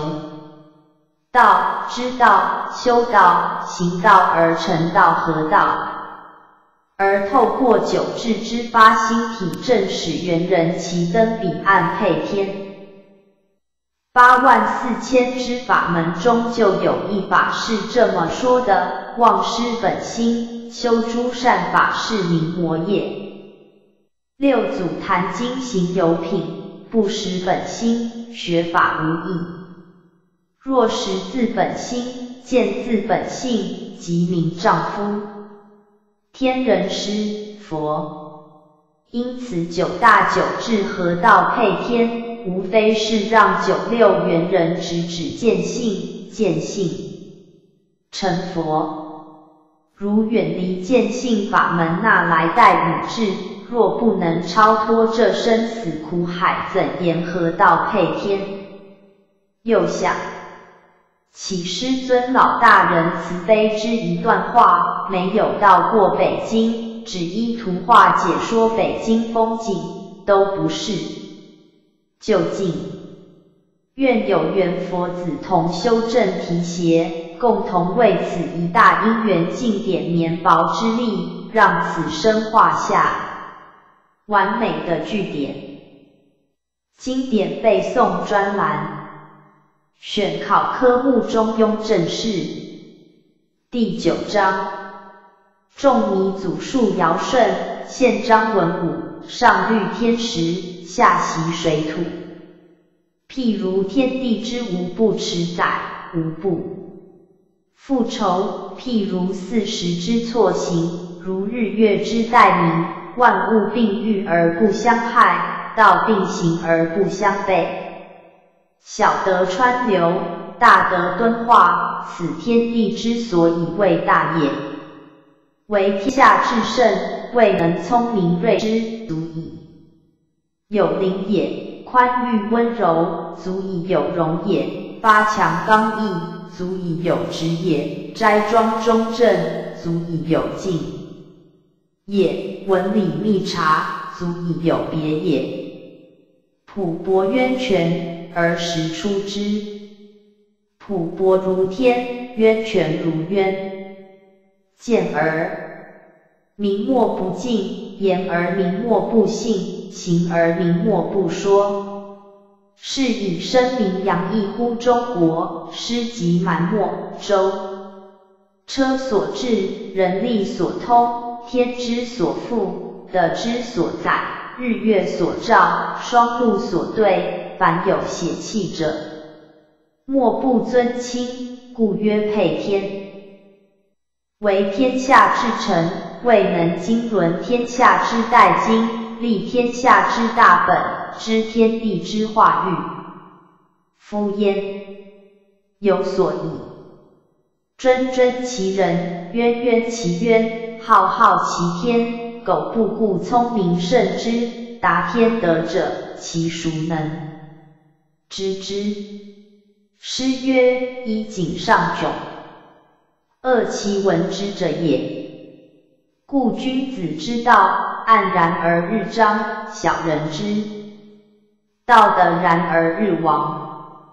君子之道，淡而不厌，简而文，温而理，知远之近，知风之自，知为之险，可与入得矣。诗云：潜虽服矣，亦恐之招。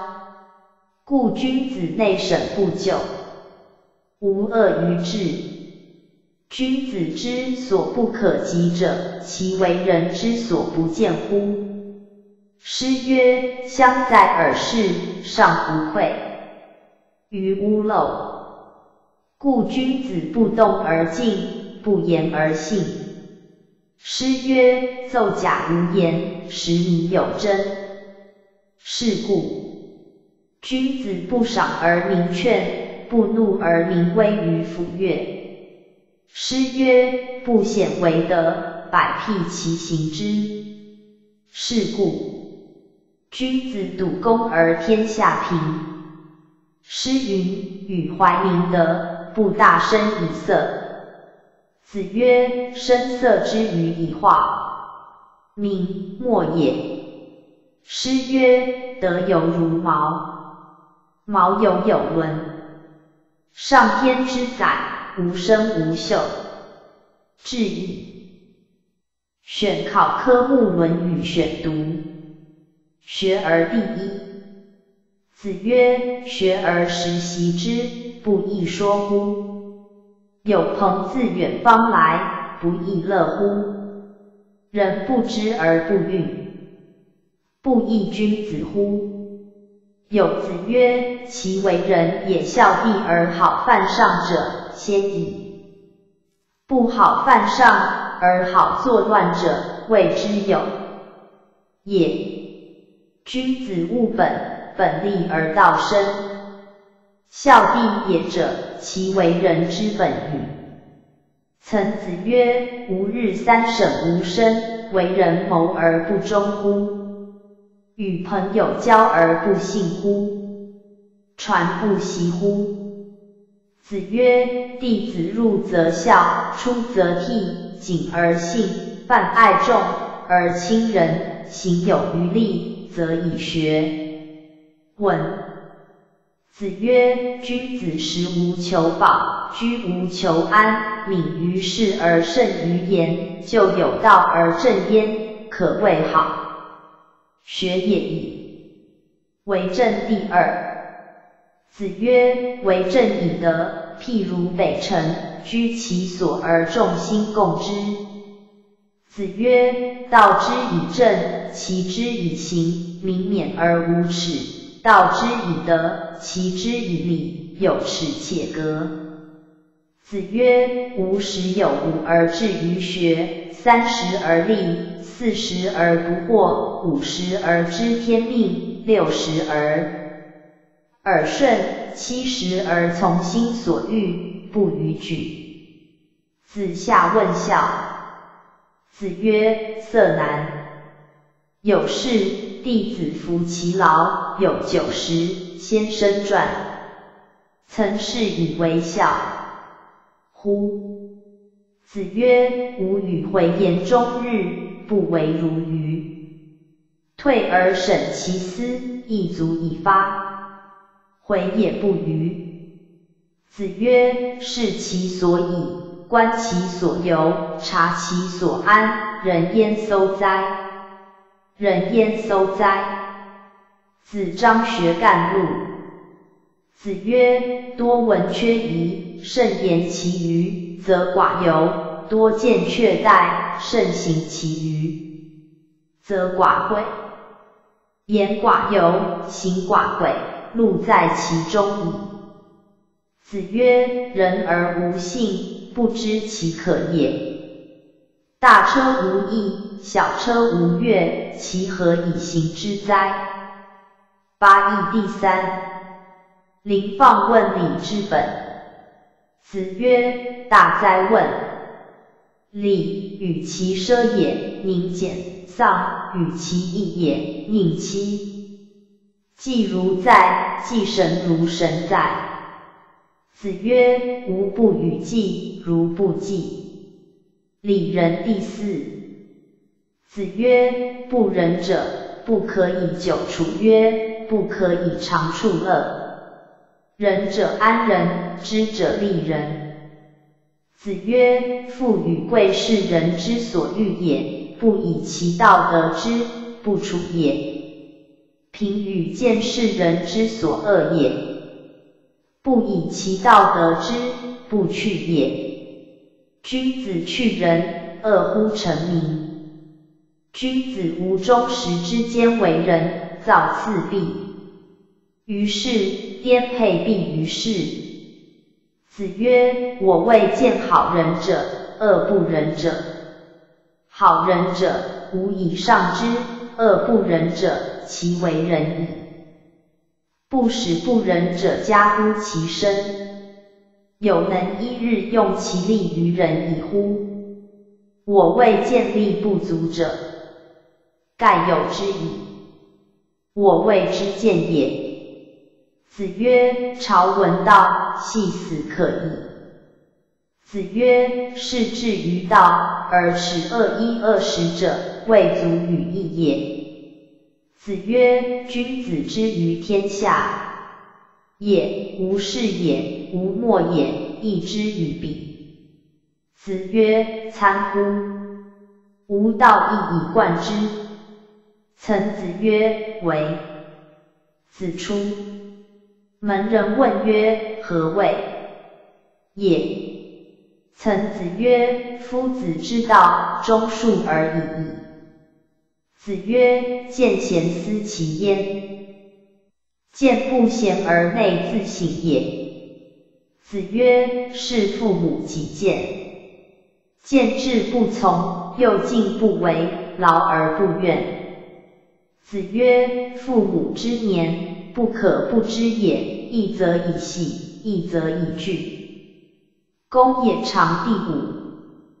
子贡曰：夫子之文章，可得而闻也；夫子之言信与天道，不可得而闻也。颜渊记录事。子曰：何个言而至？子路曰：愿称马一轻裘与朋友共，避之而无憾。颜渊曰：愿无伐善，无失劳。子路曰：愿闻子之至。子曰：老者安之，朋友信之，少者怀之。雍也第六。哀公问。弟子孰谓好学？孔子对曰：有颜回者好学，不迁怒，不贰过。不幸短命死矣。今也则亡，未闻好学者也。子曰：回也，其心三月不为人，其余则日月至焉而已矣。子曰：贤哉！回也。一箪食，一瓢饮，在陋巷。人不堪其忧，回也不改其乐。贤哉，回也！子曰：谁能出不由户？何莫由斯道也？子曰：执胜文则也，文胜直则始，文质彬彬，然后君子。子曰：知之者不如好之者，好之者不如乐之者。樊迟问之。子曰：物民之义，敬鬼神而远之，可贵之矣。问仁。曰：仁者先难而后过，可贵仁矣。子曰：知者乐水，仁者乐山，知者动，仁者静。知者乐，仁者寿。宰我问曰：仁者虽告之曰：仅有仁焉，其从之也？子曰：何谓其然也？君子可视也，不可陷也；可欺也，不可枉也。子贡曰：如有博施于民而能济众，何如？可谓人乎？子曰：何事于人？必也胜乎？尧舜其犹病诸？夫仁者，己欲立而立人，己欲达而达人，能进取辟，可谓人之方也矣。述而第七。子曰：默而识之，学而不厌。诲人不倦，何有于我哉？子曰：得之不修，学之不讲，闻义不能喜，不善不能改，是无忧也。子曰：至于道，据于德，依于仁，游于义。子曰：不愤不启，不悱不发，举一隅不以三隅反，则不复也。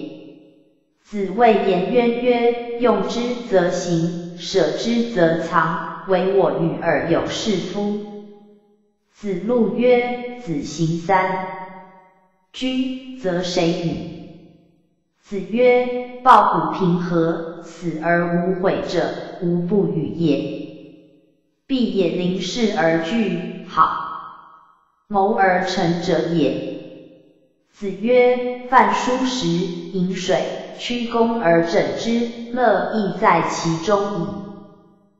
不义而富且贵，于我如。浮云。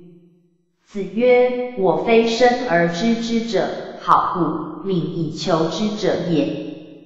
子曰：三人行，必有我师焉。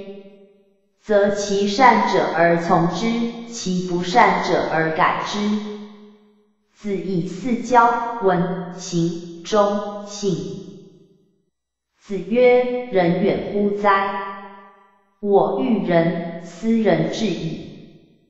子曰：若胜与人，则无其感；亦谓之不厌，诲人不倦，则可谓云而已矣。子曰：君子坦荡荡，小人长戚戚。先佛圣训，编辑部。持重端心得理性正原则，戒律规义是礼节约性格，守纲伦常是肢体用处和。道种第二度根据果改革，无奈。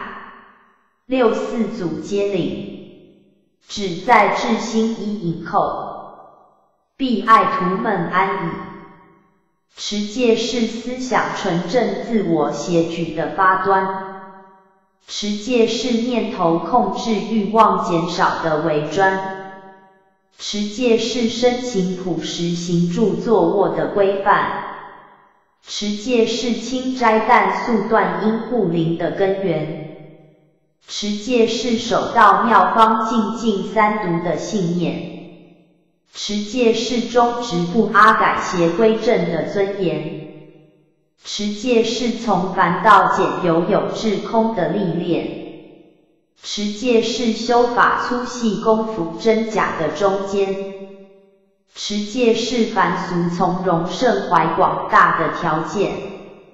持戒是财富当前至心不动的豁然，持戒是感情正常男女清朗的照见，持戒是拿捏分寸佛规礼节的完全，持戒是约束有形解脱无形的法变，持戒是自我要求自在归一的平安。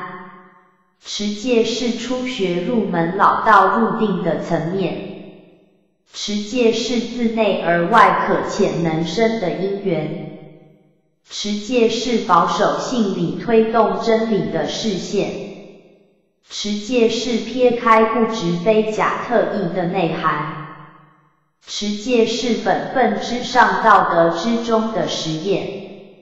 持戒是正菩萨道六度万行的大关，万古奇缘化开绝后空前，远山里观只一线，千般真趣只观玩味无限，近水处注入涌泉，万行天意一度境界视线，云海中浮生碎变。千载难逢，直到天色再见。星空外依旧明天。千江有水千江月呀，万里无云万里晴。是大道我身行，逍遥其中日月何成明？来往时道未平，调剂把根留住。引词。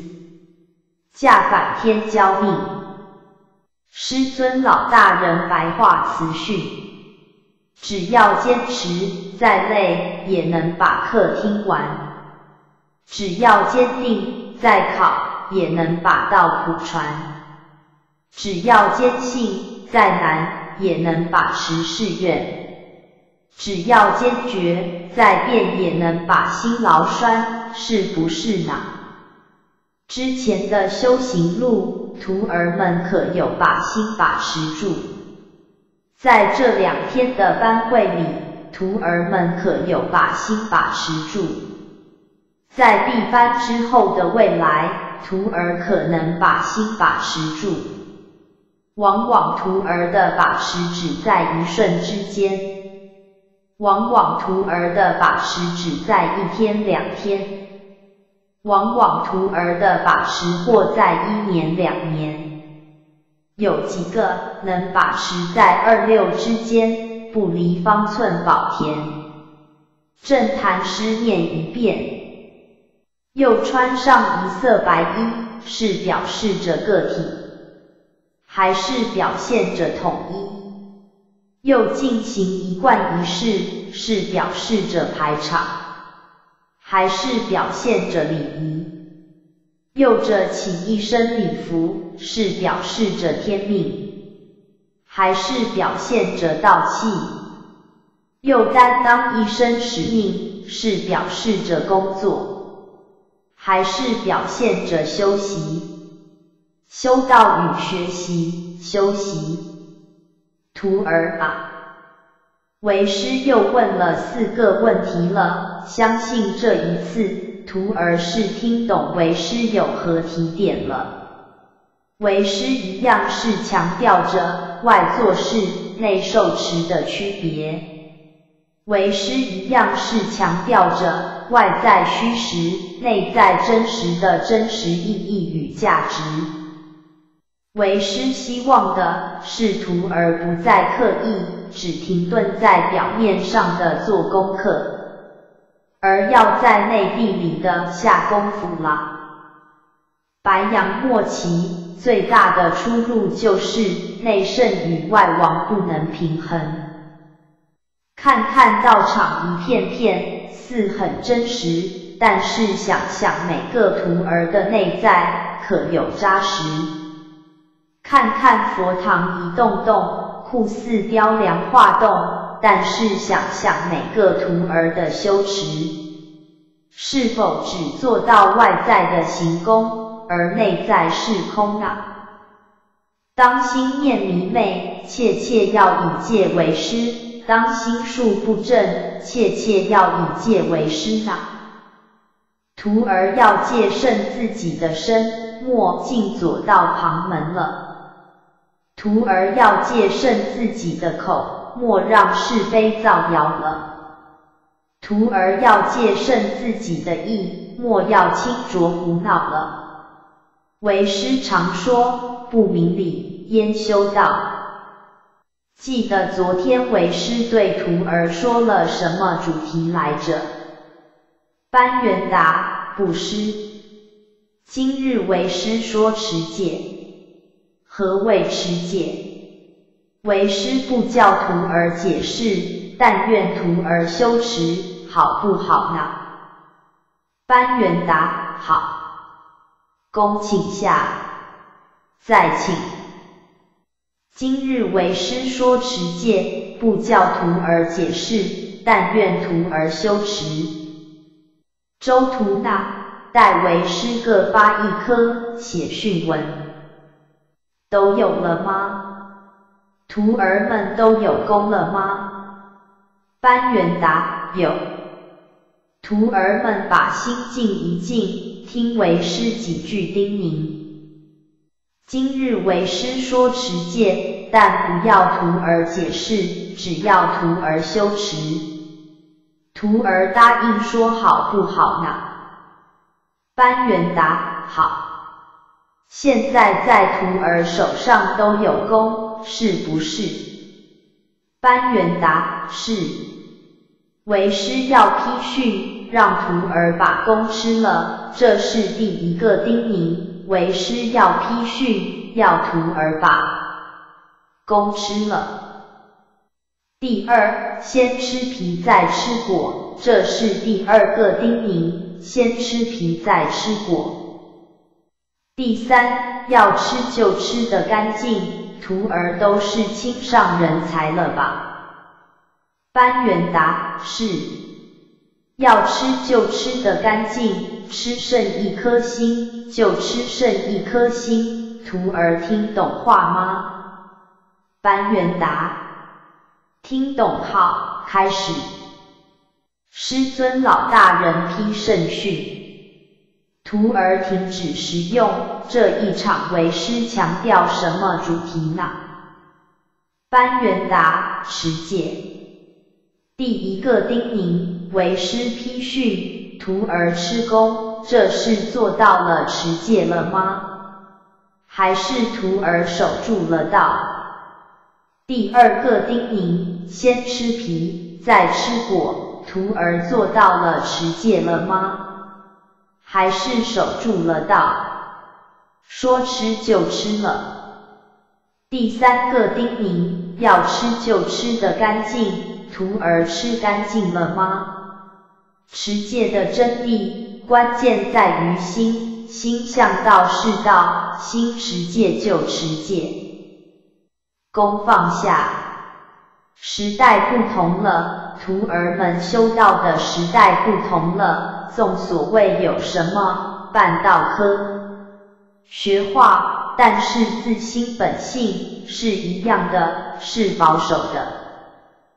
就像此时此刻。不管是为师以天然法香示现，或是济公活佛之香，但是本性本灵是一样的，徒儿啊，是一样的，徒儿也要一样。无论在圣在凡，这颗持戒之心要保守得住，保守得好，本灵是一样的。为师看看徒儿都有一颗柔软的心，当徒儿唱着为师送给徒儿的圣歌时，那个当下何须持戒呢？那个当下的心多美呀！心是持戒的根本，把根扎稳，脚跟站稳，哪怕风吹雨打呢？哪怕毁谤呢？哪怕他人说清不清浊不浊呢？徒儿说是不是呢？班元答是。最后为师再送给徒儿几句话，一起抄下吧。师尊老大人批圣训，待会徒儿供继续吃，吃得干净，吃剩一颗心。徒儿听懂话吗？办道共同努力，修道是自个儿的事，持戒也是自个儿修持。自古没有圣贤仙佛含含糊糊成道的，自古没有仙真菩萨随随便便证的的。持戒是一门大功夫，是徒儿们最弱的一环。因为持戒是无时无刻的，是一不小心的，是一不留神的，一切的主宰就在心了。徒儿在守道的同时，也做到持戒了吗？徒儿自认听命持戒的同时，有道吗？徒儿们好自为之吧。都站起来，写上引词。驾返天骄命，李氏常家言。道观古今，得朝日月。王坤德。编案：本文为王李氏常于一贯道世界总会成立十周年庆祝大会中贺词全文。接办一贯道世界总会于西元二六年九月廿四日在台湾高雄六龟神威天台山道场所举行的一贯道世界总会成立十周年庆祝大会，对于世界总会促使一贯道走向国际化与学术化等各方面的努力付出。献上无限的敬意与贺忱。回首向来萧瑟处，归去也无风雨也无晴。感谢天恩师德庇佑，过去诸位老前人、前人辈们凭着无比坚韧、牺牲奉献的开荒毅力，以及何丹师尊、师母慈悲普渡三曹的大愿力。自西元一九四六年以来，在台湾度过了无数风声鹤唳、草木皆兵的关考，直至西元一九八七年，中华民国政府宣布一贯道合法化后，才于西元一九八八年民国七十七年成立中华。民国一贯道总会，正式开展一贯道历史性的一页。这是大道将士奉天承运，机缘成熟，运势使然。道贯古今，得昭日月。白杨旗帜飘扬九州，在各族县道场老前人、前人辈们何德同心的努力开创之下，西元一九九六年，在美国洛杉矶成立了一贯道世界总会。十年来，滴下血泪汉字，迈着稳健的步伐，一步一。脚印地走出一片更宽广的天空，可喜可贺。回首过去，瞻望未来，一贯道走得浩然坚定，光明坦荡，无怨无悔。伏羲已降，道统心法脉脉相传，信理真传普传于世，至今历劫不衰，甚而更加发扬光大。若非道真、理真、天命真，何能如此？圣人老子有云：“道者万物之奥，善人之宝，不善人之所宝。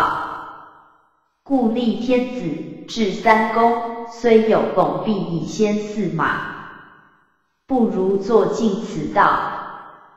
大道是天下万物。”为民所指的大殿堂，是善人实现理想的大路台，是不善人生命不再飘零的指挥处。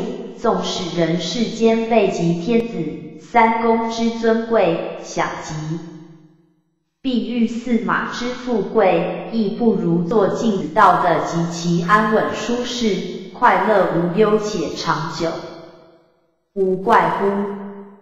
至圣先师孔子要说：“朝闻道，夕死可矣。”而亚圣孟子也随后说出：“天下逆，远之以道。”正是先圣后圣，其魁异也。所谓救世为平一贯舟，欲跳脱生死轮回，欲拯救沉溺苦海的天下苍生。大道是不二的法门，而大道的尊贵，也唯有真修实练，冷暖方能自知。现今正是真如复兴的时代，一贯道便是要透过中华文化的振兴，以达成真如复兴的使命。强调的是儒家入世的观念，四维八德、纲常伦理。仁义道德、博施济众等精神的朗现，强调的是儒家知其不可而为之的态度，着强烈坚定的意志力，战胜险恶环境的精神展现。因此，寄望除了以举办学术研讨会来彰显真道的玄妙义理外，更应提倡人人读经，研习经典奥义，真正实践体验于日常生活修办之中，以达到己利利人、己达达人、修办到利德兼备的终极目标。除了共享合法化的修办便利外，更应以坚定信念，以般若妙智慧。效法过去一贯道诸圣诸贤无为无惧、人考不道的精神，携手协力突破接踵而来的层层文字道盘考，圆成弥勒家园的实现与师尊、师母普渡收园的神圣使命。祝福一贯道世界总会会务宏展。各位前贤圣凡如意，从一贯道总会训转载，历代祖师介绍十二，王子。第十二代祖师太公望，太公望本姓江名尚，字子牙，道号飞熊，周朝东海许州人，乃今金子将士。祖先为尧时代的四岳诸侯之一，因曾助禹治水有功，被封于吕这个地方。故后人呼其名曰吕尚。又当文王得遇江上之际，其状如鱼得水，雀跃万分，在进师宴上当场宣布。周之先祖太公曾经提出的谶言，将来一定有一位圣人来到周国，周国即应有了，他就大大的兴旺起来。并指明这位江上便是周代先祖太公盼望已久的圣人，立即封赐为太公望，在朝廷中尊位师上父以长辈尊师之礼来敬视之。太公望前半生穷困颠沛，为逢时的苦痛，样样备尝。他曾在路边卖小吃。在牧场做杂工，三餐上不得温饱。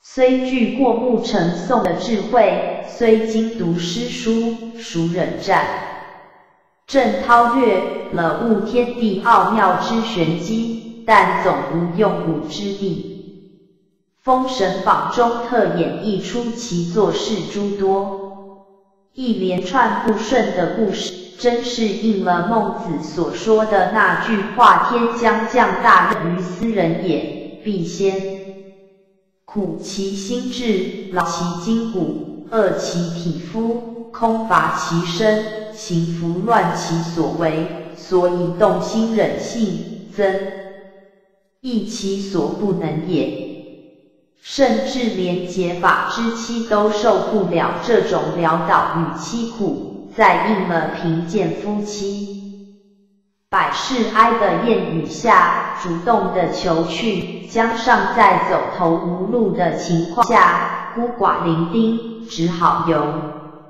河南的老家迁移到陕西渭水流域边缘的僻壤之地，放下十丈红尘的牵缠，专心学道。想不到这一落难。反而成为他生命的重新开始，因为他的玉昆仑山玉虚产，教先师元始天尊之教化，积三十年的修持，助元始天尊封神之实物，体证了道的尊贵，遥接商之天命，成为传承给周文王天命的桥梁人物。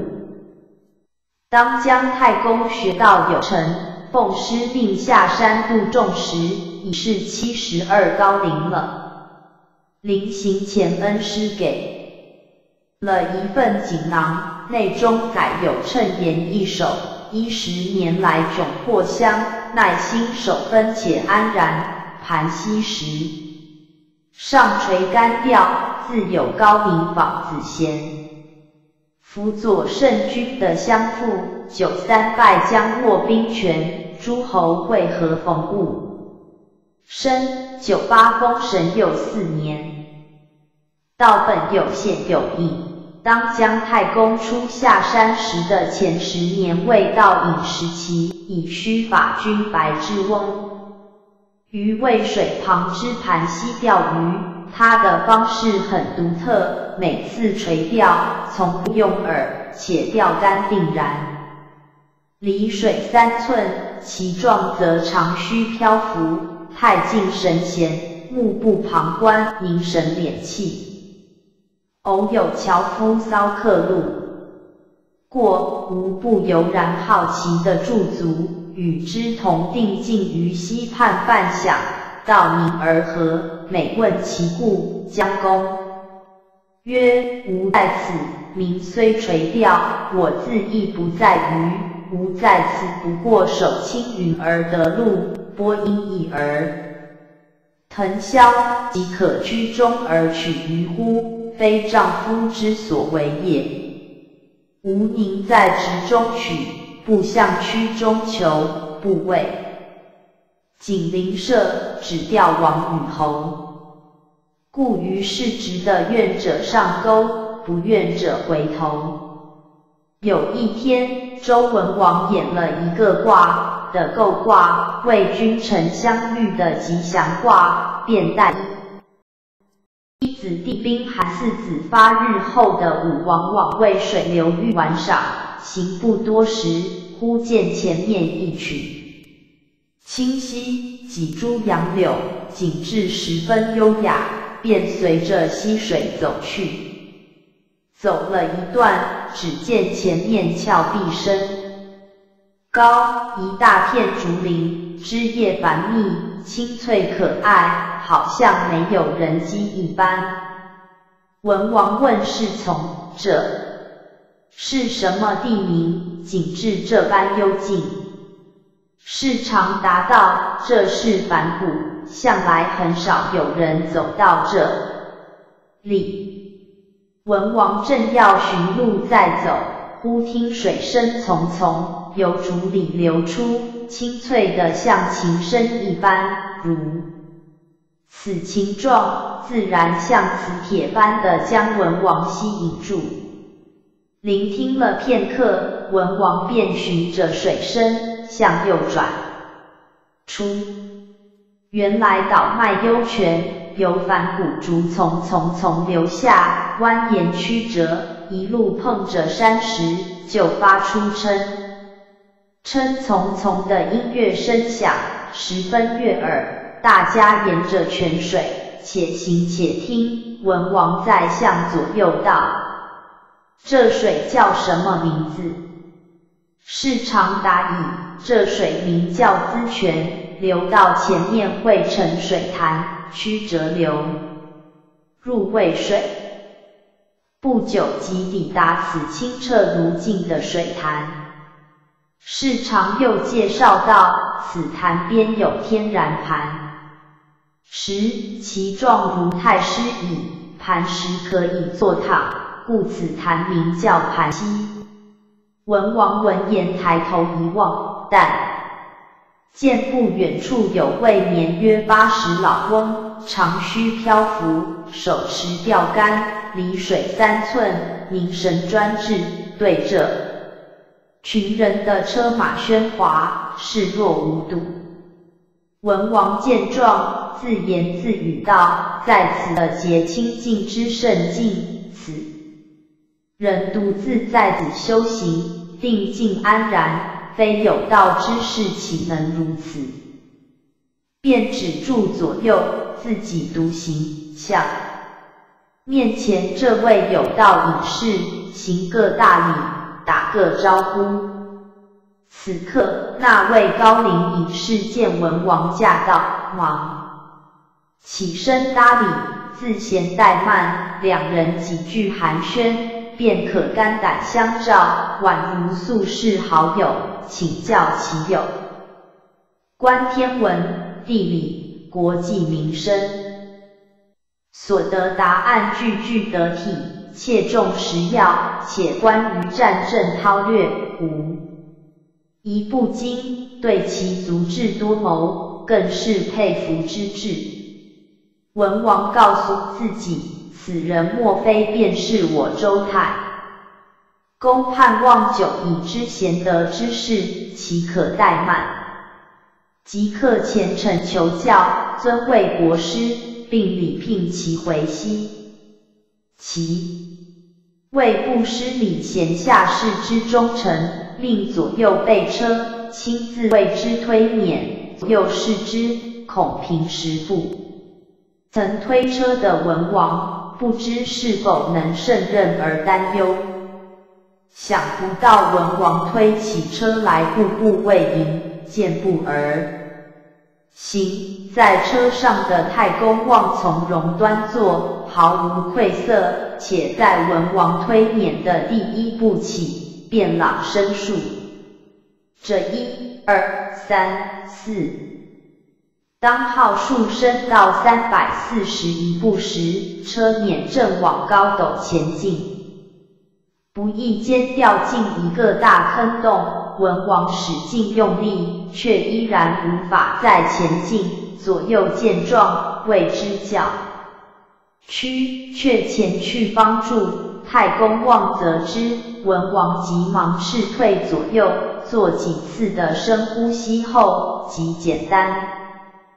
的杠杆原理，铺石未击，中通过了龙洞，转而向东，再度前进，只闻太公望的树，身在起，一、二、三、四，但由于方才用力过久过猛，故推车时手有点颤抖。文王仍咬紧牙根，努力以赴，左右是心生不忍。欲前去代替，均被闻王婉拒。更难为的是路面颠簸得很厉害。当文王再度推至五百十五步时，终不知倒地，左右急忙施以急救。当文王苏醒后，太公望即刻下车，双手合拱作揖，向文王祝贺道：“周朝鸿福。”圣王洪福，我周下将可国祚八百五十六年，为史上最长之朝代。文王答：李后进问其故，太公望道：此乃天命所系，商代暴君当道天命已见，李将交放。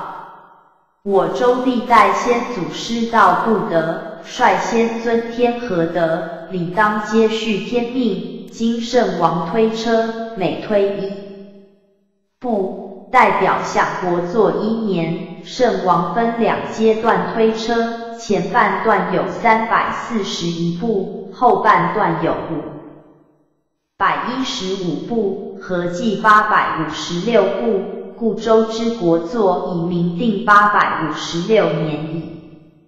文王闻言，强作精神，请太公望再上车，愿为之继续推免。姜太公说：天机已现，天命传承由此而定，谨谢圣王礼贤之德，今将天命交付与汝父子。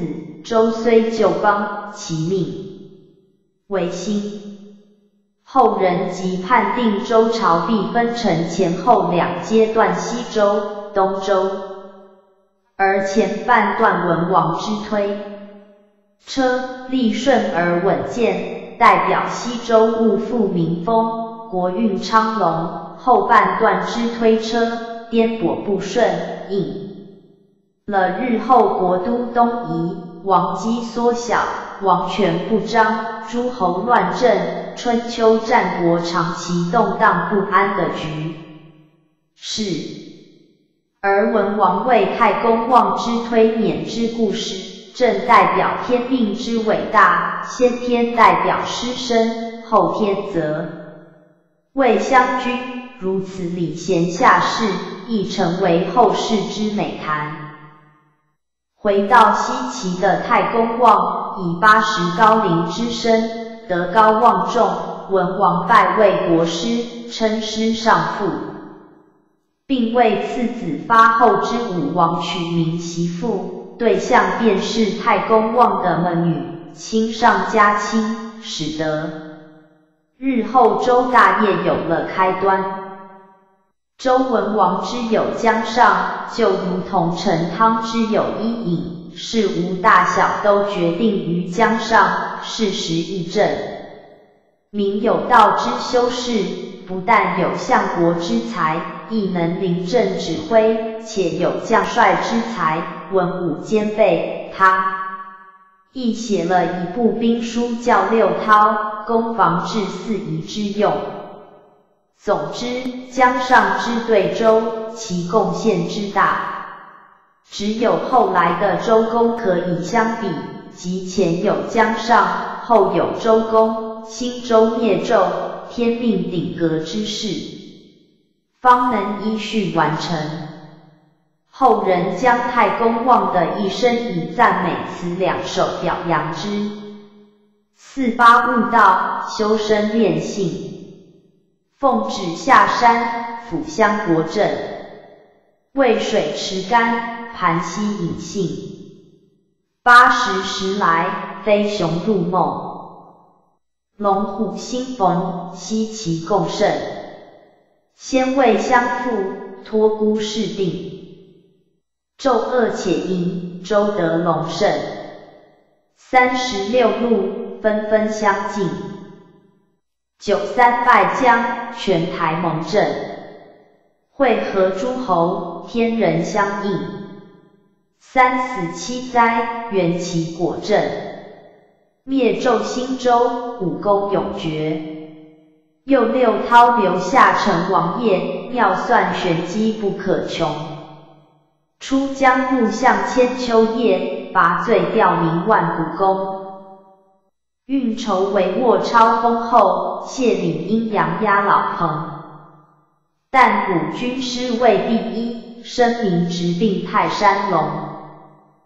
武王奉天承运，革命成功后，封江上于齐，齐国因而大治，不久江上便驾鹤。西归了，时年已一百四十岁了。武王特为封赐，承接天命德泽，享八百五十余年的周代基业。图第十二代祖师太公望，易经研究十二，陈永红。第十五节由二八义为谈西南的朋。东北丧朋之含义。一二八义位图。二二八义位给我们的启示：扫地必然要欠身，扫地角落最难扫，扫过后一再扫，仍有灰尘。扫地时即令门窗全部紧闭，灰尘仍然存在。三二八意味与天道的关系。从人相的角度论论西南的朋，东北丧朋的含义；从五行生克的角度论西南的朋，东北丧朋的含义；从天文角度论西南的朋，东北丧朋的含义；从西南的朋。东北丧朋论与天道的关系，西南的朋，东北丧朋与为学日益，为道日损之关系，为生存而学，为明道复见天的之心而学，与道德经的关系，与金刚经的关系，西南的朋，为学日益。及《金刚经》第三分大乘正宗分之含义。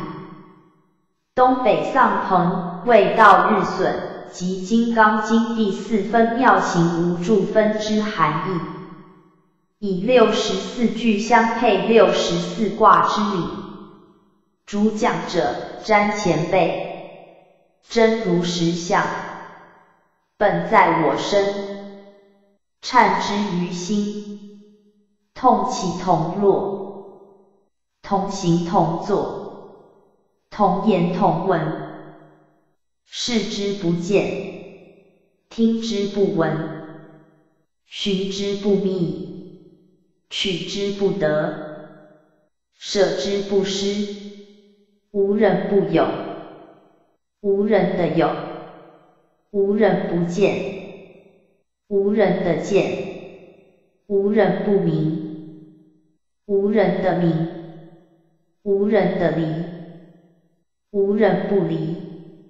若觅真相，反观内照，虚怀若谷，去妄存成，内无生念，外无者相，六根不染，六尘非有，心如虚空，不着空见。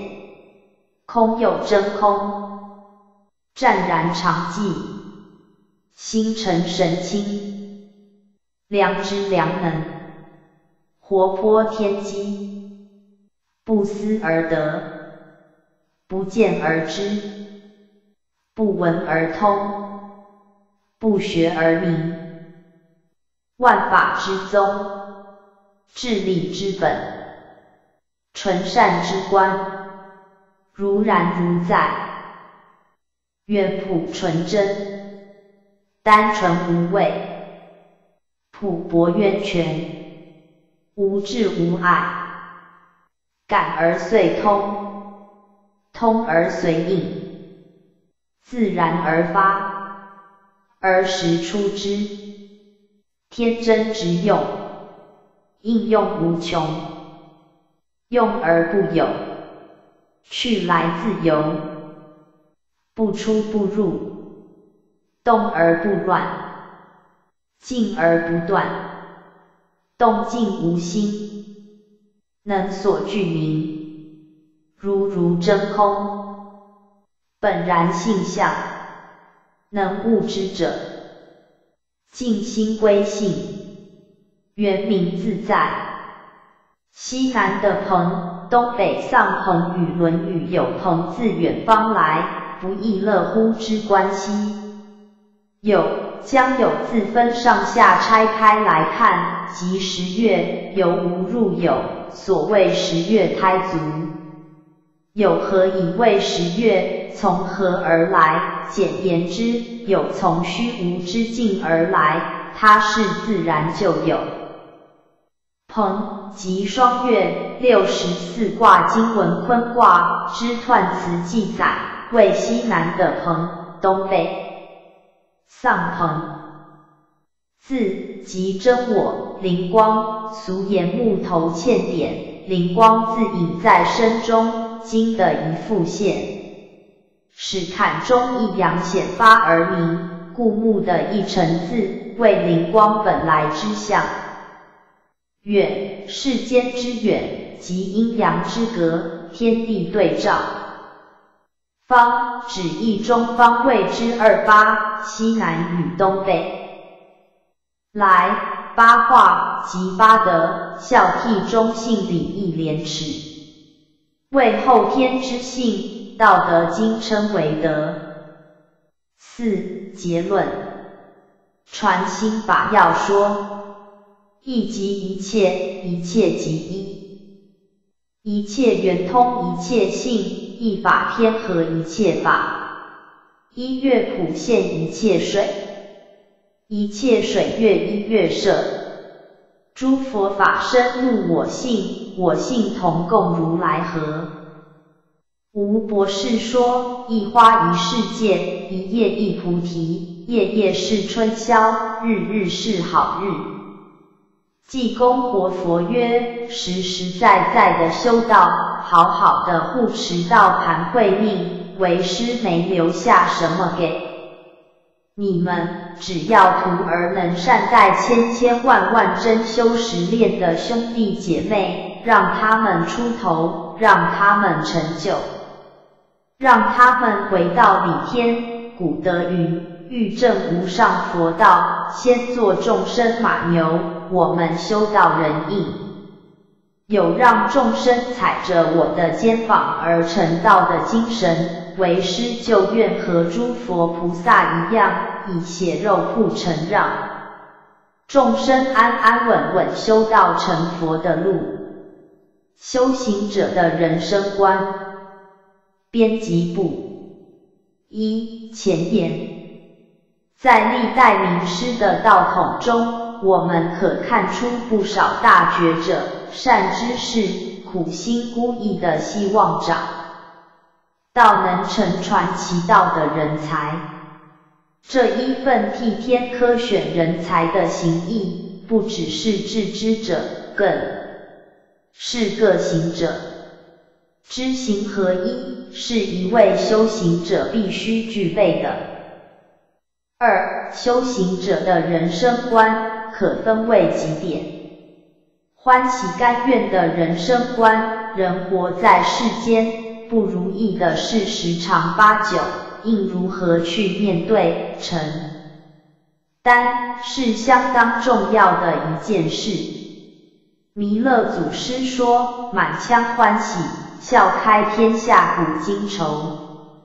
哭着过是一天，笑着过也是一天，何不存着一颗喜乐的心去面对呢？但是除了欢喜做，还要甘愿受。人在六万年来的过去世到现在造多少业，谁也不敢说。今天既然待业来到人世间，所有的因果轮回就要坦然的去面对承担，更要能知命认命。了命，遭受一次考验，就过一次关，过去世所造的因也就了却一个。乐观进取的人生观，走在红尘路上，有太多的不如意、挫折与困难，也唯有坚持着目标与理想，才能保持继续前进的力量。所以，做人要有圆融乐观的胸襟，做事则要有积极进取的态度。包容接纳的人生观，弥勒祖师说：大度能容，了却人间多少事。包容是需要掏空自己，以及放下一直存在的分别心。作为一个修行者，是要从善如流，而不要嫉恶如仇，时时刻刻存好心，说好话。师尊慈悲，学习天地之包容万物的雅量，那么你的路才会无限的宽广。通权达变的人生观，人所以会有那么多的烦恼，常常因为执着非如此不可。如父母对子女、师长对学生的要求一样。圣经说，上帝关了这扇门，一定会打开另一道窗。无论如何，要为自己找出路，找另一扇窗，人生才会圆圆满满。单纯真诚的人生观，世界上最单纯的人是小孩，他没分别心，老子主张。复归于婴儿，要我们返璞归真。耶稣也说，如不能回到小孩的模样，断不能进天国。在尔虞我诈的社会上，人心世态炎凉而多变，唯有常保持一颗感恩与忏悔的心，才能找回到自己内心的本真。服务牺牲的人生观，走在道场上，大多数的修行者都知道要行三施财施、法师、无畏师，这是基本的六度波罗蜜之一。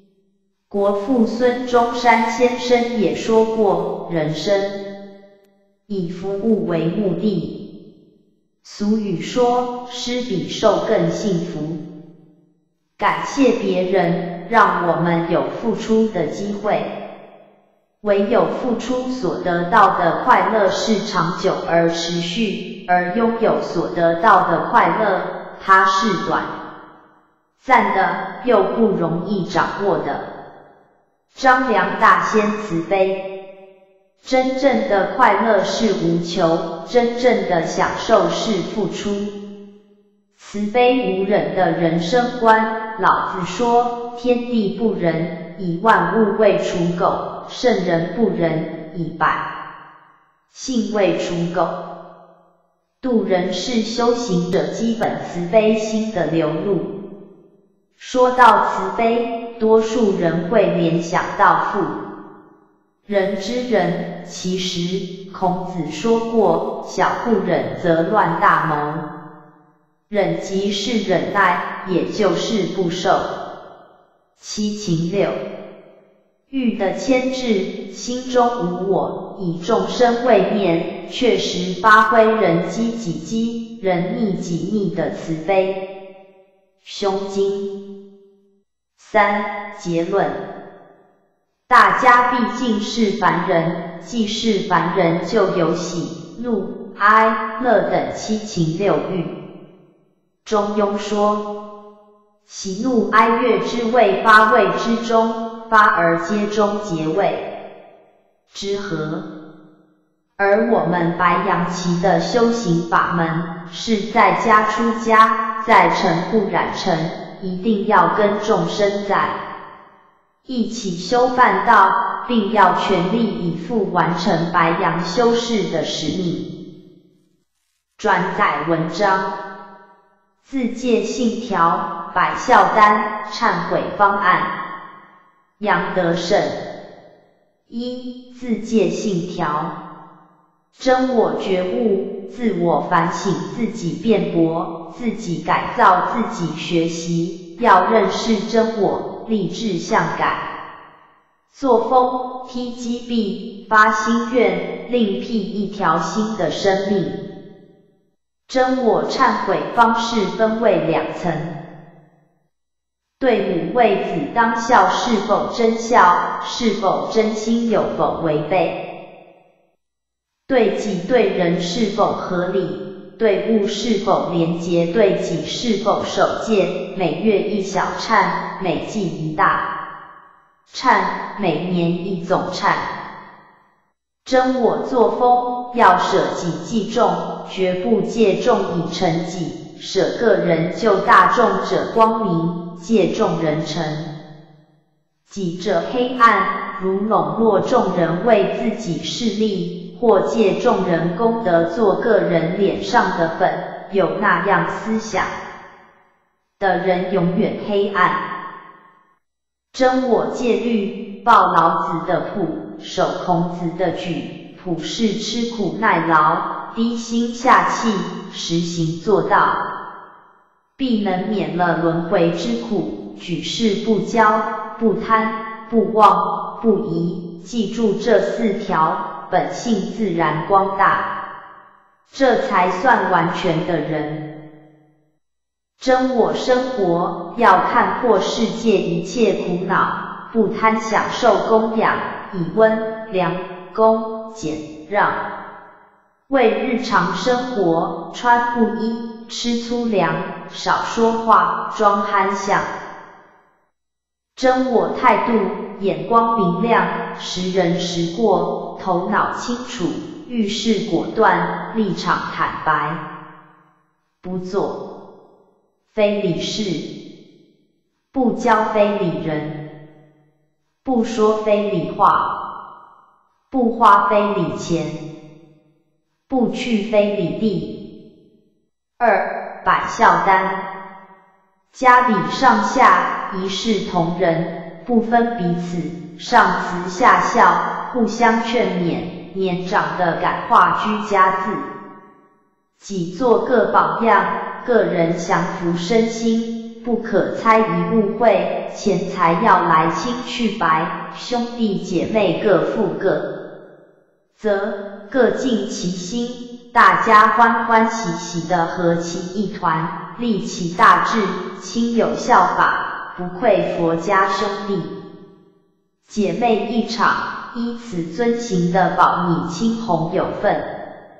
若做以义不尊的，苦恼无边。望家中大小，实行始终如一。信为根本，无信不立。说了不算，人不赞成，自误误人，无路可走，立不住。功德误了前程。在从前马马虎虎，不知认过，回头自私，能不愧过去光阴？有人劝解的闻过。则喜，先找自己毛病，去了病根，永不再发，才能称得起完人。人有病多，自己不识不知，自家有病，自家的审查，自家犯过那样的病，治好了自己，才能给人治病。互相讨论，去短留长。有了长处，大家效法；有了短处，大家相劝。人家说，出了短处，总得感激接受，从此别犯的有恒心，立其大志成其贤人。对有本领的好人，艰难莫瞒，人都是要强，要个好看。好人有了困难，理当相助，等他时来运转，成其大器，才算义气贤人。有病治不好的人，得让人家明了，别受他的传染了，终身没法挽回，甚是可惜。有了小过，自当醒觉，急速改掉，心中忏悔，检点行为，躬行实践，不前尘。一切总得清楚，时间短少，先过后功还可成就，先功后过一笔勾销，前功尽弃，无日可了，万般可怜。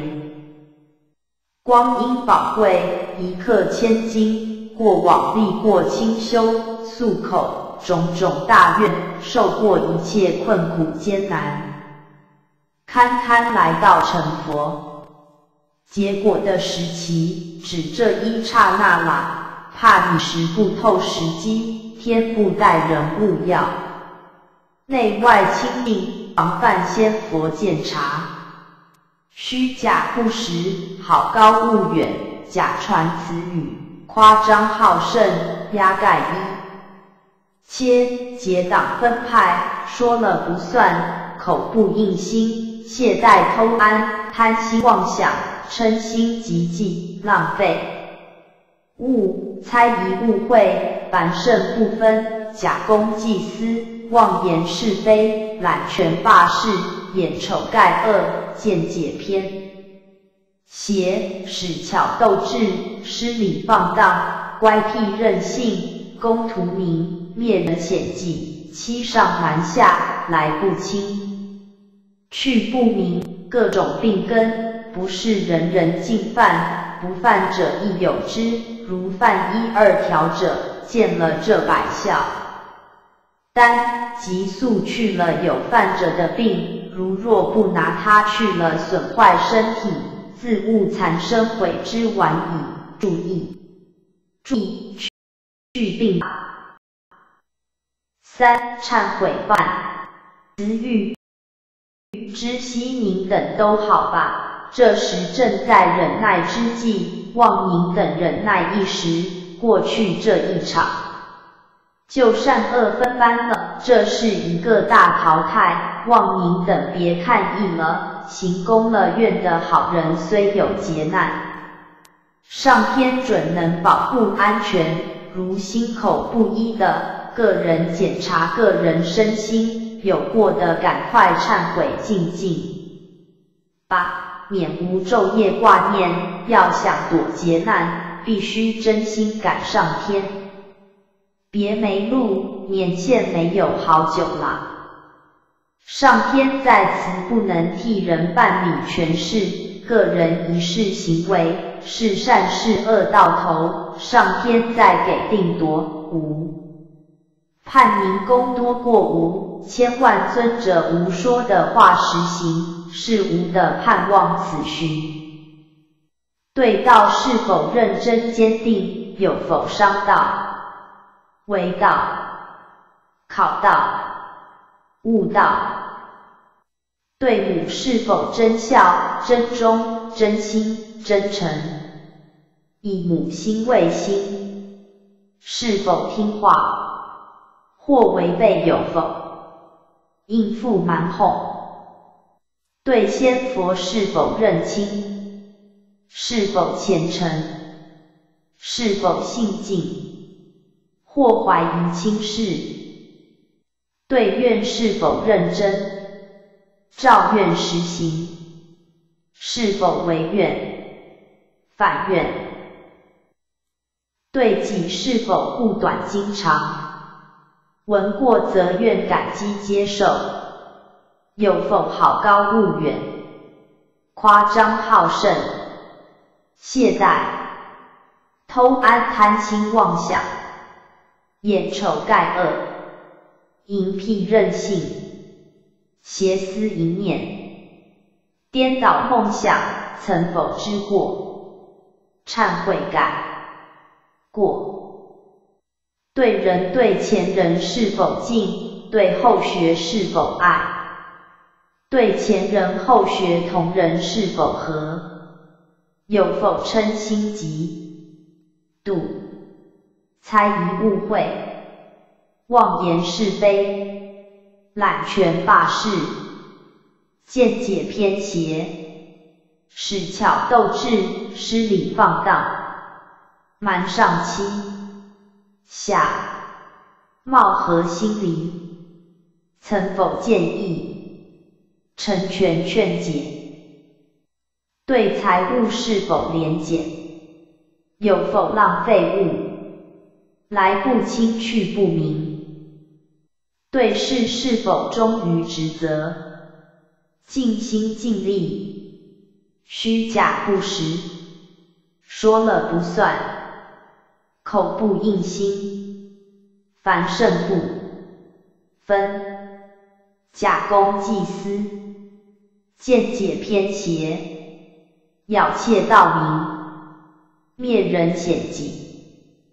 四结论：值此节考破镜之际，勿忘诸同仁客尊词欲，个人深刻细密认真的检查，个人的身心多多反省对照下，要找出具体事实的对象来，千万别说囫囵。明善复出，动中静。陈书凤一前言：手把清秧插满田，低头便见水中天。六根清净方未到，退步原来是向前。这是寄语，是弥勒祖师在耕种实践道所作。道本自然，道在一切生活之中。而农夫的生活最近道，他们识天时、敬天、畏天，春耕、夏作、秋收、冬藏、生活素朴，能知福、祈福，连孔夫子感叹说：“无不如老农。”在这首寄语中，暗藏含着无上天机。二手把清江插满天，手乃是下手、入手之意，也可说是首要的意思。田是我们心田性地，我们人有八十眼、耳、鼻、舌、身、意，莫那什和阿赖耶识。佛家又将八十比作田地。人心称为七十田，就如同种田。人生在世所种的善恶，就是来世的富贵贫贱。二十八宿为人的藏田，称为八十田，是善恶的仓库。古语说：耕田不下种，枉费耕田力。但是八十田所种的善恶，即成为轮回的种子。清央青者是一种颜色，看到青色就感觉清凉、舒畅、无忧无虑。青央即是青苗，幼苗乃赤子之心，怀有赤子之心者，离道不远，贵在天真未凿，一片圆。明后有善恶，人生中也有一个谱，就是上天赋予我们本性，它的本体也是清净、无畏、光明如日月，是静定之心，是未动心以前的心。简单的说，即是道心。天下苍生，生性都是极其良善，就是原来之善，原来之初善，也就是完完全全纯洁不染的赤子之心。但人因落于凡身，物欲蒙蔽太深，气禀熏染太重，自然迷昧，有而不知有。同时受累是因果业力的影响。七情六欲攻其中，十色无光壤。其外灵性日伤，心中无主，永远也不能超脱七情六欲的束缚。今天信逢能遇大道普传，而能得天命，受名师一指见性，也就是得到返回天。真的玄妙关键。体悟到人之根本就是道，手把青秧插满田，也就是说入手任性，一指见性之意。得道之时，在天命无上威神加持之下，就有成佛的正因道种，种在我们八十田中，直起我们这些末法众生的佛心，寻找至善宝地。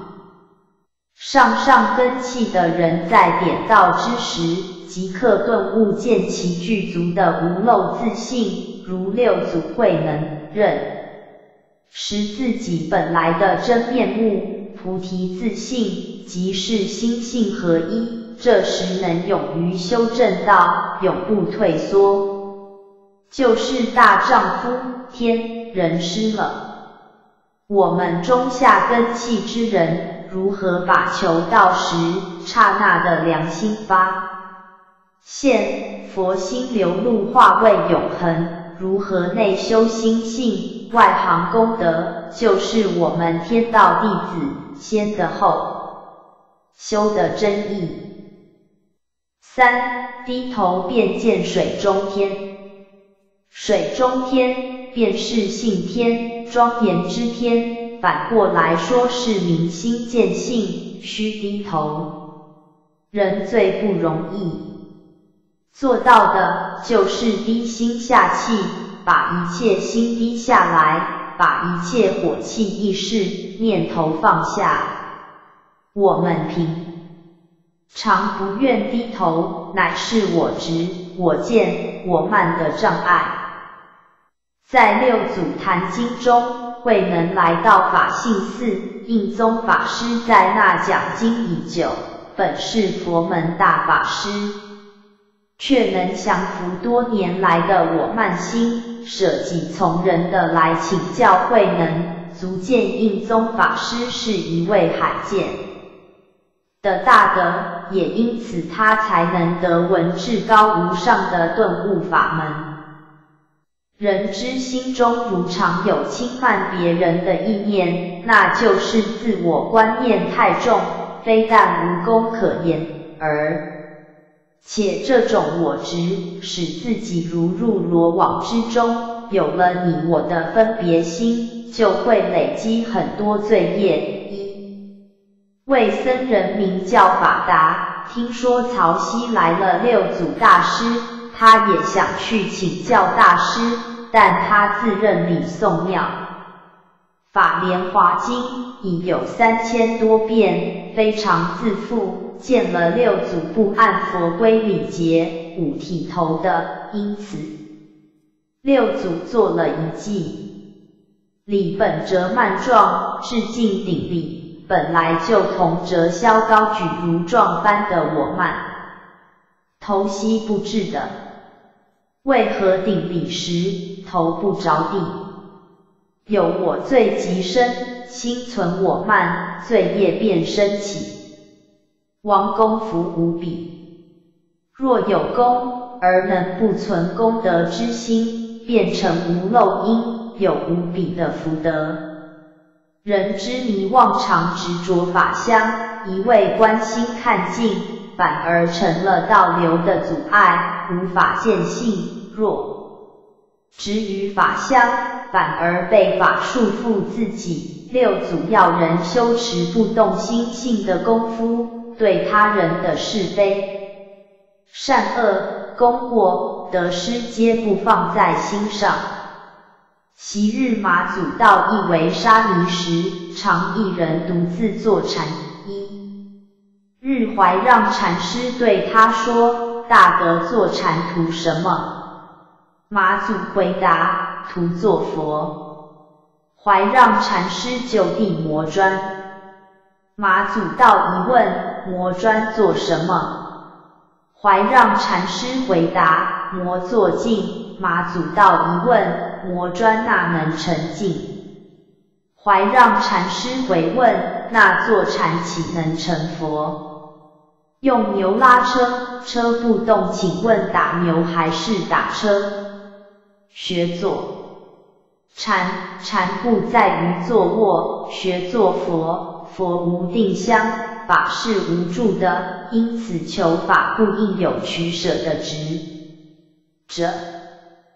六祖慧能善知识，外离相即禅，内部乱即定，外禅内定，是谓禅定。坛经坐禅品第五禅定，也就是六祖所说的心平和劳持戒，行直鹤用修禅之意。心平行直，其实就是道。一个见性之人。不会忘失自己本来清净的佛性，常存真心就是去妄心，存正念就是去杂念，存正气所以去造气。见性是见到自己的佛性，从科学的角度看，就是了解自己生命所蕴藏含的能量，并且能无限度开发自己的能量。当然，是否有道，是有神能否转化为灵的重要关键。不修禅定，还是有不断烦恼。弥勒祖师的寄语提示我们，先要得到，就是手把青秧插满田，接着低头便见水。中天低头就是叩首中坐起。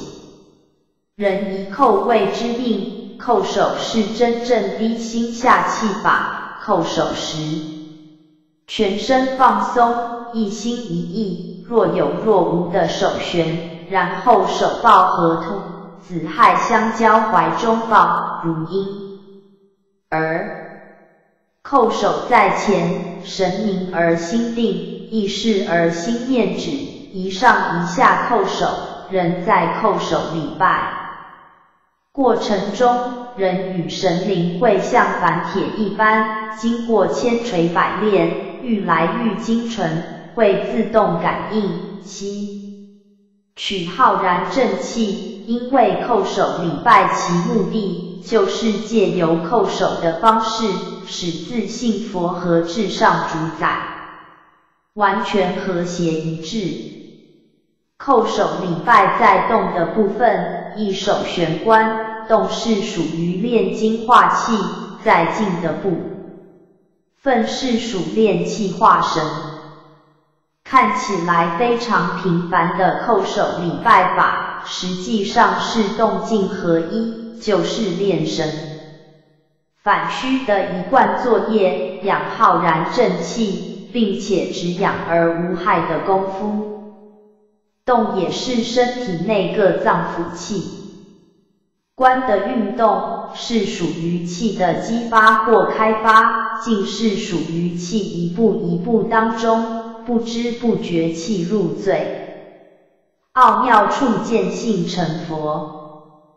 四六根清净方位道，人刚出生时是一尘不染。天性喜爱清净，摄入凡事欲望也就跟着多了。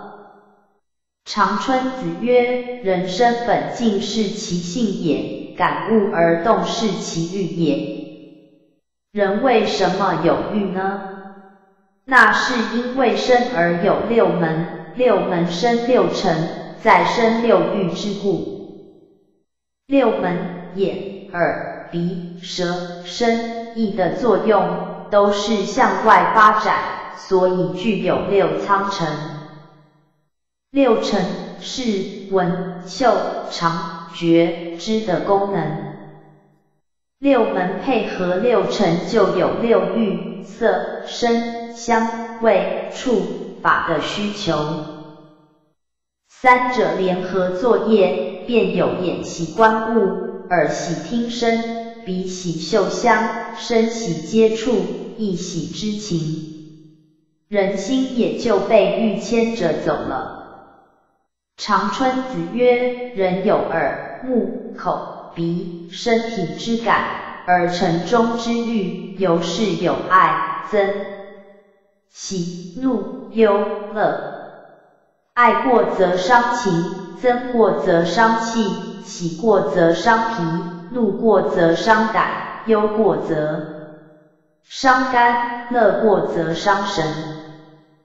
天有五尘，人有五脏，五官的有五行，五脏以心为主，心以神为气，人之生死，天君思之。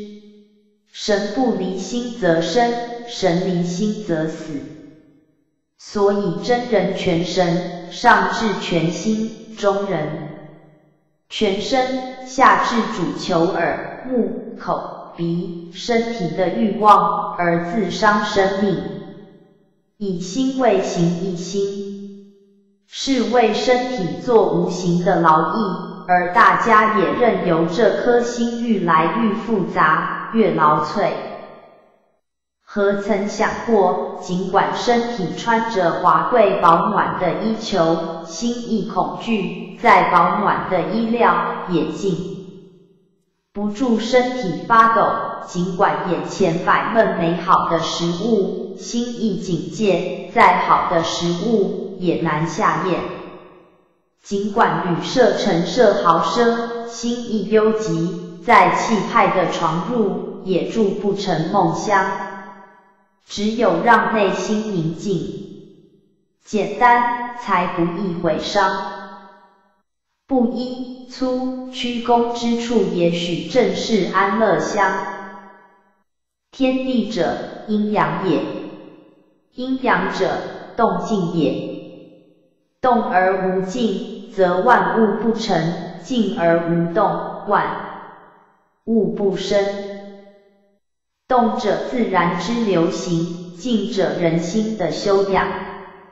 人身须动，而人心须静。心不静则身不安。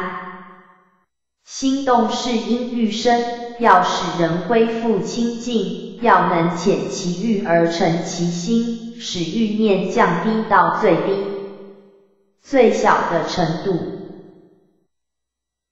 有志修道之人，就是要修养自己，使内心清净无欲，修是把境外的枝枝节节修掉，养自己的本性良知、良能。佛家治心的第一步是叫人不要滥用五官，甚至要我们去除这些有效观感作用。再进一步就是看清、看透人生的真假。所谓天真收圆，即是收敛一切欲念色相，复回原明自信的本来面目，这就是修道。修道上简不可不知，欲减则心静，事减则身安，法减则易从，正减则易举，理减则易守。老子曰：天得意以清，德的意以明，人的意以圣，物的意以亨。义者简之，智也。私欲杂念不生。天赋的本性与道合而为一，这才是真正的清净。但这种清净是自自然然的发出来，心中不住香，以真常应物，真常的性应对合理，进退合一，如此清净才能渐入真道，才能为之得道。五退步原来是向前。退步即是不争，道家一味守柔，居后不居先，谦退而不争。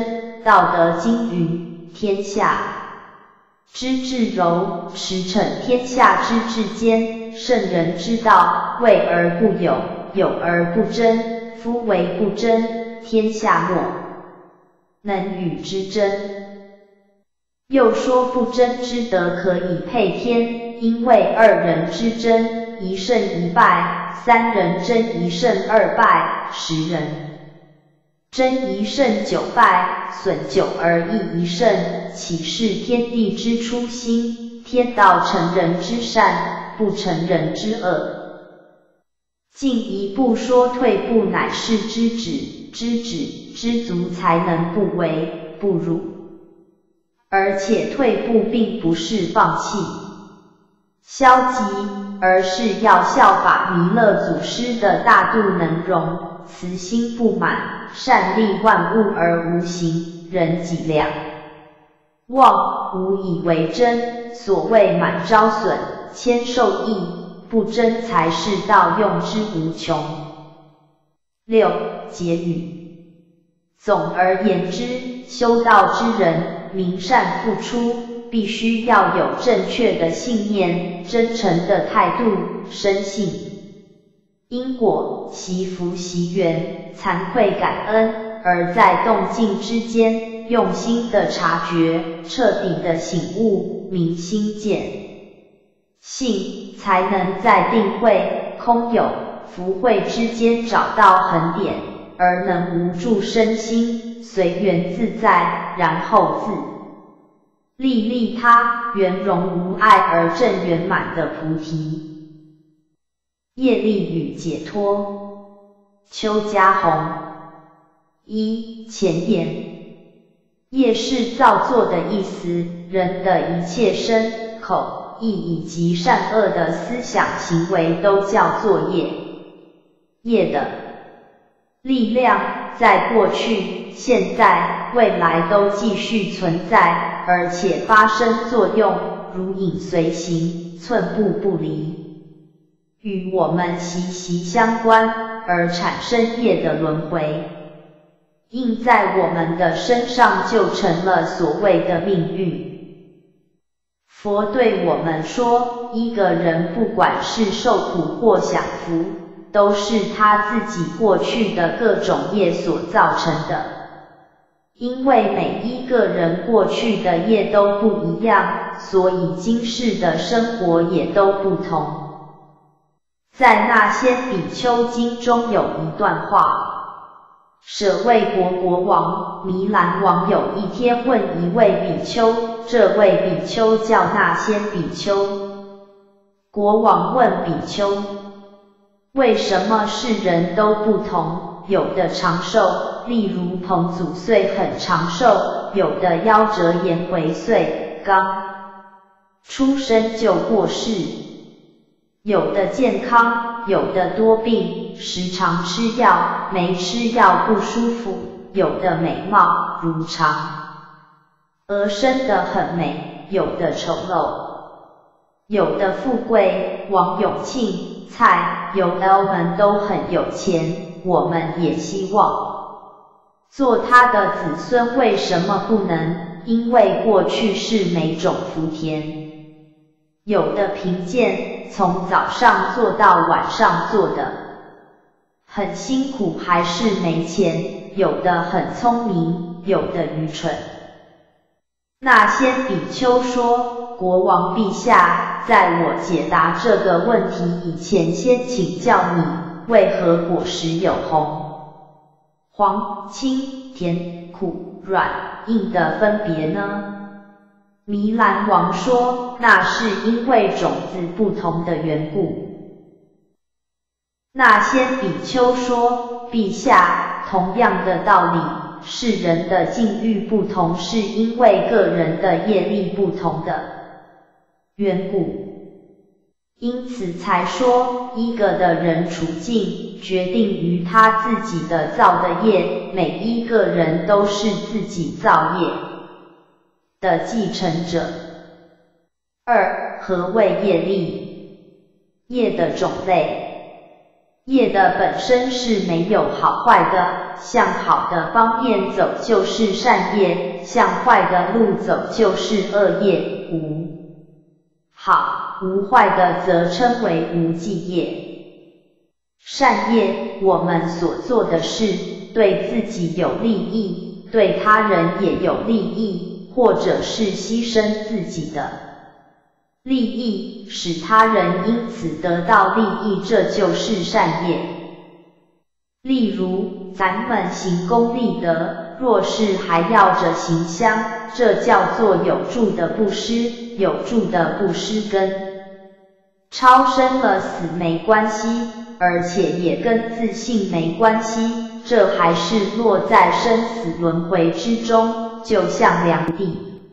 他礼一四，五礼一安。他所做的是为着功德而布施，他还要着功德香，这就是有助的布施，以后会受着善报。佛菩萨他们就不同，佛菩萨他们所行的布施是无助的布施，在《金刚经》第十四分离相继灭分。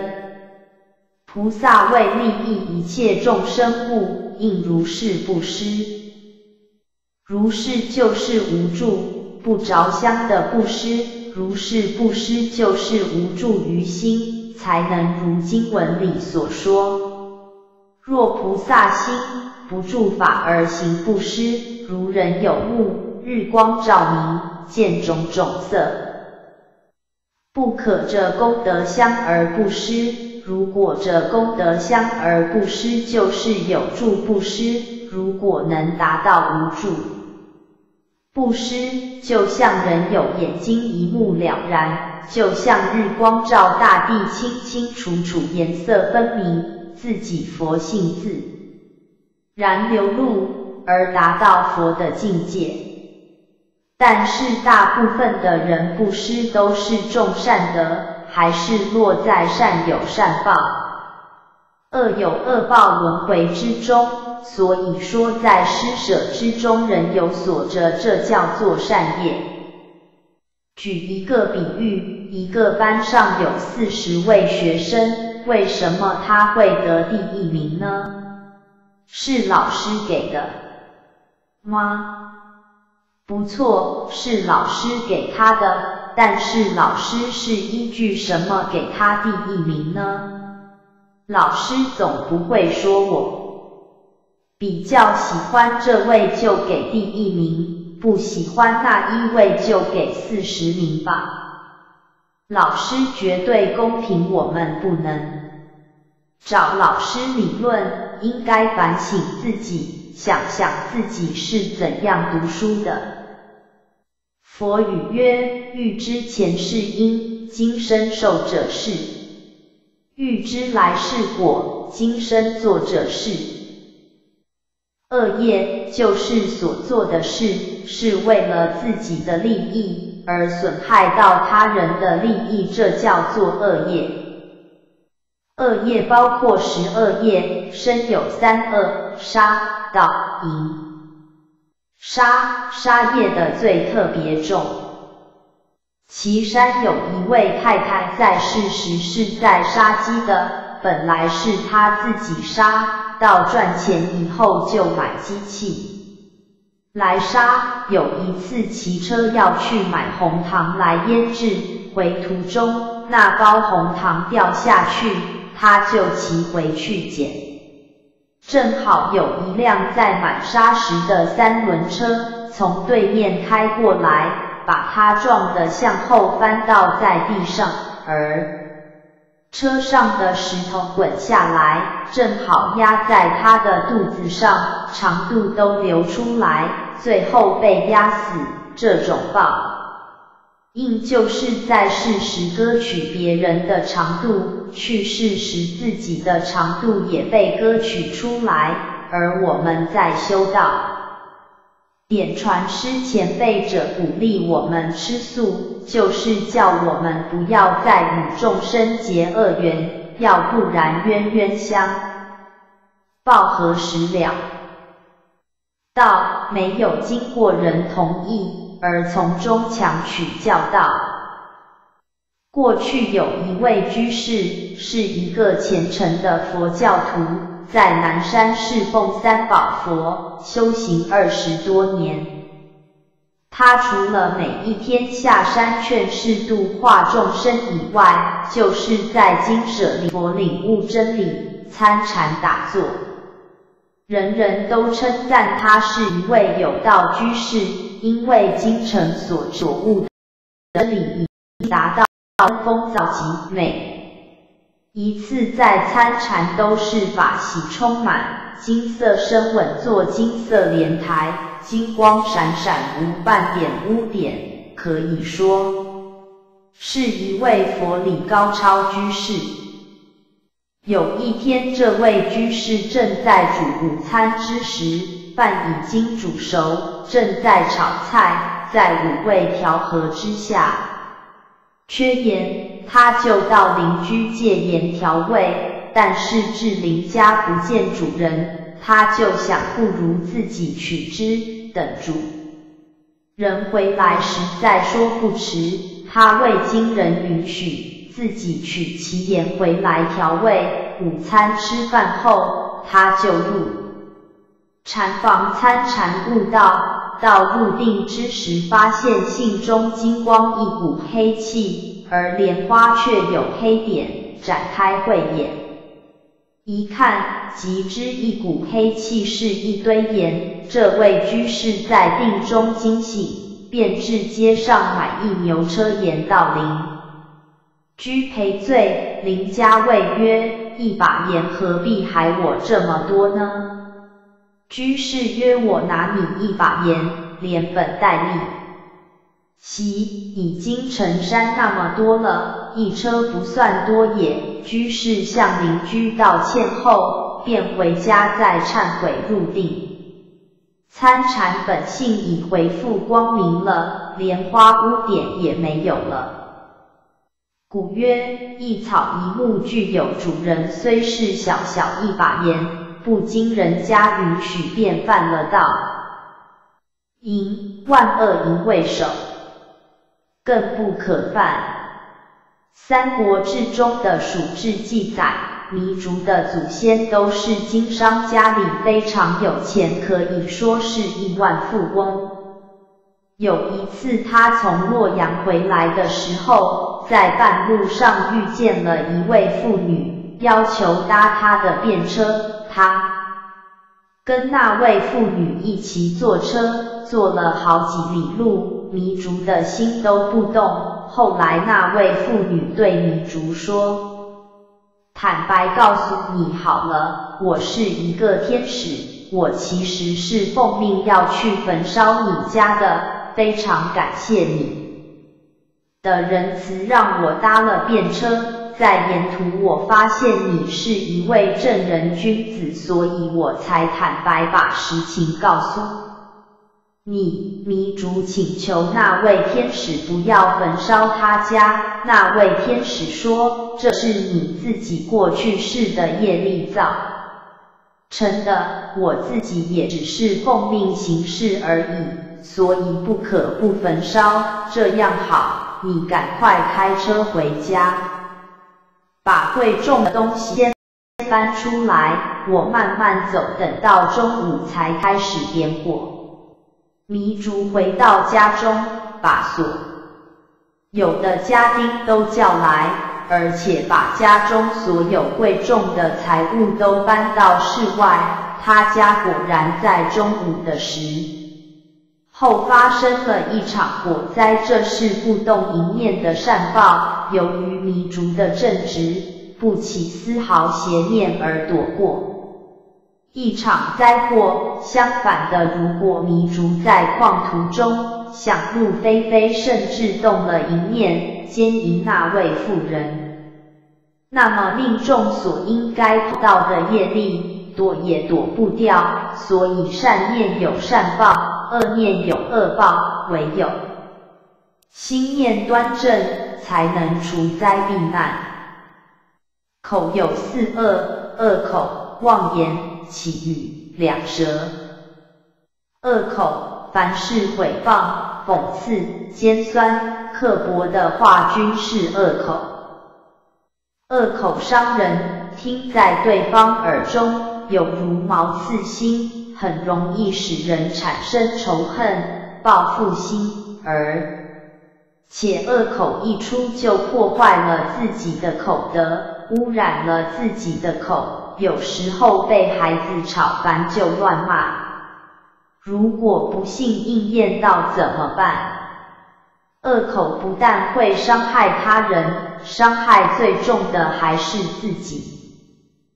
有一个人，他一向一面吃饭一面骂，每吃一顿饭必定会骂他的仆人，批评别人，甚至于还自己生气摔餐具、执汤匙、扔筷子。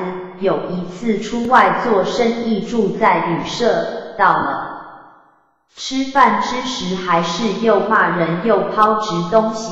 旅馆老板对他十分讨厌，但是因为是客人，只好忍气吞声。当那个人要离开时，旅馆老板就送一只小狗给他。走了大约二十里，路肚饿了。他叫仆人盛饭给狗吃，狗先是汪汪乱叫一阵子，然后很粗鲁的吃饭，并且一面吃一面叫。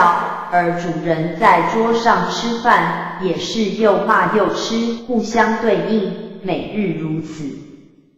有一天，仆人忽然忍不住失声大笑，主人才了解旅馆老板送狗给他之用意。所以，恶口的结果最后还是伤到自己。妄言不实际的话不要乱说，叫不妄言。修道不一定要有什么样的阶层才会成道，也不是要文凭才可以成道，而是不妄言，要老老实实，不虚言。过去有一位道清市卖粽子的，一有开班时就跟坛主说，然后学包一些素粽子来给道清。坛主说天气那么热，吃粽子不好啦。他便说没关系啦，我包的粽子很好吃，真的非常的好吃。讲的那位坛主不得不接受，让他有了怨的机会，因为他讲的话就是老老实实、实实在在，他也不会讲其他的大道理。后来他归空回去，老四封给他一个实实在在的大仙果位。气语，气语就是爱管别人的闲事，讲一些没用或没有营养的话。过去彰化有一位助产士，有一天三更半夜走过一个公园，远远看到有一对男女在那里约会。那位男的他看得很清楚，但是女的看不清楚。他一回去以后就。到处宣扬说某某人的儿子不知道和那家的女儿在公园约会，后来经过调查的结。果才知道那个女的就是他自己的女儿，他到处讲了一大堆废话，使得他的女儿觉得很羞耻而没脸见人。就跑去上吊自杀，这就是太爱管人家的闲事而造成这种不幸的事，故不要起语。两舌就是一口有如两个舌头，在两边讲不同的话，使人发生争吵。例如唐玄宗的兵部尚书李林甫论才艺、书法。学问都很好，但是做官不正直。平时与人接触，在外表上表现得很好，非常会做人，李靖说一些好听善意的话，但背后是一个非常狡猾阴险，时常出坏主意来害人，故被称为口逆腹剑。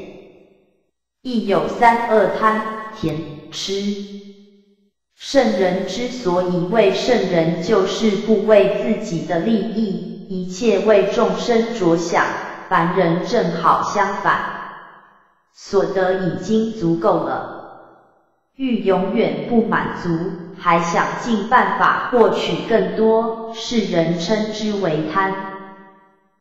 南北朝时候，河南省有一位名叫乐杨子，娶一贤妻。有一天，杨子在路上捡到了一块黄金，回去便将它交给妻子。本意是要让妻子高兴，想不到妻子却说：“我曾听说一个有志气的人是不喝到泉之水，一个廉政的人是不吃贿赂或不清楚的东西。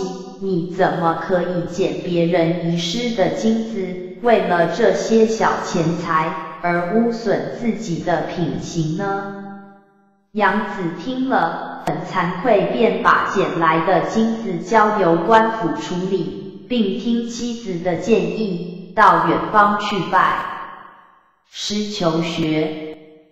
人的欲望都是贪而无厌的，财色名食睡越多越好，只要能争取的，无不拼命的去争取，贪到了还好。贪不到时，就动了甜火，发了脾气，甚至做出更多伤天害理的事，颇值得我们修道人谨慎。无记业是没有善恶的分别，同时也不会产生业报。例如走路、吃饭或睡，觉等。同样的一个人无意间踏死一只昆虫，这种行为也是无记业。从前有一个瞎眼和尚在无意间踩死了一只蚂蚁，其他和尚看到了，就去告诉佛陀。佛陀认为那个和尚踩蚂蚁是无意的，这种行为不是善也不是恶，叫做无记业。我们所造的业，无论巨细，都会输入八十田中，也就是我们的心地。因为心如一片田地，我们每一个念头就如一粒种子，我们的身、口、意、业一切的动作都是种子。善的种子自然结善果，恶的种子则结恶果。例如。播种甜瓜的种子，就结甜瓜；苦瓜的种子，就结苦瓜一样。所谓种瓜得瓜，种豆得豆，不会种瓜的豆的，这就是佛教所说的因果律。但如果种下的不属于善，也不属于恶的种子，自然也不会有结果。那就是无记业。所以善与恶以真理来说都是业，不然的话世人怎么有贫富之分？怎么会有贵贱之别？怎么会有聪明与愚痴呢？而这个善恶业最后会受到果报，而这个果报的力量就叫业力。待续。人生的真谛，编辑部一前言。所谓人生之真谛，就是人生到底是怎么个情形？生前是如何，死后又是如何？生与死和人生又有何关系？生活在世上怎么样才有价值？一般人从小不懂事。当然不会想这些问题，等到年纪大了，懂事后开始成家立业，每天为生活奔忙，为追求名利，劳碌奔波，也很少去想这些问题，因此遇到了事情都不知如何决，则才最正确。或许也有很多人会考虑到这些问题，但是大都由于不了解生与死，对生前死后的事不了解。因此也说不出所以然来。一天过一天，对自己有利的多参加一下，没有利害关系的则懒得去管。随着时间因循下去，以至于老死，在这个历史过程中，没有留下一点痕迹，对社会众生一点好处都没有。各位前贤，你们认为这种人生有没有价值？二、生死与人生之关系。生而为人，至少对人生应该有所了解。语云：生死事大，人命关天。所以要了解人生，就要了解生死。现在我们试着从古圣先贤留下的话来研究这个问题。庄子曰：“我本不欲生，忽而生在世；我本不欲死，忽而死其志。”说明了一个人的生死，自己是没有主权的。顺治皇帝出家歌曰：“来时糊涂，去时迷。”空，在人间走一回，生我之前谁是我？生我之后我是谁？长大成人方知我，何眼朦胧，又是谁？不如不来亦不去，亦无烦恼亦无悲。我们人的一生大概就是如此，由于不知生前死后的事情。所以来的时候迷迷糊糊，去的时候不知往哪里走，因此不知做什么才有价值，而在世上空手来空手去。亚历山大帝临死之前吩咐侍从，将棺材打两个洞，让两只手伸出来。表示他虽位在万人之上，亦是空手而去。每个此时都差不多，顶多穿几件衣服而已。每个人都不知生前的事，所以说生我之前谁是我，生我之后从小不懂事，也不知道自己生是什么样子。有什么责任、义务都不知道，等到长大成人才知道自己是什么人，是父母的子女，有一些什么责任。但是过不了几年，两眼一闭，自己又变成什么呢？也是不知道。人生就是这样糊里糊涂。没有意义，不知修道成道以后不生不死，不必来也不必去。人生实在有很多烦恼，活着的时候受尽辛苦，死时家人悲伤，而成仙成佛不生不死，自然就不用悲伤了。故生与死和人生的关系非常重大。至于生死的变化情形如何，变化的原则又是什么？此可由因果轮回题中研究，这里暂且不提。三、人生苦乐分析。其次来讨论人生苦乐的问题。各位认为人生是苦多还是乐多？或者说有苦有？乐是不是？大家不讲话，可见真的是苦不堪言呐。佛云：苦海无边，回头是岸，在我个人来说，我感觉人生是快乐的，怎么讲呢？因为从小到现在都没有受过什么苦。小时是在父母的襁褓中长大，上学以后更是无忧无虑，上了高中。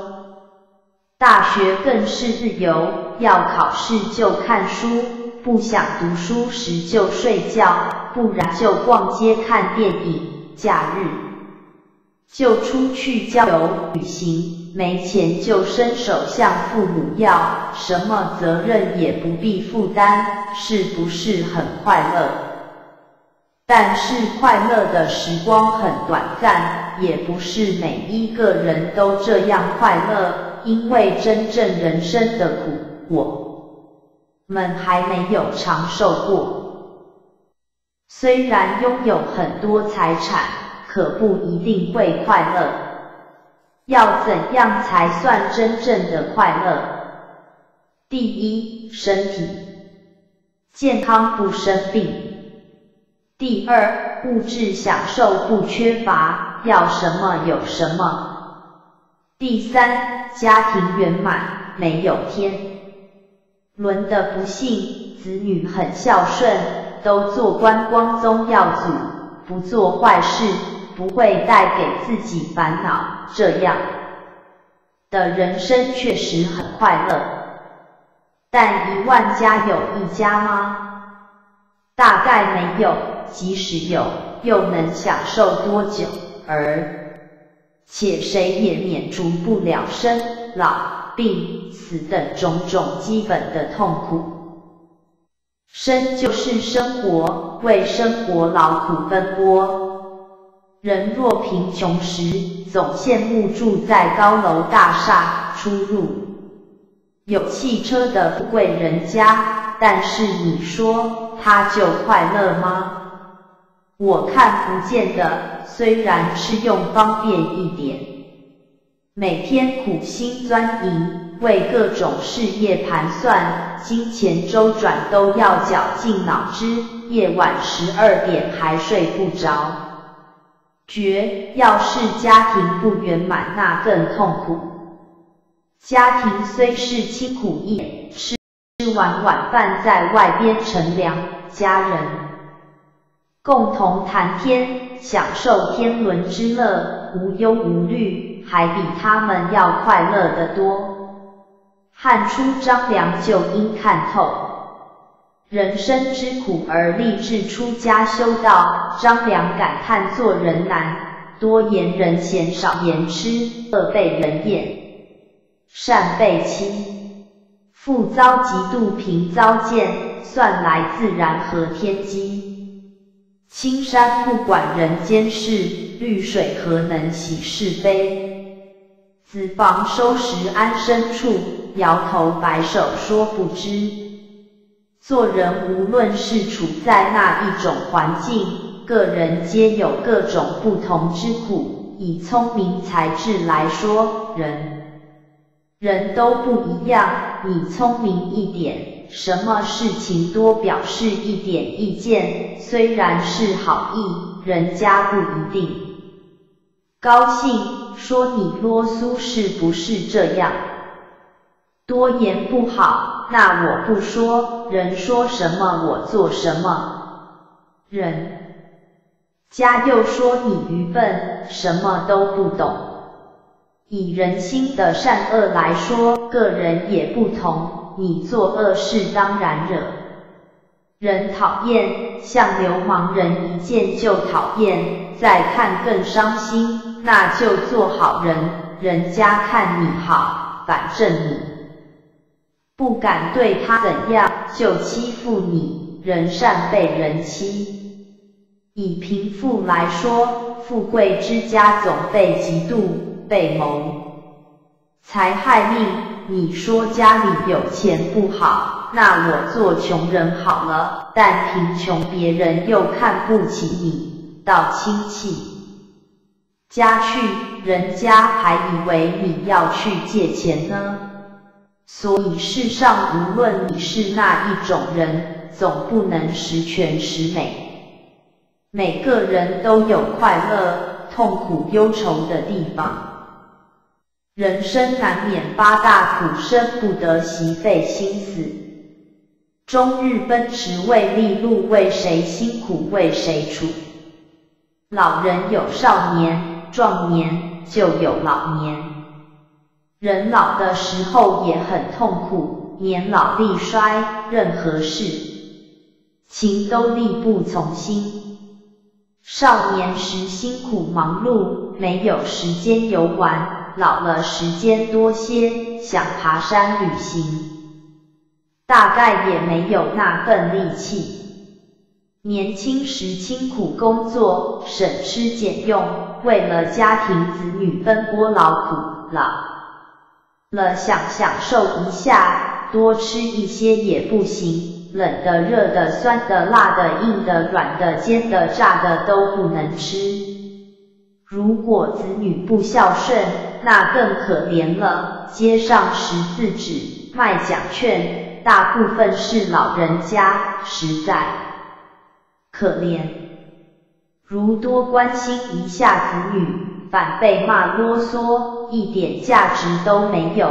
人老也是痛苦，人老气衰，智力失守，门看护若孤独，两鬓如霜，还骨瘦，一家之事难做主。病其次是病，人不可能永远不生病，生过病就会了解生病的痛苦。平常朋友有病，总会安慰他。花无百日红，人无千日好。话虽然说了，他还是痛苦。猛将张飞死都不怕，就是怕生病，因为人一生病就英雄无用武之地了。疾病世间那个无四大假象如色图。有朝一日遭风雨，青红赤白尽模糊。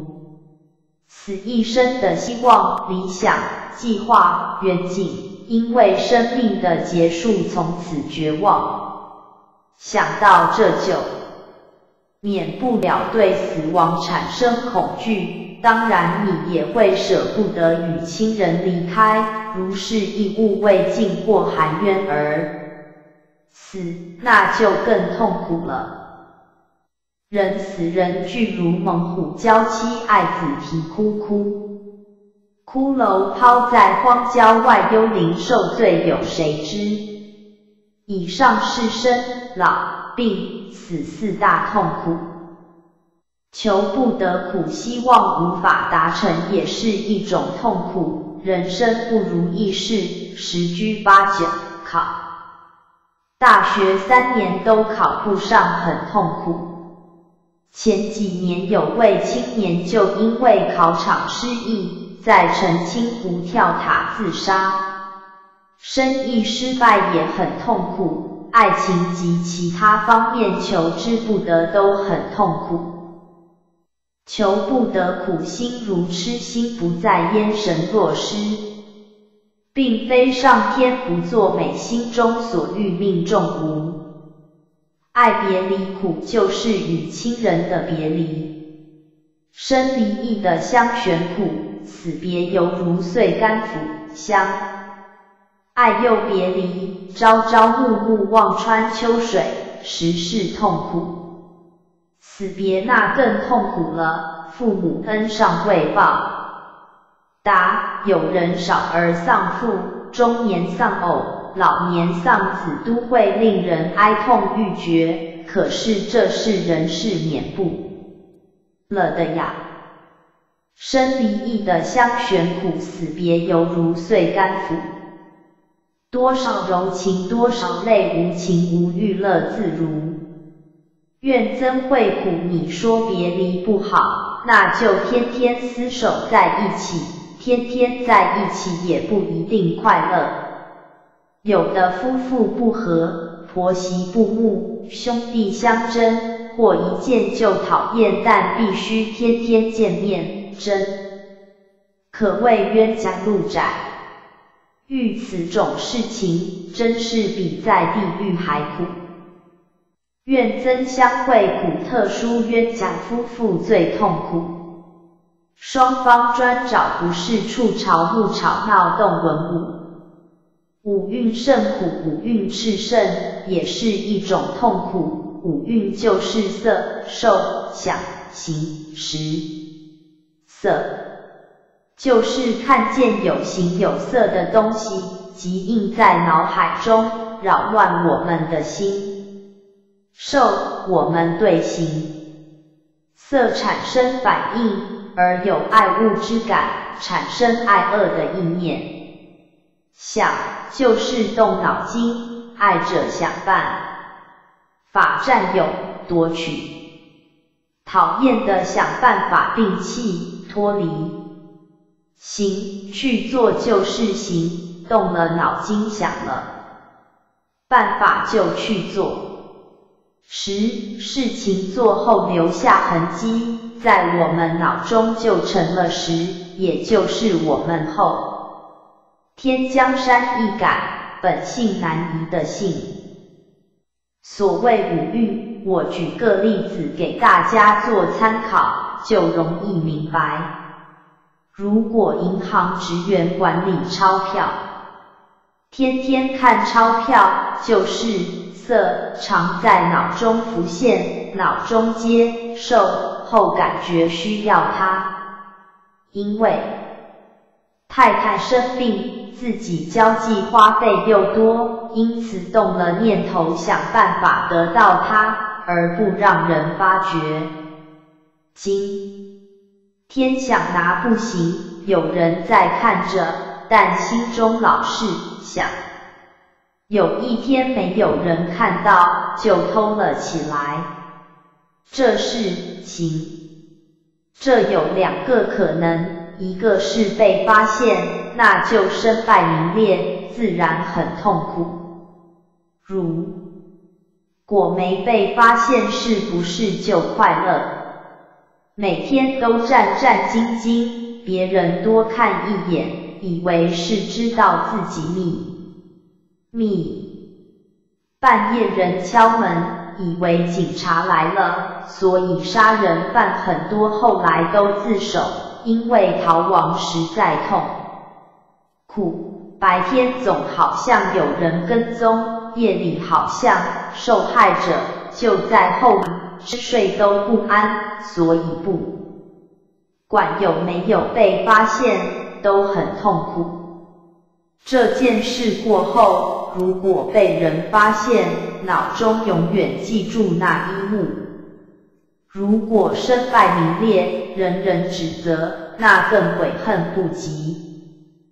五阴炽盛，色色形形的东西印在脑中，全都想要，每天动脑筋，想拥有这个，占有那个，又不一定能得到，做了坏事，良心谴责，于心难受，种种思想其涌上。心头因此思想混沌，五阴炽盛也很痛苦。以上是佛家说的人生八苦，尽管有许多苦，但我们还没有尝受到，不知各中滋味。但只要是处在凡尘的人，就免不了这些苦。我们本身想要免除这些苦，就要。修道行功立德，能够成道，上天封有天爵，就可以不生不灭不老不死，不必在人间受这些苦。四人生价值分析，我们来谈谈一个人活在世上要怎样才算有价值。我们从一个角度来分析。每一个人有生必有死，人死后众人或历史对他的评价是怎样？所谓盖棺论定，因为每一个人从生到死，寿命的长短都不一样，每一个人的聪明才智也不一样，还有每个人生活的环境，一生所做的事都不相同。所以死后别人对他的评价也就不同。在这里大略将之分成四类。第一类，死后遗臭万年；第二类，死后无声无息；第三类，死后仍为他立铜像；第四类，装金身。那一类人死后遗臭万年呢？就是自古以来的乱臣贼子为何会遗臭万年呢？是因为他们活在世上的时候，为了自己私利，残害忠良，以致断送国家民族。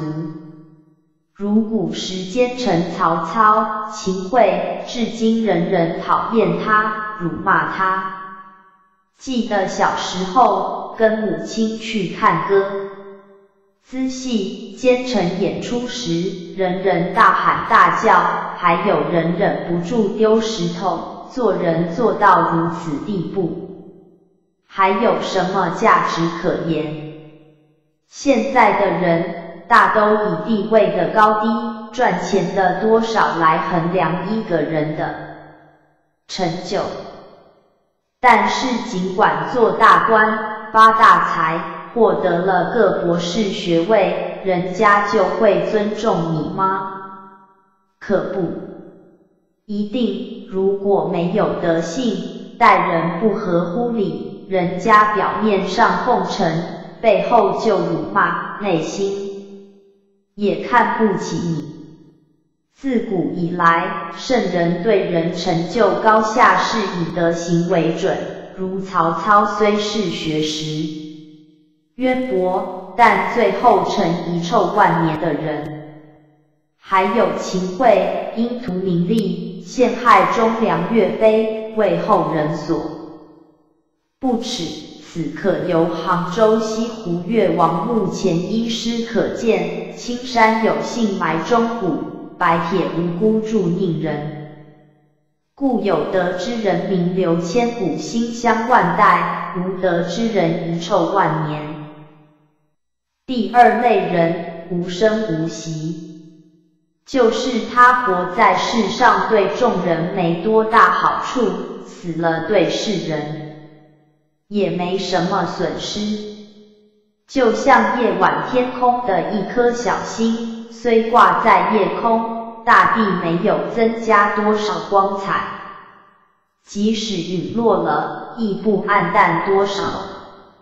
凡夫俗子就是属于无声无息者，每个人从小因父母养育长大以后，就做事赚钱，接着男大当婚，女大当嫁，成家立业，而后养育儿女，终日为着子女家庭奔波劳碌，不得歇息，直到死为止，无声无息。的消失，世间没有别人知道你，纪念你，这时是太可悲的了。第三类人立铜像，英雄豪杰在生之时，对国家、民族、人民有莫大贡献，死后众人为纪念他、崇拜他，就为他立个铜像，让众人瞻仰。如我们的国父一生为救国家、救民族，受苦受难，而非要做大官、发大财。所以今天我们尊称他。老人家为国父，故做对众人有益的事业，众人就怀念你、纪念你，只为自己打算，将来只有自己子孙纪念你。第四类人装金身，就是圣神仙佛，他们在世的时候因立德、立功、立言，故能不朽于世，案头心香，万世人敬仰。所谓不朽，亦则他们能活在人的心中，人人纪念他。二则归空后，上天凭他功德按功定果，享受天爵。配享天庙，如孔老夫子祖述尧舜宪章文武，他周游列国，为了要实行王道于天下，而趋于世界大同。当时虽陈蔡绝粮，仍是弦歌不辍。释迦牟尼在生之时，认透人间是苦海，立志出家。苦修苦练，终于成道。成道后讲经说法度生世受，苦受难而不屈，最后终至成佛。南海古佛在世时，亦是慈悲救众，受世人供奉。所以圣神仙佛对众生有恩。大家感恩，因而为他们立庙庄金身，给众人朝拜。我们了解这些道理以后，知道如要了脱生死，就要修道；要脱离人生苦海，永远逍遥快乐，就要修道；要在历史上名留千古，成圣成佛，也要修道。我们都得到了。可以说是非常幸运。由以上所谈人生真谛，知个人前途、个人打算，老天给了每个人一生的岁月，要怎样做这一生才算有价值？大家是不是明白了呢？五、人生的真谛。一、为什么要探讨人生？人都会死，必然的是人不爱听，总爱听未必然的美言。生而为人不容易，轮回转世，人生难得。健全活下来不容易，父母苦心，环境造就，活得充实有意义不容易，名利与山水。生死事大无常，迅速此往何处去？鸿毛与泰山，成人取义。二，人生是什么？人生如戏，舞台上各有角色。人生如梦幻泡影，醒悟时一场空。人生如流水，毕竟东流去。人生如四季轮转，花开花谢。人生是修道好机会，学习的历程。三、人生的苦与乐比较，变生苦乐，美丑高低大小。人生之乐，人生三大乐：父母健在，兄弟无故天助；养不愧于天福，不作于人自助。得天下英才教育之人助，人生四大乐：久旱逢甘霖，他乡遇故知，洞房花烛夜，金榜题名时。一般人看法，物质不缺，精神愉快，表面假相富翁与鞋匠。人生之苦，生苦哭着来到世间，生活是一个难关。家庭养生送死，老苦身心俱疲，老来不中用，老人三件歪。病苦人无千日好，英雄只怕病来磨。此苦理想破灭，意外恨死与善终，死者已矣，生者长期。求不得苦，学业事业名利。爱别离苦，爱情友情亲情，怨憎会苦，业力冤欠债主，不是冤家不聚头，冤家路窄。五蕴甚苦，色受想行识烦恼多，贪甜吃一慢，怨恨恼怒烦。四人生的价值在那里？遗臭万年青山有幸埋忠骨，白铁无辜铸佞臣。无声无息，草生草死，陀罗般庸碌。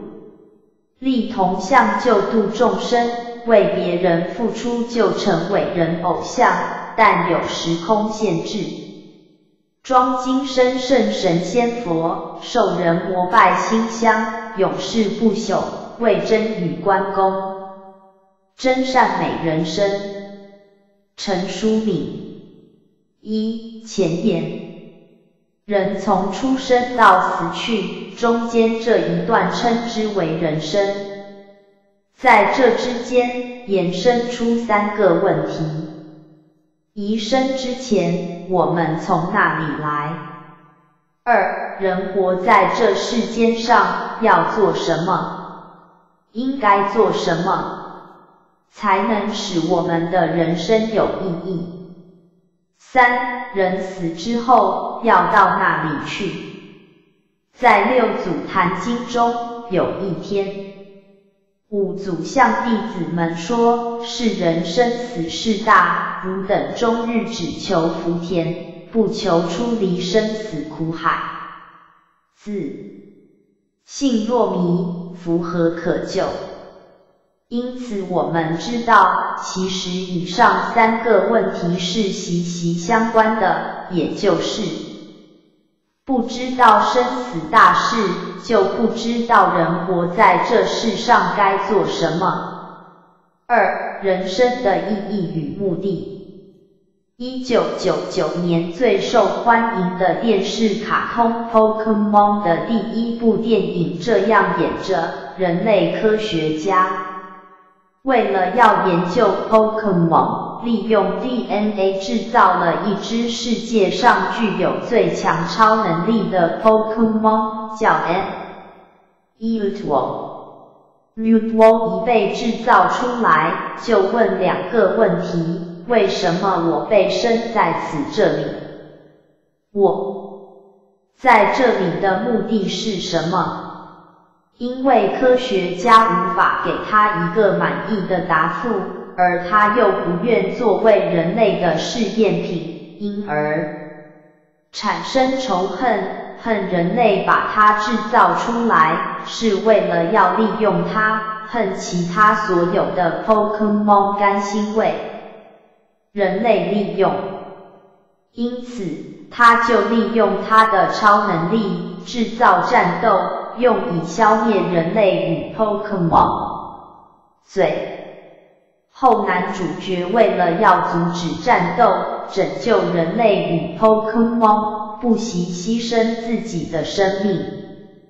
Mute 看见这一幕，他才恍然大悟，原来人与 Pokemon 之间不是利用关系，而是有着相互关。怀相互照顾的朋友关系，甚至可以牺牲自己的生命来救对方。最后，Mute 要走的时候，他说：“每个生物在这世界上都在追求他生命的意义与目的在那里，而事实上。”一个生命的价值是取决于此生命对这世界贡献多少来决定。有这个故事让我联想到我们人迷迷糊糊的出生在这世界上，有多少人曾经问过我们为什么出生在这世上？又我们的生活目的是什么？我们的生命价值又在那里？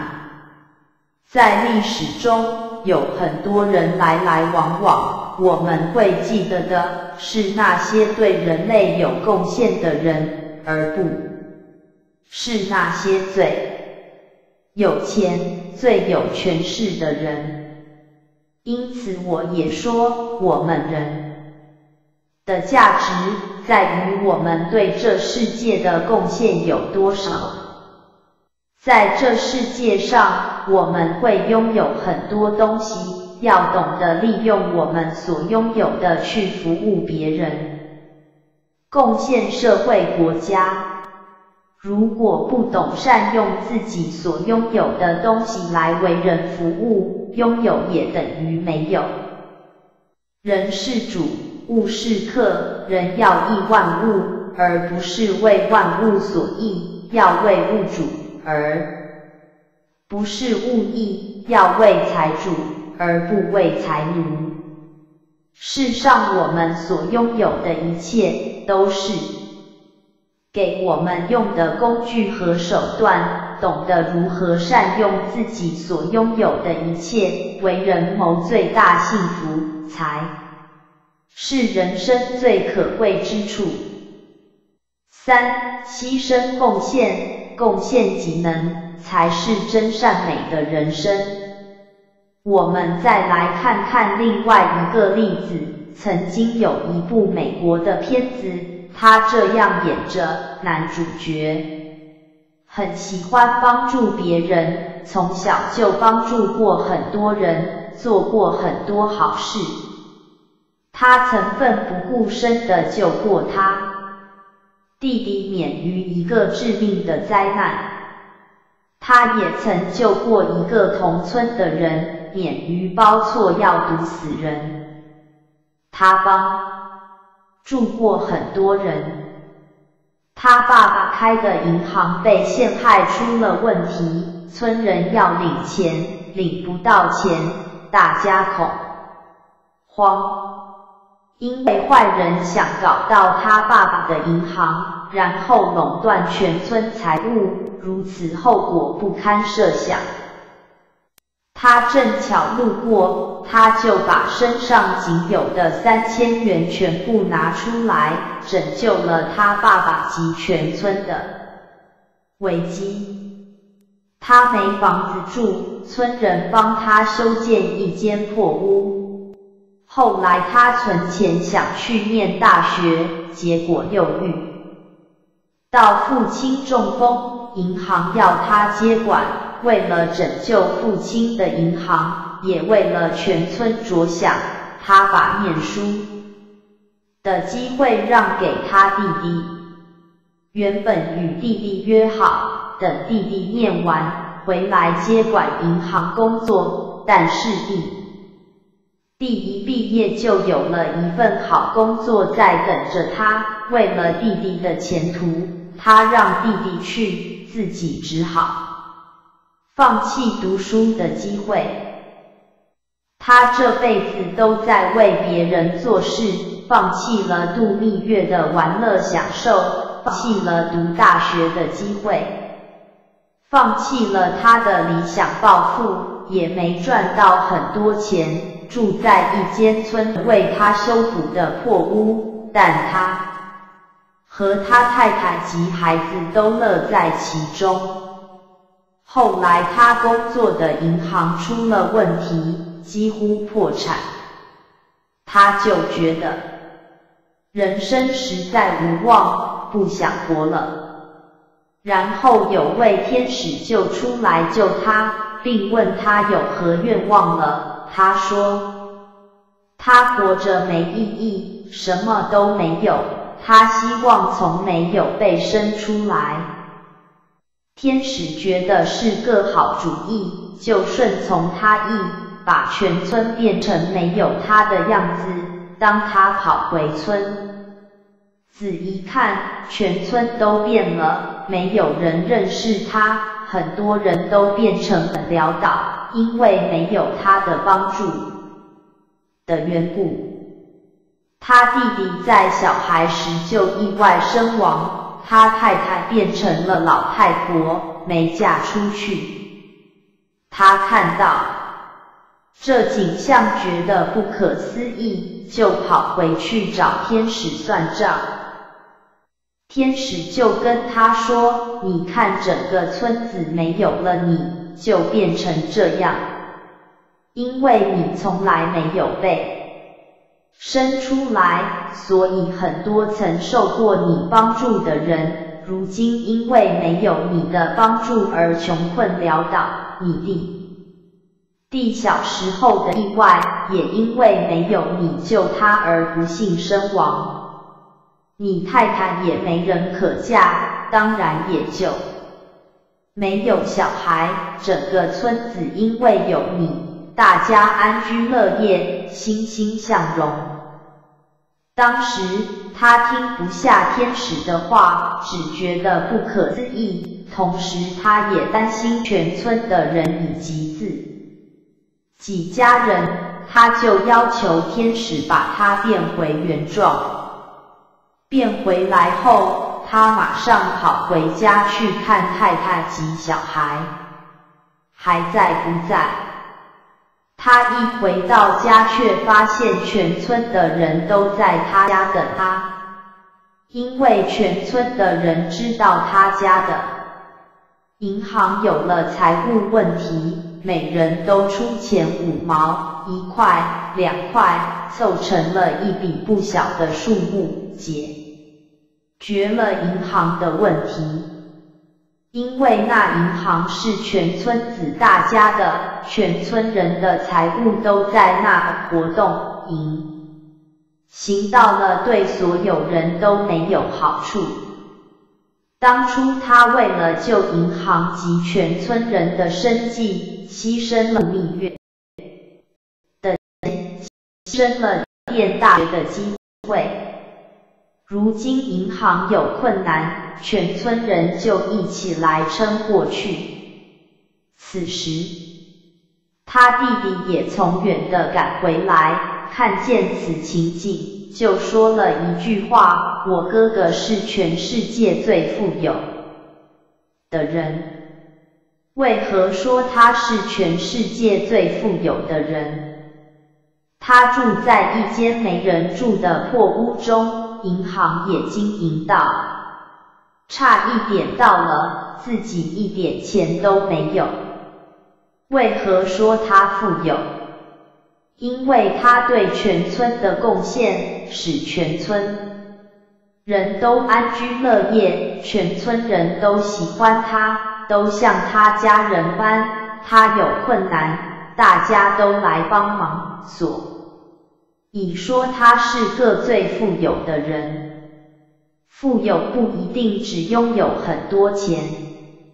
人生的价值不在于学位的好坏，不在于名位的高低，更不在于财富的多少，而在于你对于人世间贡献的多少。拥有很多东西而不知善用，等于没有。反而成为绊脚石及负担。这位男主角堪称全世界最富有的人，他的人生就可称得上是真善美的人生。在人生的旅途中，常常我们会面临抉择，事事无法两全，需择一而行时，就要应用我们的智慧，认清真假。认清那个是真的，要认真做事。在前面的例子中，男主角面对要去度蜜月，或者要帮助全村人解除财务生计，他选择放弃度蜜月，把钱拿去帮助全村。当他面对要不要念大学，或者要帮助父亲拯救全村的银行，他选择放弃念大学的机会，而全力拯救关系着全村人生计的银行。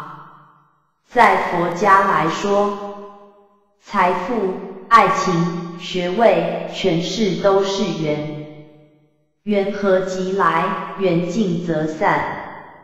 唯有真理，真者不假，理者长而不变，才能永恒。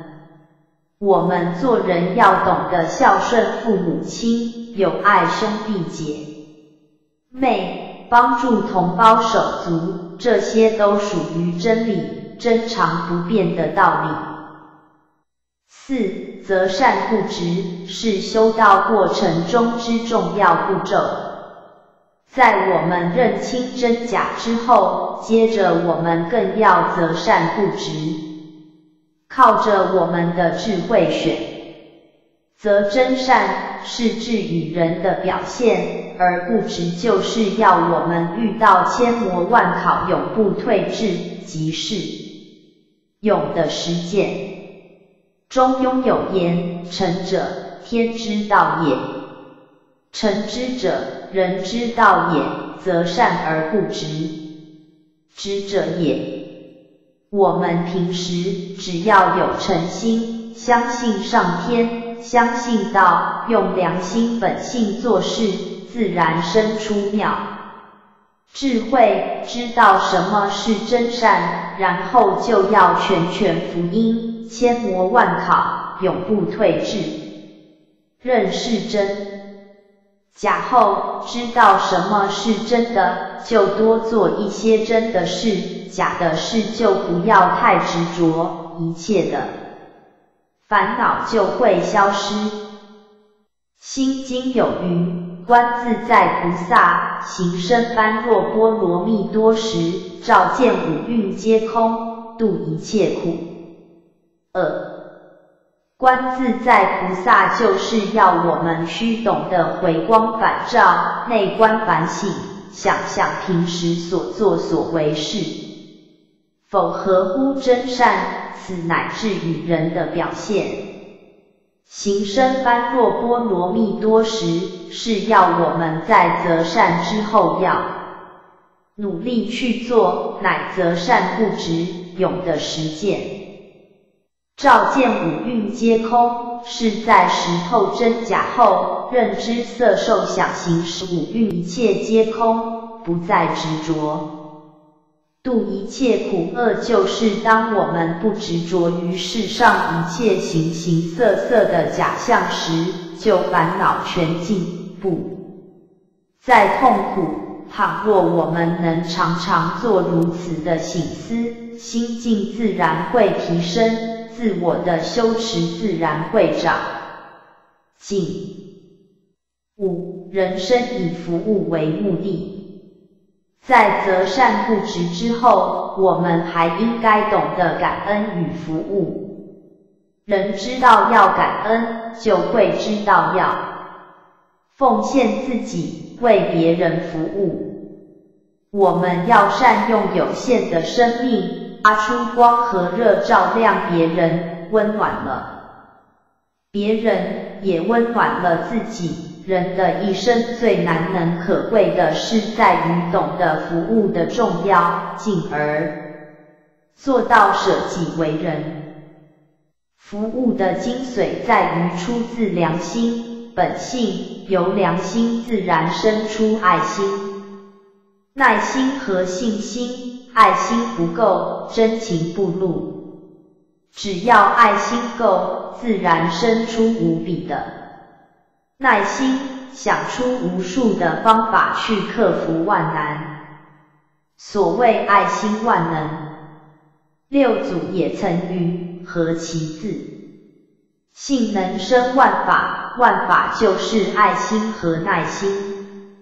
妈妈在带小孩，用的是从本性良心所发出的真爱，自然生出无比的耐心，小孩自然就被照顾得无微不至。修道人要度化众生，完全在于他的爱心够不够，爱心够，自然就可精诚所至，金石为开。六结语，在人生的旅途中，我们可能会拥有很多的金钱、事业、权势或名位，其实这些都只是踏脚石。踏脚石越大，可以跳得越远。但是即使没有踏脚石，只要方向对，慢慢走，努力走。一样也会到达彼岸。有些人用一生全部的力量都在建立一块踏脚石，却不知道用它来当踏板跳到彼岸，或者方向不对，跳错方向，越跳越偏，就永远也到不了目的地。在修道的里。程碑上重要的不是有没有踏脚石或踏脚石的大小，重要的是方向要对，以及愿意努力的往前就一定可以走到目的地。因此，我们一定要认真做事，则善不执，并懂得感恩，为人服务，进而舍己为人。认清真假，认真做事，可以确保我们的方向正确，择善固执，是告诉我们要勇往直前，永不退缩。感恩服务是让我们的人生过得更美。真善美的人生就是修道人要回礼天最好的踏脚石。转载文章，道学用语。